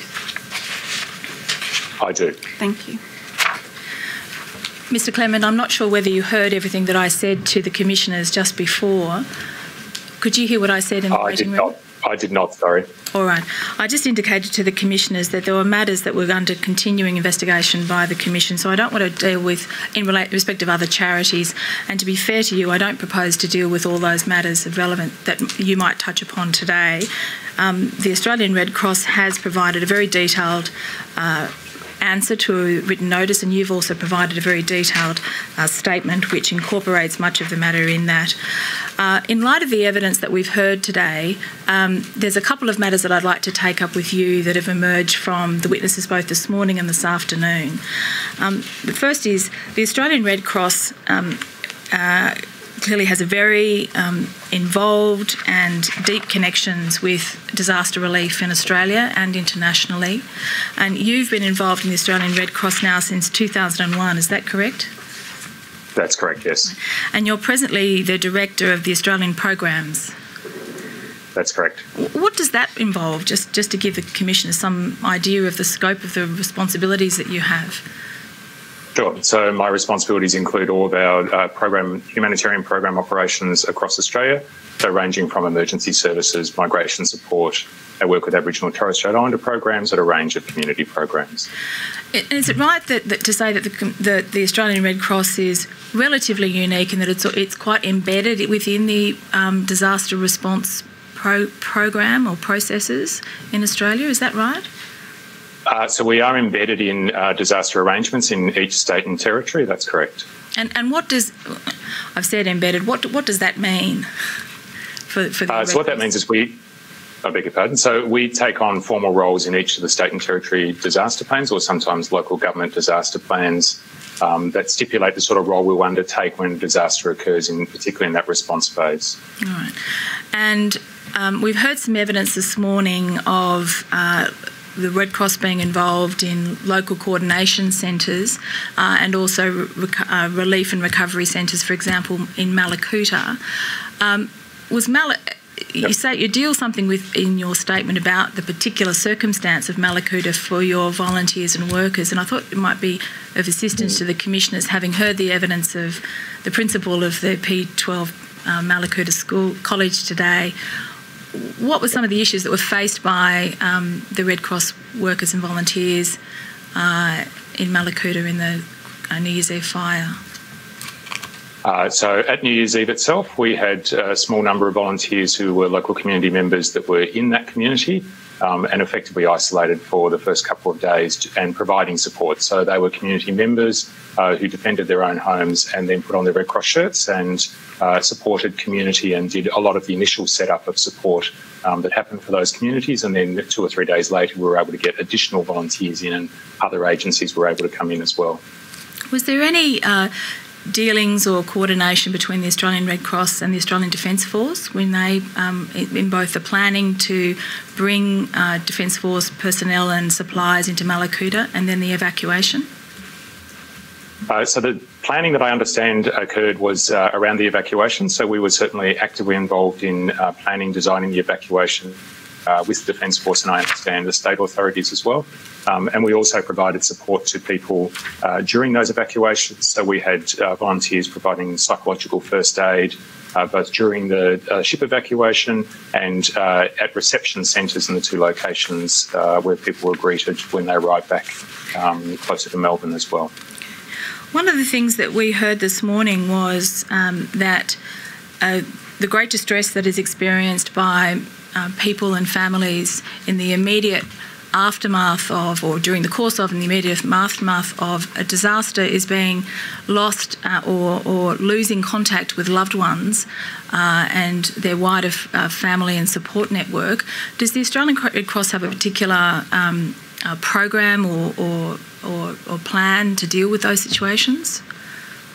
Uh, we do. So, uh, Australian Red Cross delivers the what's called Register Find Reunite on behalf of uh, state authorities. So, uh, it's a service developed by the Commonwealth Government, made available to states to use, and under each state arrangements, uh, we register people who've been evacuated. Um, and then, in the event that families have been separated, uh, there's an opportunity through an inquiry line for people to check whether their family members uh, have been registered um, and are somewhere safe. So that's a service that we provide in disasters. How well does did that service operate in um, over the Christmas break? Uh, so that, that service uh, operated, uh, we used, I understand, a lot of paper-based forms. So there were some uh, challenges with uh, data and with technology, particularly in a place like Mallacoota, I understand. But the paper-based forms is a backup method that we've got that works quite effectively. Um, so we were able to get those registrations and undertake those registrations as part of the process. How much does uh, the obviously the, the International Red Cross has a as a broad footprint in humanitarian aid and humanitarian work? To what extent is that experience used to inform the uh, relief and recovery work of the Australian Red Cross in Australia domestically? Uh, so we certainly learn from our, what we call sister national societies. So over many years, we've exchanged uh, experience, particularly in providing uh, psychosocial support. So that's a particular strength uh, for the Red Cross movement. Um, so we share with other national societies our experiences and theirs. Uh, we have a particularly close relationship with New Zealand Red Cross, where we'll actually exchange uh, volunteers and support each other around building our capacity. So um, certainly in sharing experiences and our methodologies, there's a fair amount of that occurs. And, and how many people approximately did the Australian Red Cross assist during the 2019 2020 bushfire season? Uh, so we've registered about 65,000 people uh, and about 50,000 people we provided some sort of support to. So that would be largely psychosocial uh, support through relief evacuation, recovery centres, etc. All right. Now, um, as I understand it, um, Australian Red Cross is out in all communities or all communities in bushfire affected areas, or um, uh, what kind of impact, if any, has COVID 19 had for the ongoing provision of support by the Red Cross? Uh, yes, so COVID 19 uh, has certainly created additional challenges. So, firstly, uh, for Red Cross, it's meant that uh, our teams that would have ordinarily been undertaking outreach, um, and we're undertaking outreach door to door visits of people in communities, uh, that had to cease because of COVID 19. So that was about 19 communities we were doing that in. Uh, it's meant that our grants team providing uh, support for people applying for financial assistance have gone to work from home arrangements. Um, and it's meant that we've had to uh, be really creative in how we try and reach out to people who haven't contacted us before um, and how we undertake that early recovery support to the communities that have been impacted. Um, you also mentioned uh, your recovery centres. Have those continued to be opened or have those closed down? Uh, so my understanding is uh, recovery centres have either been uh, significantly scaled back or closed down. Most closed down. So uh, there were quite a few of those open before COVID occurred. So appreciate that's in the face of the restrictions uh, that have been mandated because of the public health issues. What happens to those people when the Red Cross is not able to assist it in the in the ways that you did before? Uh, so the relief and evacuation centres uh, is one of the ways that we provide support, but uh, we've also been reaching out through recovery networks. Uh, there are Facebook pages in some of those communities um, where you know maintaining contact with anybody who's applied for grants. So we've got a range of other ways that we're seeking to make that contact, but it certainly increases the difficulty and the challenge and makes it harder to reach people who haven't yet reached out for assistance. How's the Red Cross's workforce holding up in the face of all of this? Uh, so, look, we, have had a couple of thousand people uh, deployed and supporting this uh, who have managed very well. Um, certainly, we have fatigue issues, and given we were responding to disasters for many months, um, you know, Red Cross people, uh, like anybody, was ex- were experiencing fatigue. Um, but they are a, a resilient, uh, incredibly giving uh, group of people, and they continue to want to do the best for the communities that they're working with. And one of the things that you were asked to address, and we thank you in your response, was uh, to identify to the Commission how much by way of donations the Red Cross received. And I disclose I was one of those people who made a donation to the Red Cross. Um, you indicated it was something in the order of $216 million, uh, and in addition, pledges having been received of 126 million, which I understand are from largely from corporates. Is that? Uh, sorry, if I can clarify. Sorry. Please. Uh, no, so the pledges are a part of that. Uh, so we've had pledges of 136 million in total. We've received 126 million of those pledges. Oh, I see. So That's is, the, is the 126 million that has been received a subset of the total of 216 million? That's correct. I see. Thank you. Um, and what, what has the Red Cross done with that money, just generally? Uh, yeah, no, absolutely. So uh, we've provided uh, support to communities in a number of ways. So uh, $5 million of those funds have supported uh, our emergency response work uh, this year, which is what we originally commenced fundraising for. Uh, we've put additional money into immediate support grants. Uh, we've also started distributing medium to long term support, uh, and we've provided a three year recovery program um, to support communities in that long term recovery that we know is necessary from major disasters like this.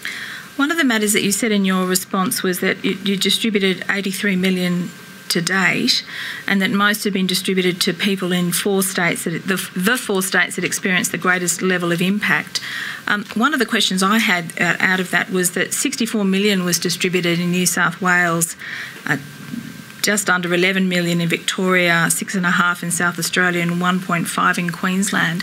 Is is that done on a needs basis or a response to, in a, in a sense, request basis? Uh, so it's very much done uh, based on requests for assistance. So we've reached out to all of those communities. Uh, we respond uh, to people who've sought assistance. Uh, so that is on the basis of uh, applications that have come to us or that we've supported and we've been able to pay. So one of the matters that came up in during the course of the bushfire season is that um, the uh, there's a number of media reports and uh, information that you've included in your statement. Thank you. Uh, as to the statements that were made. Um, if you, if, I'd invite you to exp- explain to the commissioners um, the, the, the challenges in both distribution of uh, funds, but also the challenges in communicating um, those decisions. Okay, so you'd like me to go to distribution first? Yes, thanks. But yeah, sure. So uh, so probably our, our, main challenges in distribution uh, have firstly been uh, identifying people who've been impacted. Um, so there's been no uh, single or shared list uh, that we've been able to access uh, that indicates to us, particularly you know those greatly impacted, such as those um, whose homes were destroyed and damaged. So. the various methods we need to use to reach out to make sure we're getting to people. that's the first thing. Uh, the second challenge would be we know that uh, disaster recovery is long term, and we know that people uh, need support at different stages immediate, medium, and short and longer term. Uh, and we know we need to work at the pace that people are ready to seek support. So, um, trying to work at that pace and make sure the support's available. Um, and probably the third and one of the most significant challenges for us has been uh, lack of access to good information to be able to verify um, that the people we are paying uh, are those who've been impacted, and particularly around things like destruction of property, mm. um, and trying to minimise the impact on people through that verification process.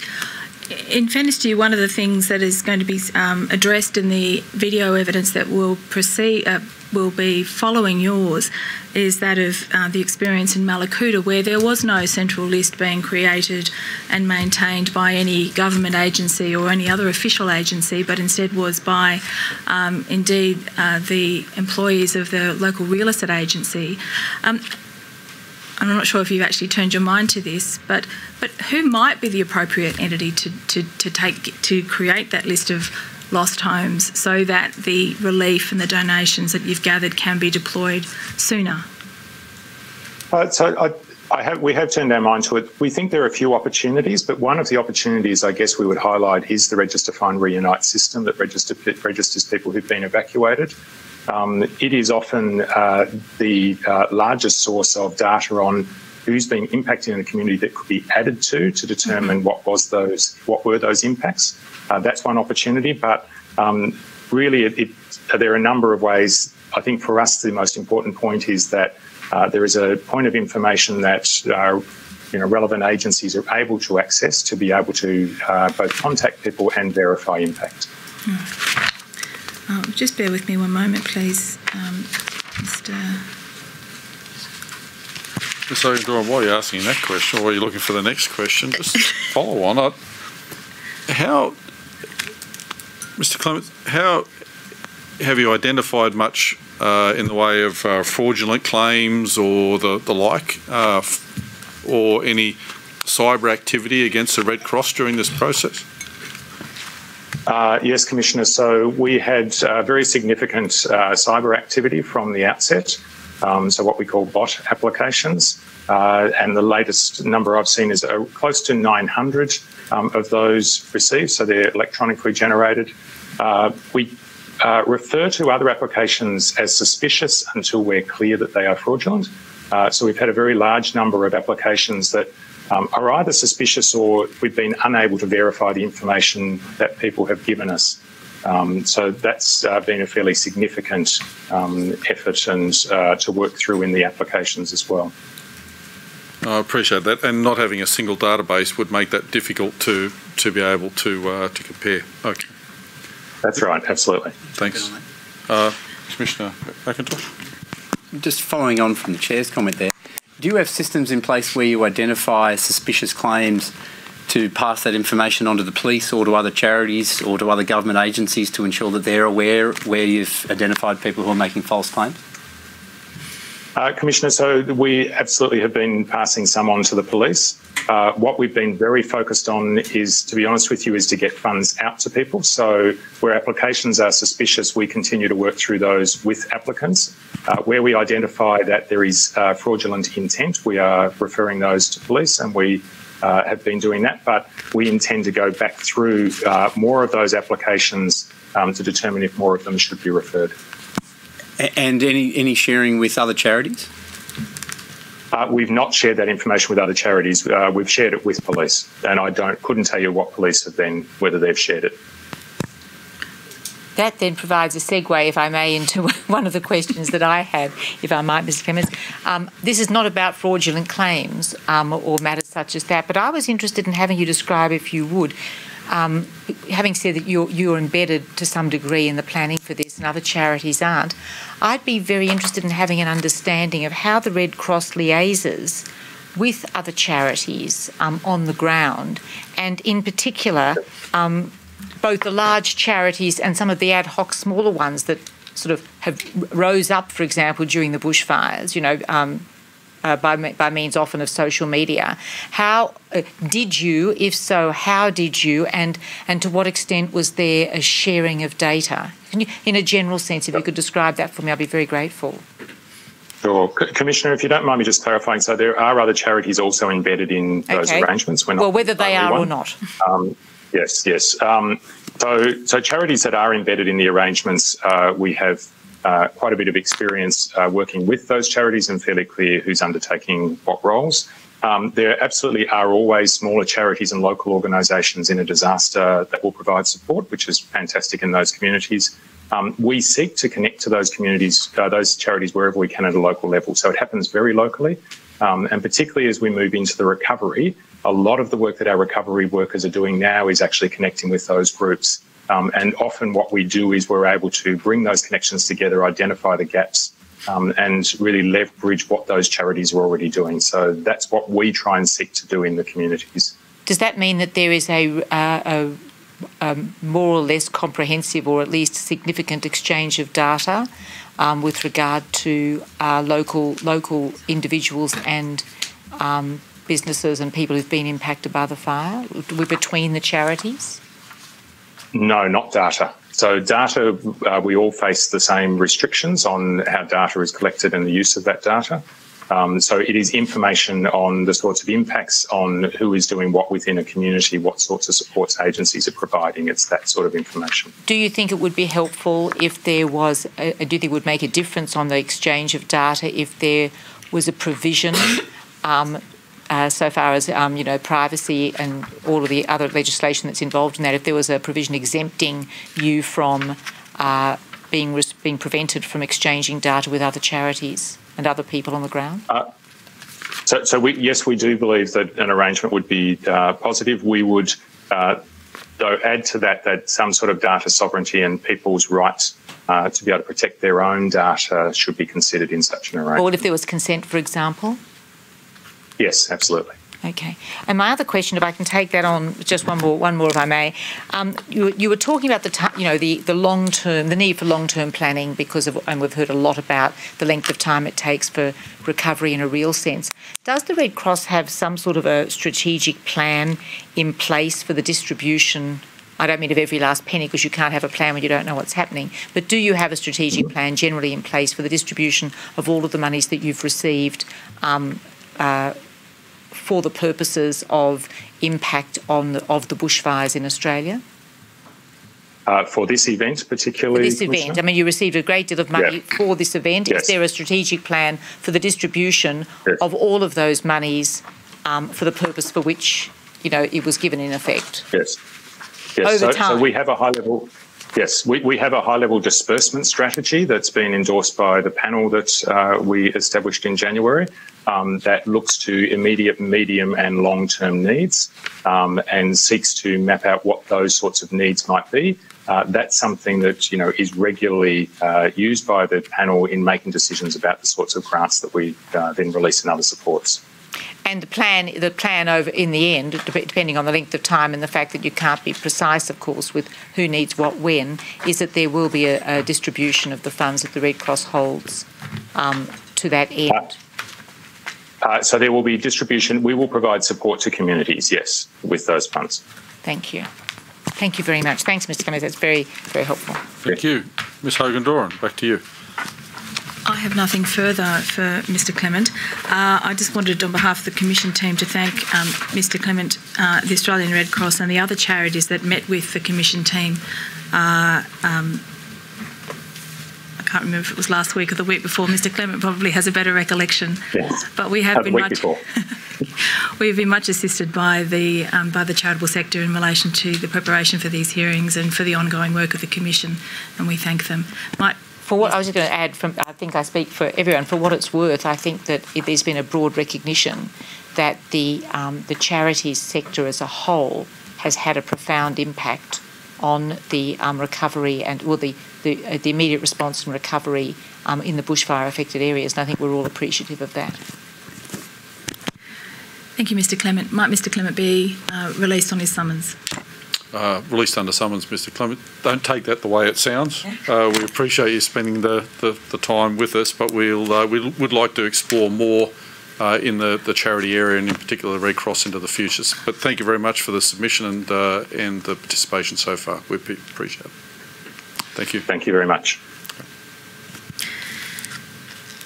Ms Dovey has elected Ms to Dovey, deal with the uh, exhibits. that's delegation, isn't it?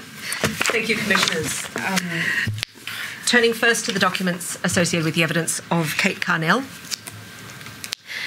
Um, these, I think we're up to bundle number 2.7. That's right. There are four documents in that bundle. They're in the hard copy folders, as I understand it, at tab. No, I'm going to miss the tab number. Um, I do have, in fact, the document numbers though.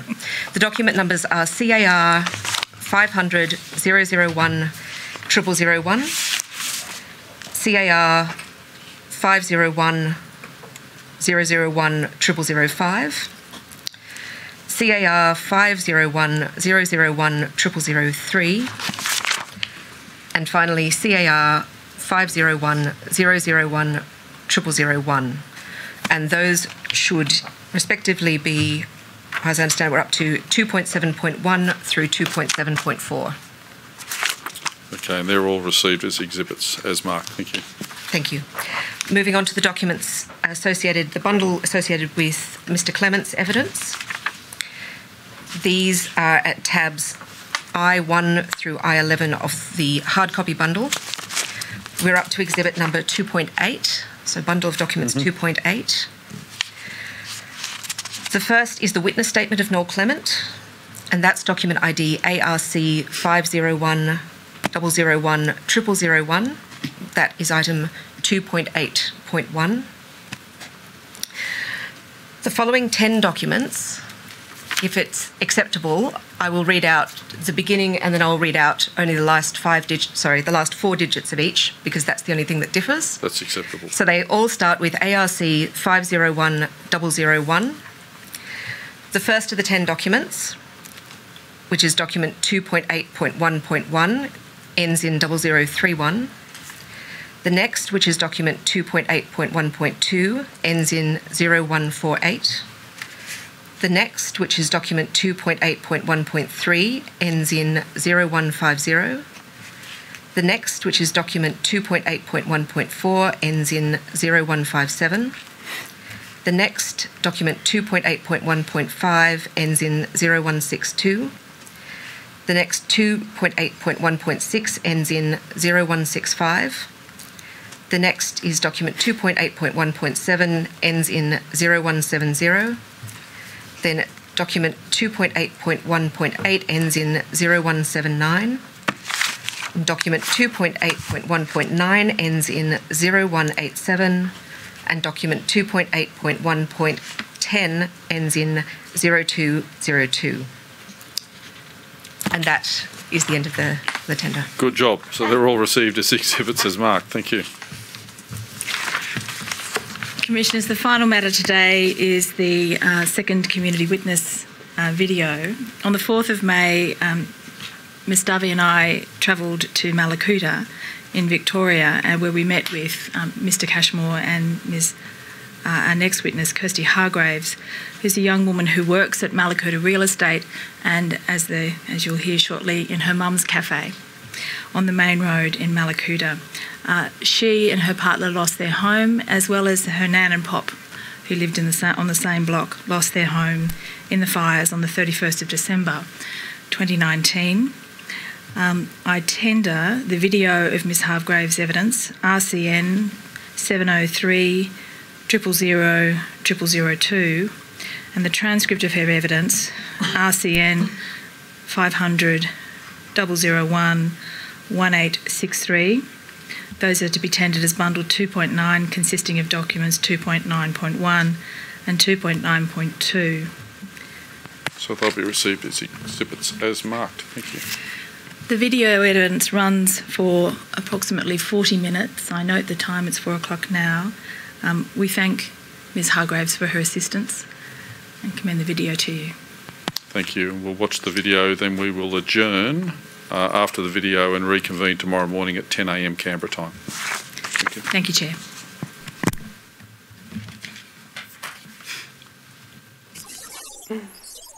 So, Kirsty, how did you come to be in Mallacoota? Um, well, we moved here when I was in grade two, so year 2000, with my family, my mum, my dad, my sister.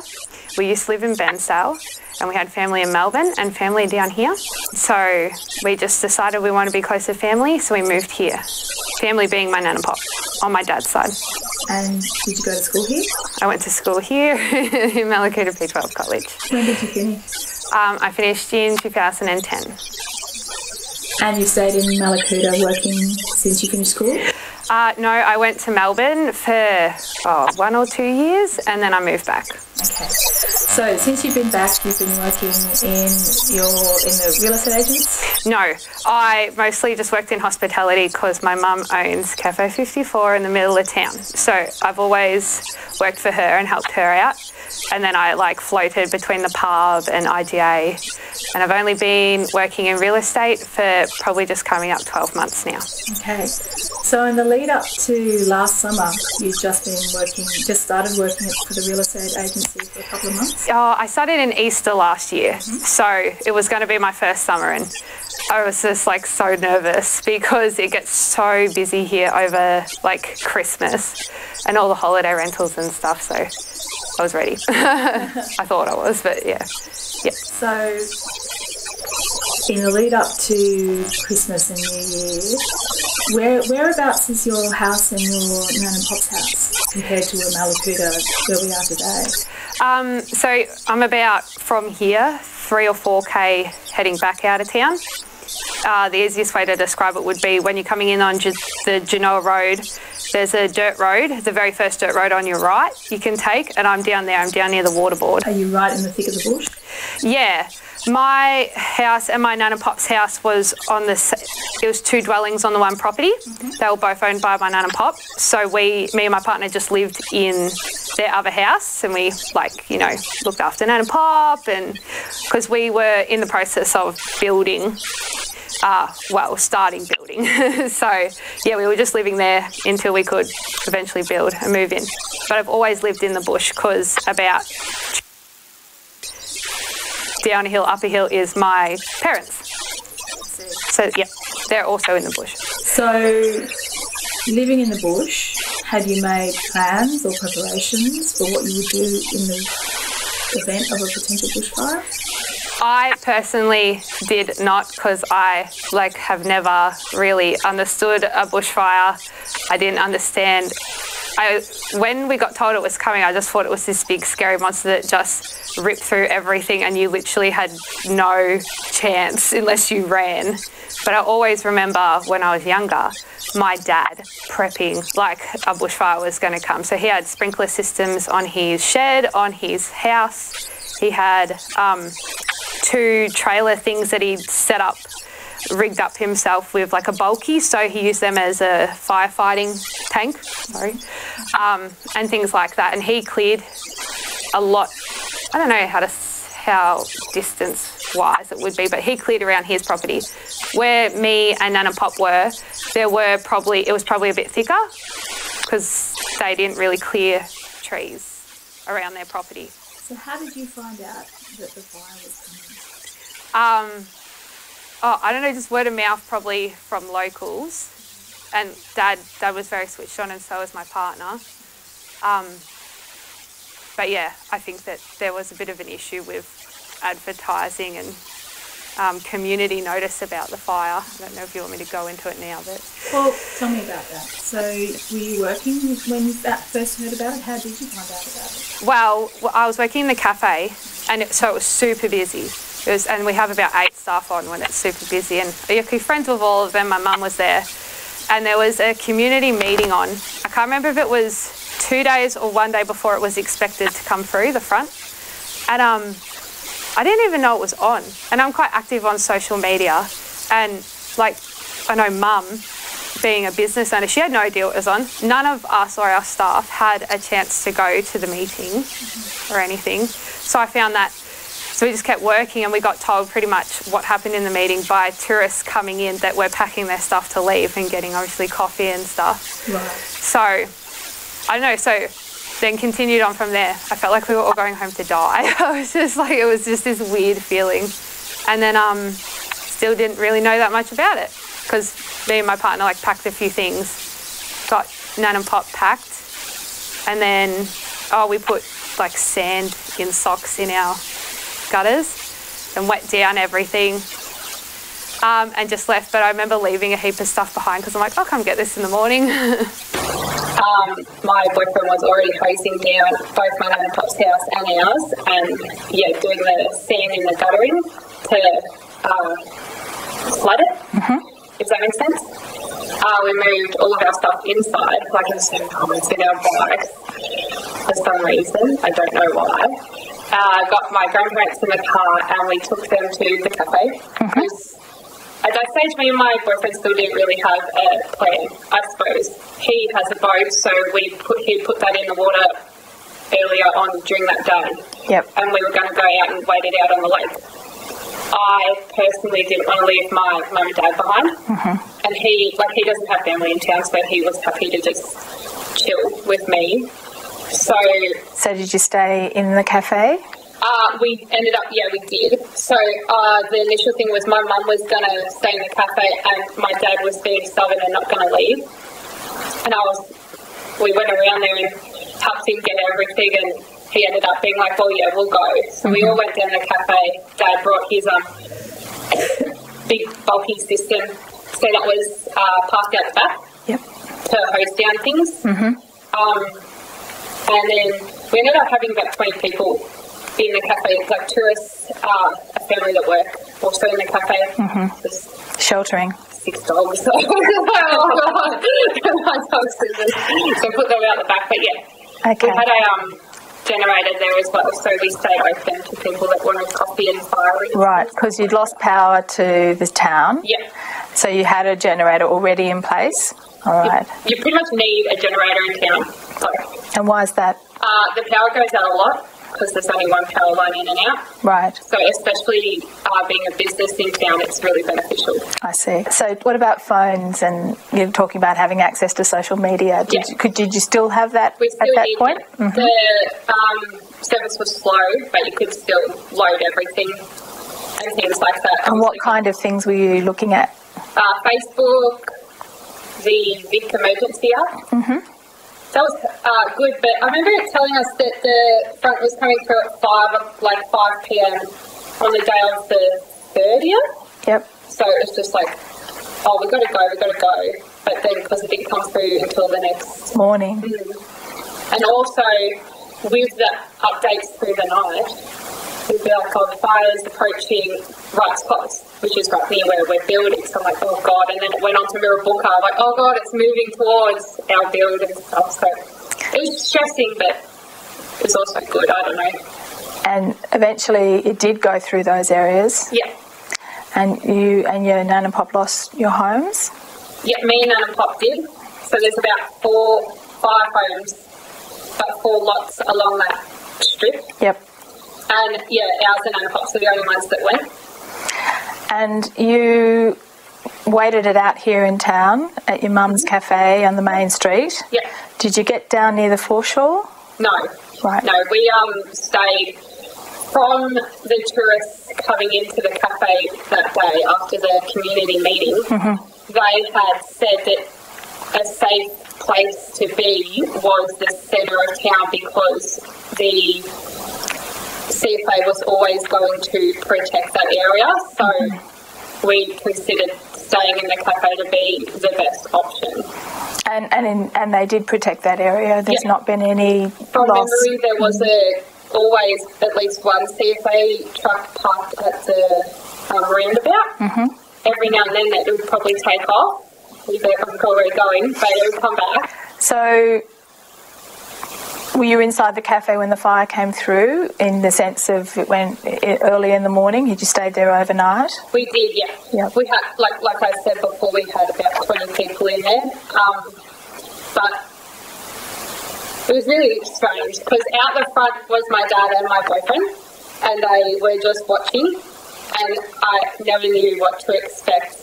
And I normally get really uh, anxious and stuff, but I was like going outside, and we had the bulky system at the back, and we were putting buckets everywhere in case a um, amber attack happened. Mm-hmm.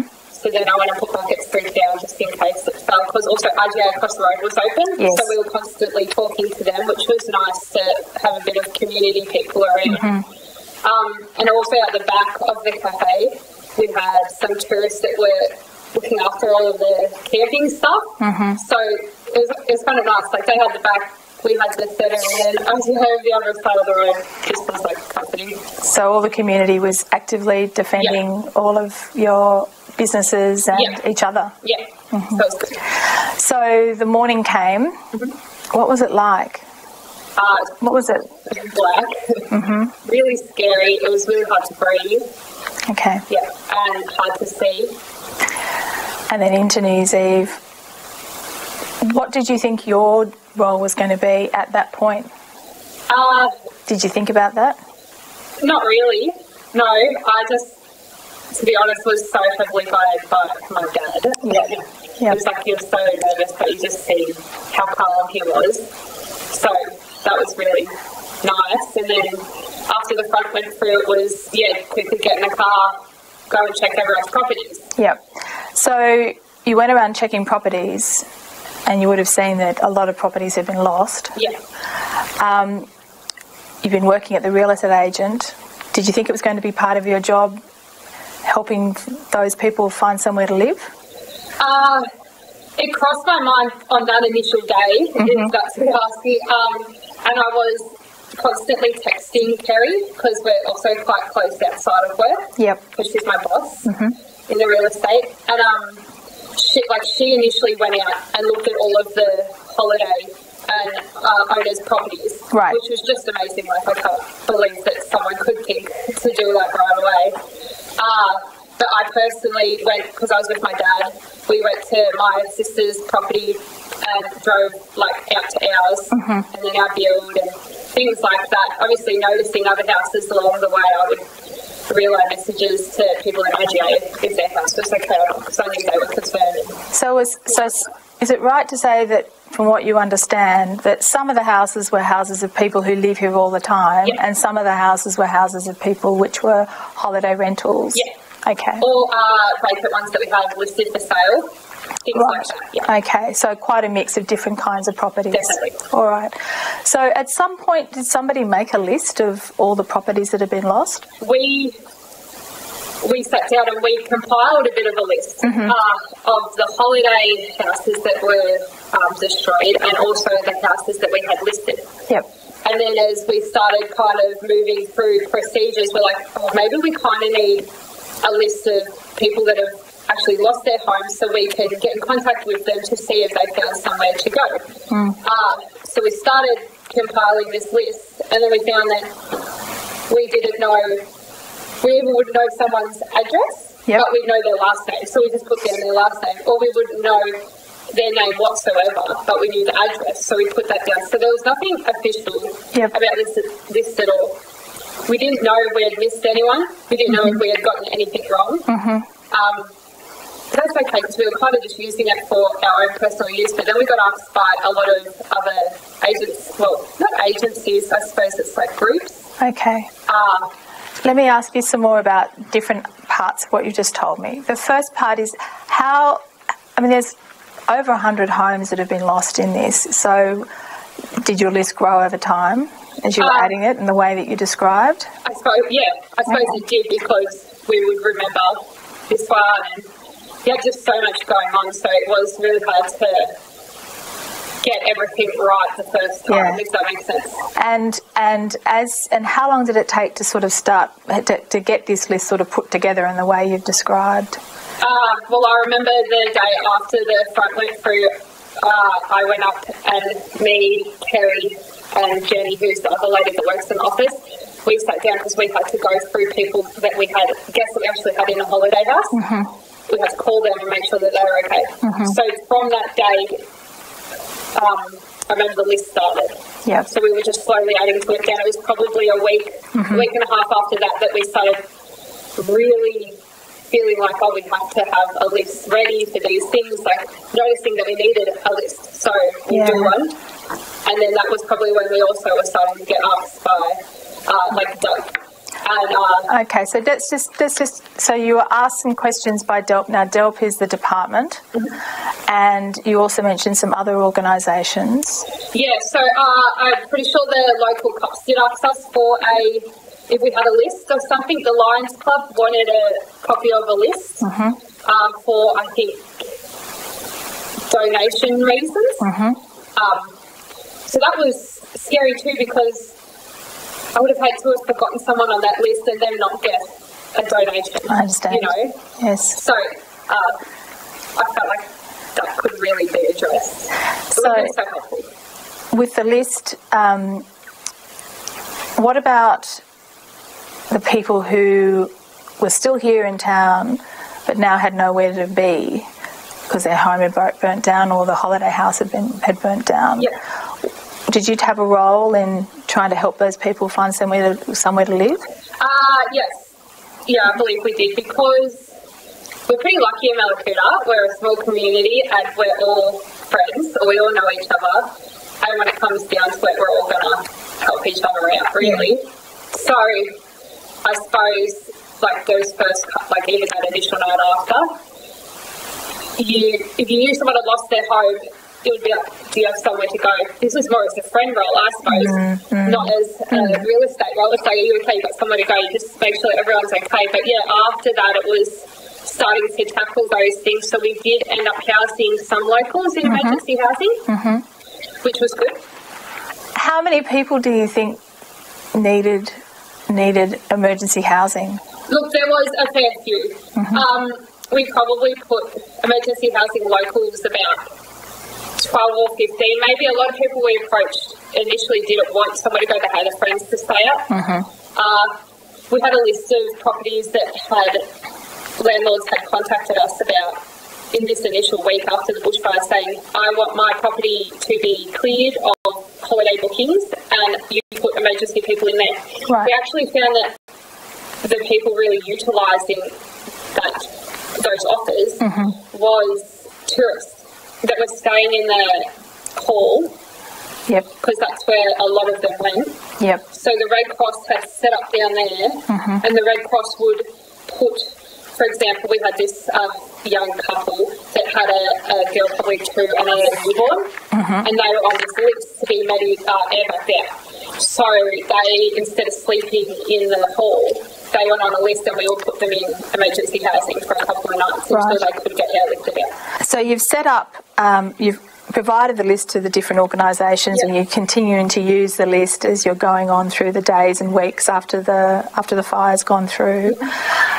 What about money to help people pay for rentals? So obviously some were, were given rents in effect for free. It sounds like, or just have access to properties, but longer term. What kind of assistance was there for people who were left without with nowhere to live? Yeah, so we kind of have discovered a few little things that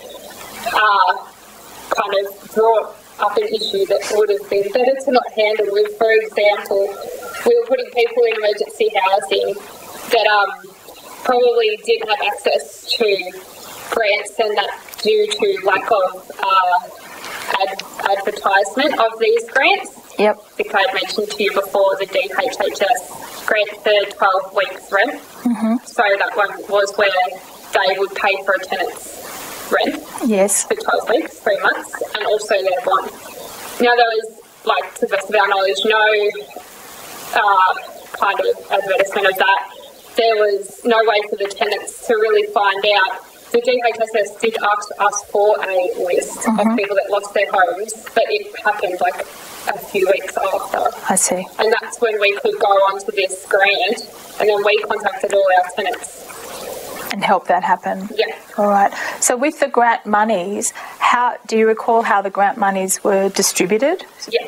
So in the case of that particular grant, um, it was the rent was paid into the tenant's account, Mm-hmm.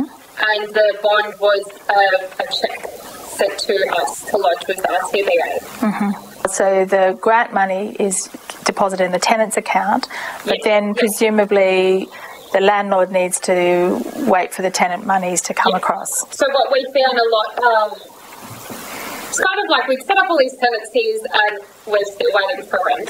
So it's like you're waiting, waiting, waiting, and these landlords, and some of them, we had to really, really not.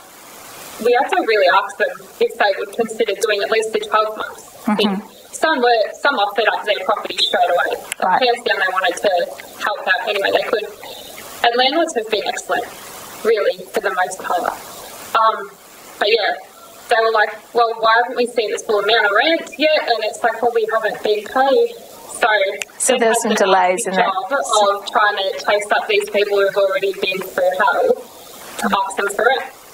So we decided to call the DHHS to see if they'd been paid the money because it was maybe a delay in them getting the grant, meaning Mhm. they couldn't afford it. That would make sense, but they had mostly been all paid this rental amount. Well, do you know why they were not paying? Uh, I don't think It it was was different for everybody. Yeah, it's different case to case, but I don't think that any of them purposely didn't pay it. I think that it was because the bank is was not really open at all, or very sporadically through the whole thing. Uh, a lot of them were pretty old school and banking checks, so that you know, um, a lot of them maybe more of the elderly tenants. They had no access to online banking. Mm-hmm. And there was this one tenant that I had to go around and help her set up a whole internet banking, and, and she still doesn't really understand. But it's yeah, it would be difficult. uh, And you didn't have power for a couple of weeks either. no, And you didn't have internet service. yeah, that was hard. I see. Yeah. So those those levels of complexity and and and um, difficult Yeah, for everyone to manage. we were pretty lucky. All the tenants that we had previously rented to before the bushfire, they yeah, kept paying their rent there. We are lucky. It's a small town, so you know everyone, and yeah, you just kind of everyone's pretty good. Were there any troubles uh, getting everybody into a property, or were, was there any problems with um, particular groups of tenants uh, finding it harder to find places to stay? Yes, definitely. We found that we had a lot of trouble housing single middle-aged men. for some reason, there's just this stigma, and I don't know why, uh, that they're not good tenants. Okay. We are, we still are having trouble. Okay. Yeah. Um, But does that mean they're homeless? uh, no, not really. In particular, we have this one gentleman who has to be out of his property, and we have nowhere to put him. I see. So it's not that he's homeless; it's just that he has to be out. We don't have anywhere to offer him. I see. So, um, has so has it ultimately meant that it's just taken longer to place those people, or those men, or they've Uh, gone elsewhere? It's taken longer, hmm definitely. Um, and it is harder because some landlords just think that they're not good tenants. hmm even though you can provide evidence that they are in fact great tenants from a real estate, like from an agency point of view. And then it was also quite like maybe if the house that we had available was a four bedroom house Right. and they can't afford the rent there, Mm. like then I know there was talk. There was there was this talk of these portables being brought in for people like that, for single people or uh, maybe a small couple or something like that. Mm-hmm. Um, but the portables were saying like 15 squares, like they were tiny, which Right. is perfect, I suppose, when you do have nowhere to go. But it can be pretty down and depressing being somewhere Mhm. that small.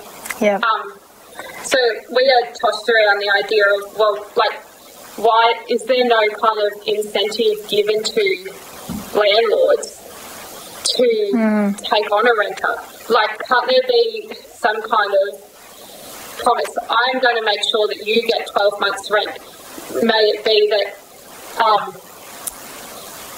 some kind of organisation matches the like to if your rent was two twenty a week, Like maybe they add on it, yeah, oh that's half or whatever, so that your the landlord is guaranteed to have that continuing rent, and maybe it means any damage damages done will be rectified straight away.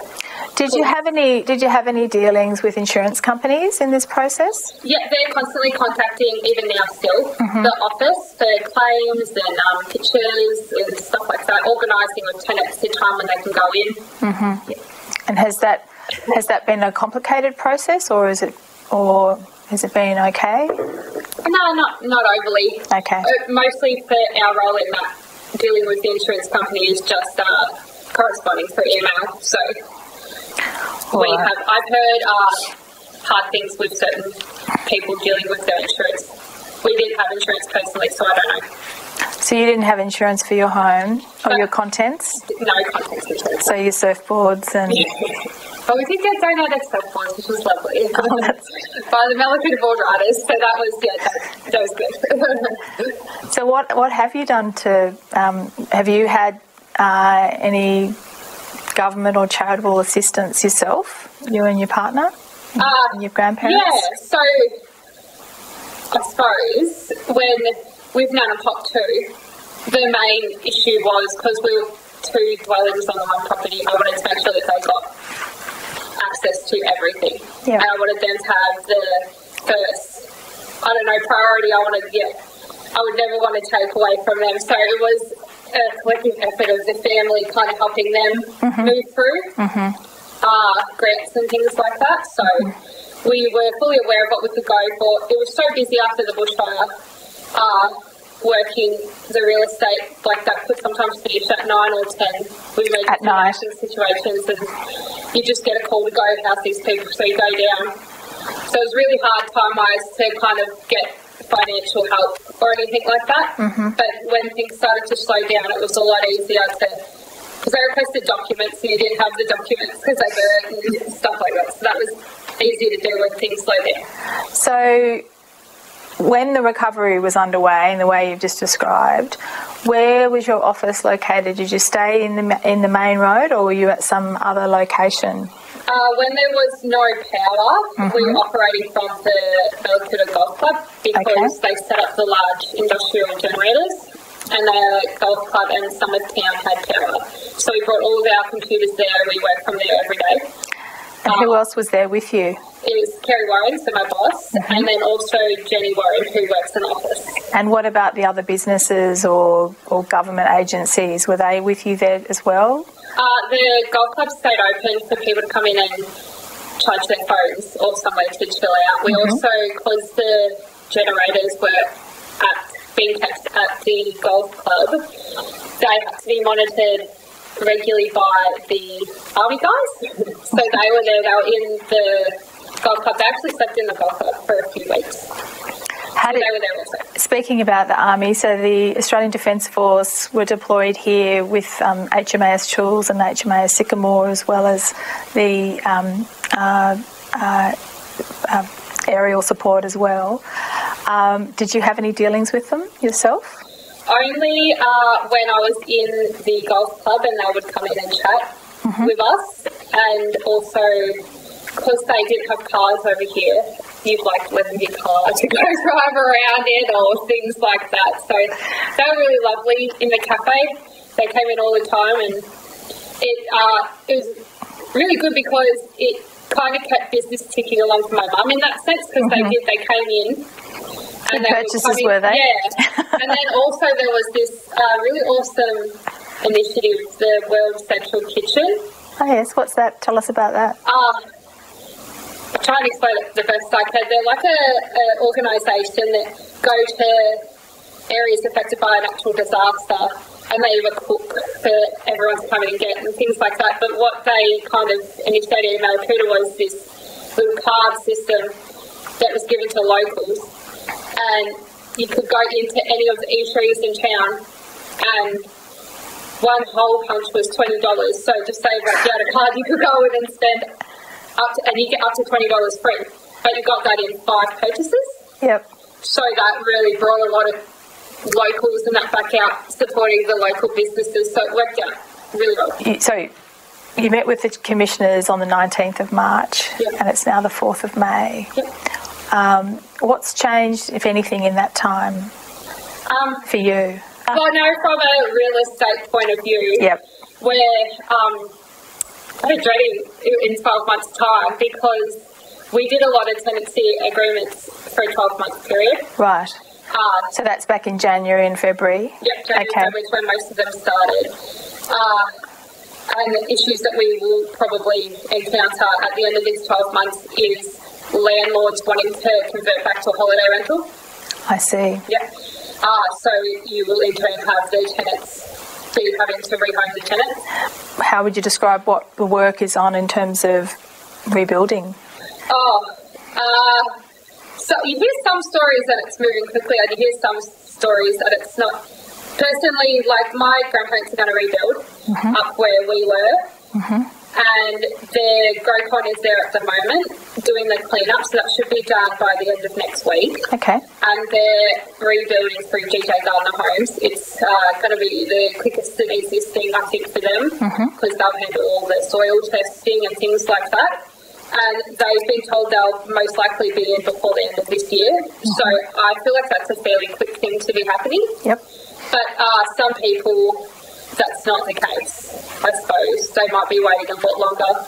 So there's a possibility that in January, February next year, landlords wanting to move back to holiday rentals, hoping we're past both bushfires and COVID 19 season. Yeah. Uh, but there may be a lot of people left without Yeah, we might be places to stay, and you'll be doing what you had to do beginning of the year potentially again. With no homes. Has there, are you aware of any planning going on, any department planning or any communications with the recovery agency about how to tackle that issue? But I've heard that the councillors are letting people live on their blocks Mm-hmm. in a like a shed or a dwelling, so that's like we're In like temporary accommodation? Yeah, I so see. I got a call from uh, Windermere. I don't know if you've heard of the Windermere organisation. Mhm. They're kind of are like agents for people who have lost their homes or been bushfire affected, and they will help you find grants or they'll just help you through certain processes. Mm-hmm. And they called and offered me and my partner a portable to put on our block. But we like we're one of the lucky ones that have I to live in. Um, so that's something I suppose. Is an agency like that, do you think, a, a, a helpful um, Definitely, yeah. They were. They also were uh, initially assigned to the property being my grandparents. Mm-hmm. My grandparents like are lucky because they've got my dad and like me and my sister do. ooh, we would do everything for them that Windermere would do for people, and I feel for people that don't have the support of their family. I think that me have done really well. Okay. Yeah. And there are a lot of charitable organisations that were in helping in the immediate aftermath of the fires and the relief and then longer into the recovery effort. How do you, either just from your observation or talking with all the friends you've got here in town, how do you, how did they deal with the all these charities that have, that have come to help? Um, some people are more willing to accept help than others. Mhm. So there's that. Um, can I be honest with you? I went to one organisation with my grandparents, and they were so uh, keen to make an emotional connection with them that they made them cry. Like it was really overwhelming and overbearing, and it was just so inappropriate. I felt. Some organisations have been great, like just took a step back, really understanding that the last thing you want is someone to be in your face, and they've been really helpful, but some were just trying to counsel you. And I think that, um, like the access to counselling and services like that that are available after this sort of thing is like pretty expansive. Like Mhm. you have every opportunity to go see someone if you want to. Yep. And I feel like that's a good thing, but not for it to be literally forced upon you I see. I all the time. And it was, I would, you go somewhere and someone would be like, do you want to speak to a counsellor? I'm like, no, please, I'm just so fine. I've got it all sorted. And they'd be like, what about in three months? And I was like, I don't know how I'm going to feel in three months. Can you get away from me? Yeah, it's just really overbearing and uncomfortable. So you've already mentioned a, a whole lot of a lot of things, but looking back, are there any other things that you think maybe um, was important to try to fix or try to do better next time? Do you know what would be kind of, I don't know, if you look into it, but maybe a, um, not a group, maybe making like a paid position or two paid positions because the position would involve ongoing training in how to react in ways that would help your particular community prior, during, and post natural disaster. So, obviously, bushfire would be one for here because we're a bushfire prone area. Mm. But So like a nothing that got community person from the community Yes. Who's trained to deal Yeah. and liaise with your Yeah. community. I see. Because, like, for example, at the last forum, it was brought up that a lot of, uh, I suppose, at risk people, like maybe elderly, um, dementia, Yeah. things like that, uh, it was brought up that they were maybe left in their home or things like that. No one really, and I don't know if it's true or not because obviously I don't have anything to do with it, but this was what was said was that they were left in their home. Like, the, this paid position or this role could be like they actually have a list there of uh, people at risk so that if anything like a flood, a bushfire happens, they can then delegate out to the correct uh, officers or departments to go and do that. You know, it's just So that would help the of- recovery because you'd be better prepared Yeah. in advance. and just they would kind of through extensive training, I suppose, develop these procedures that would help things run more smoothly. Because it sounds a lot like you did that, untrained, but making the best of it. I have no idea what I was doing. I tried my hardest. Uh, yeah, well, I suppose, yeah. Everyone did really well. It's just, it's always like hindsight, hey? I think that also a lot of things, and I also don't know because I wasn't there. I was in the cafe, obviously, but I've had friends that stayed on Terra Nova Drive Yep. to fight the fire, and they had said that uh, the the CFA were told not to defend past this point. hmm So you had a lot of locals that were defending It themselves. yeah. Right. and to my understanding, they were getting uh, instructions from an organisation of like out of Mallacoota. So I feel that maybe giving a bit more power to locals or, you know, something like that, it, it could have been more beneficial, I think. And where do you think, where do you hope Mallacoota will be this time next year? Um, How do you think the community would best be placed? Uh, well, I hope that we hope the COVID nineteen stuff is over too. But I don't know. I feel like right before the regulations got brought in, it really felt like things were going back to normal a little bit. Uh, everyone was starting to go back to work. Um, it was starting to just feel a bit more normal. So I hope that we can get back there. I hope that I'm seeing a lot of people rebuild and be in their homes. That would be lovely. Uh, I hope to not see locals internally fighting because everyone's quite verbal on their opinion of what should be cleared and not.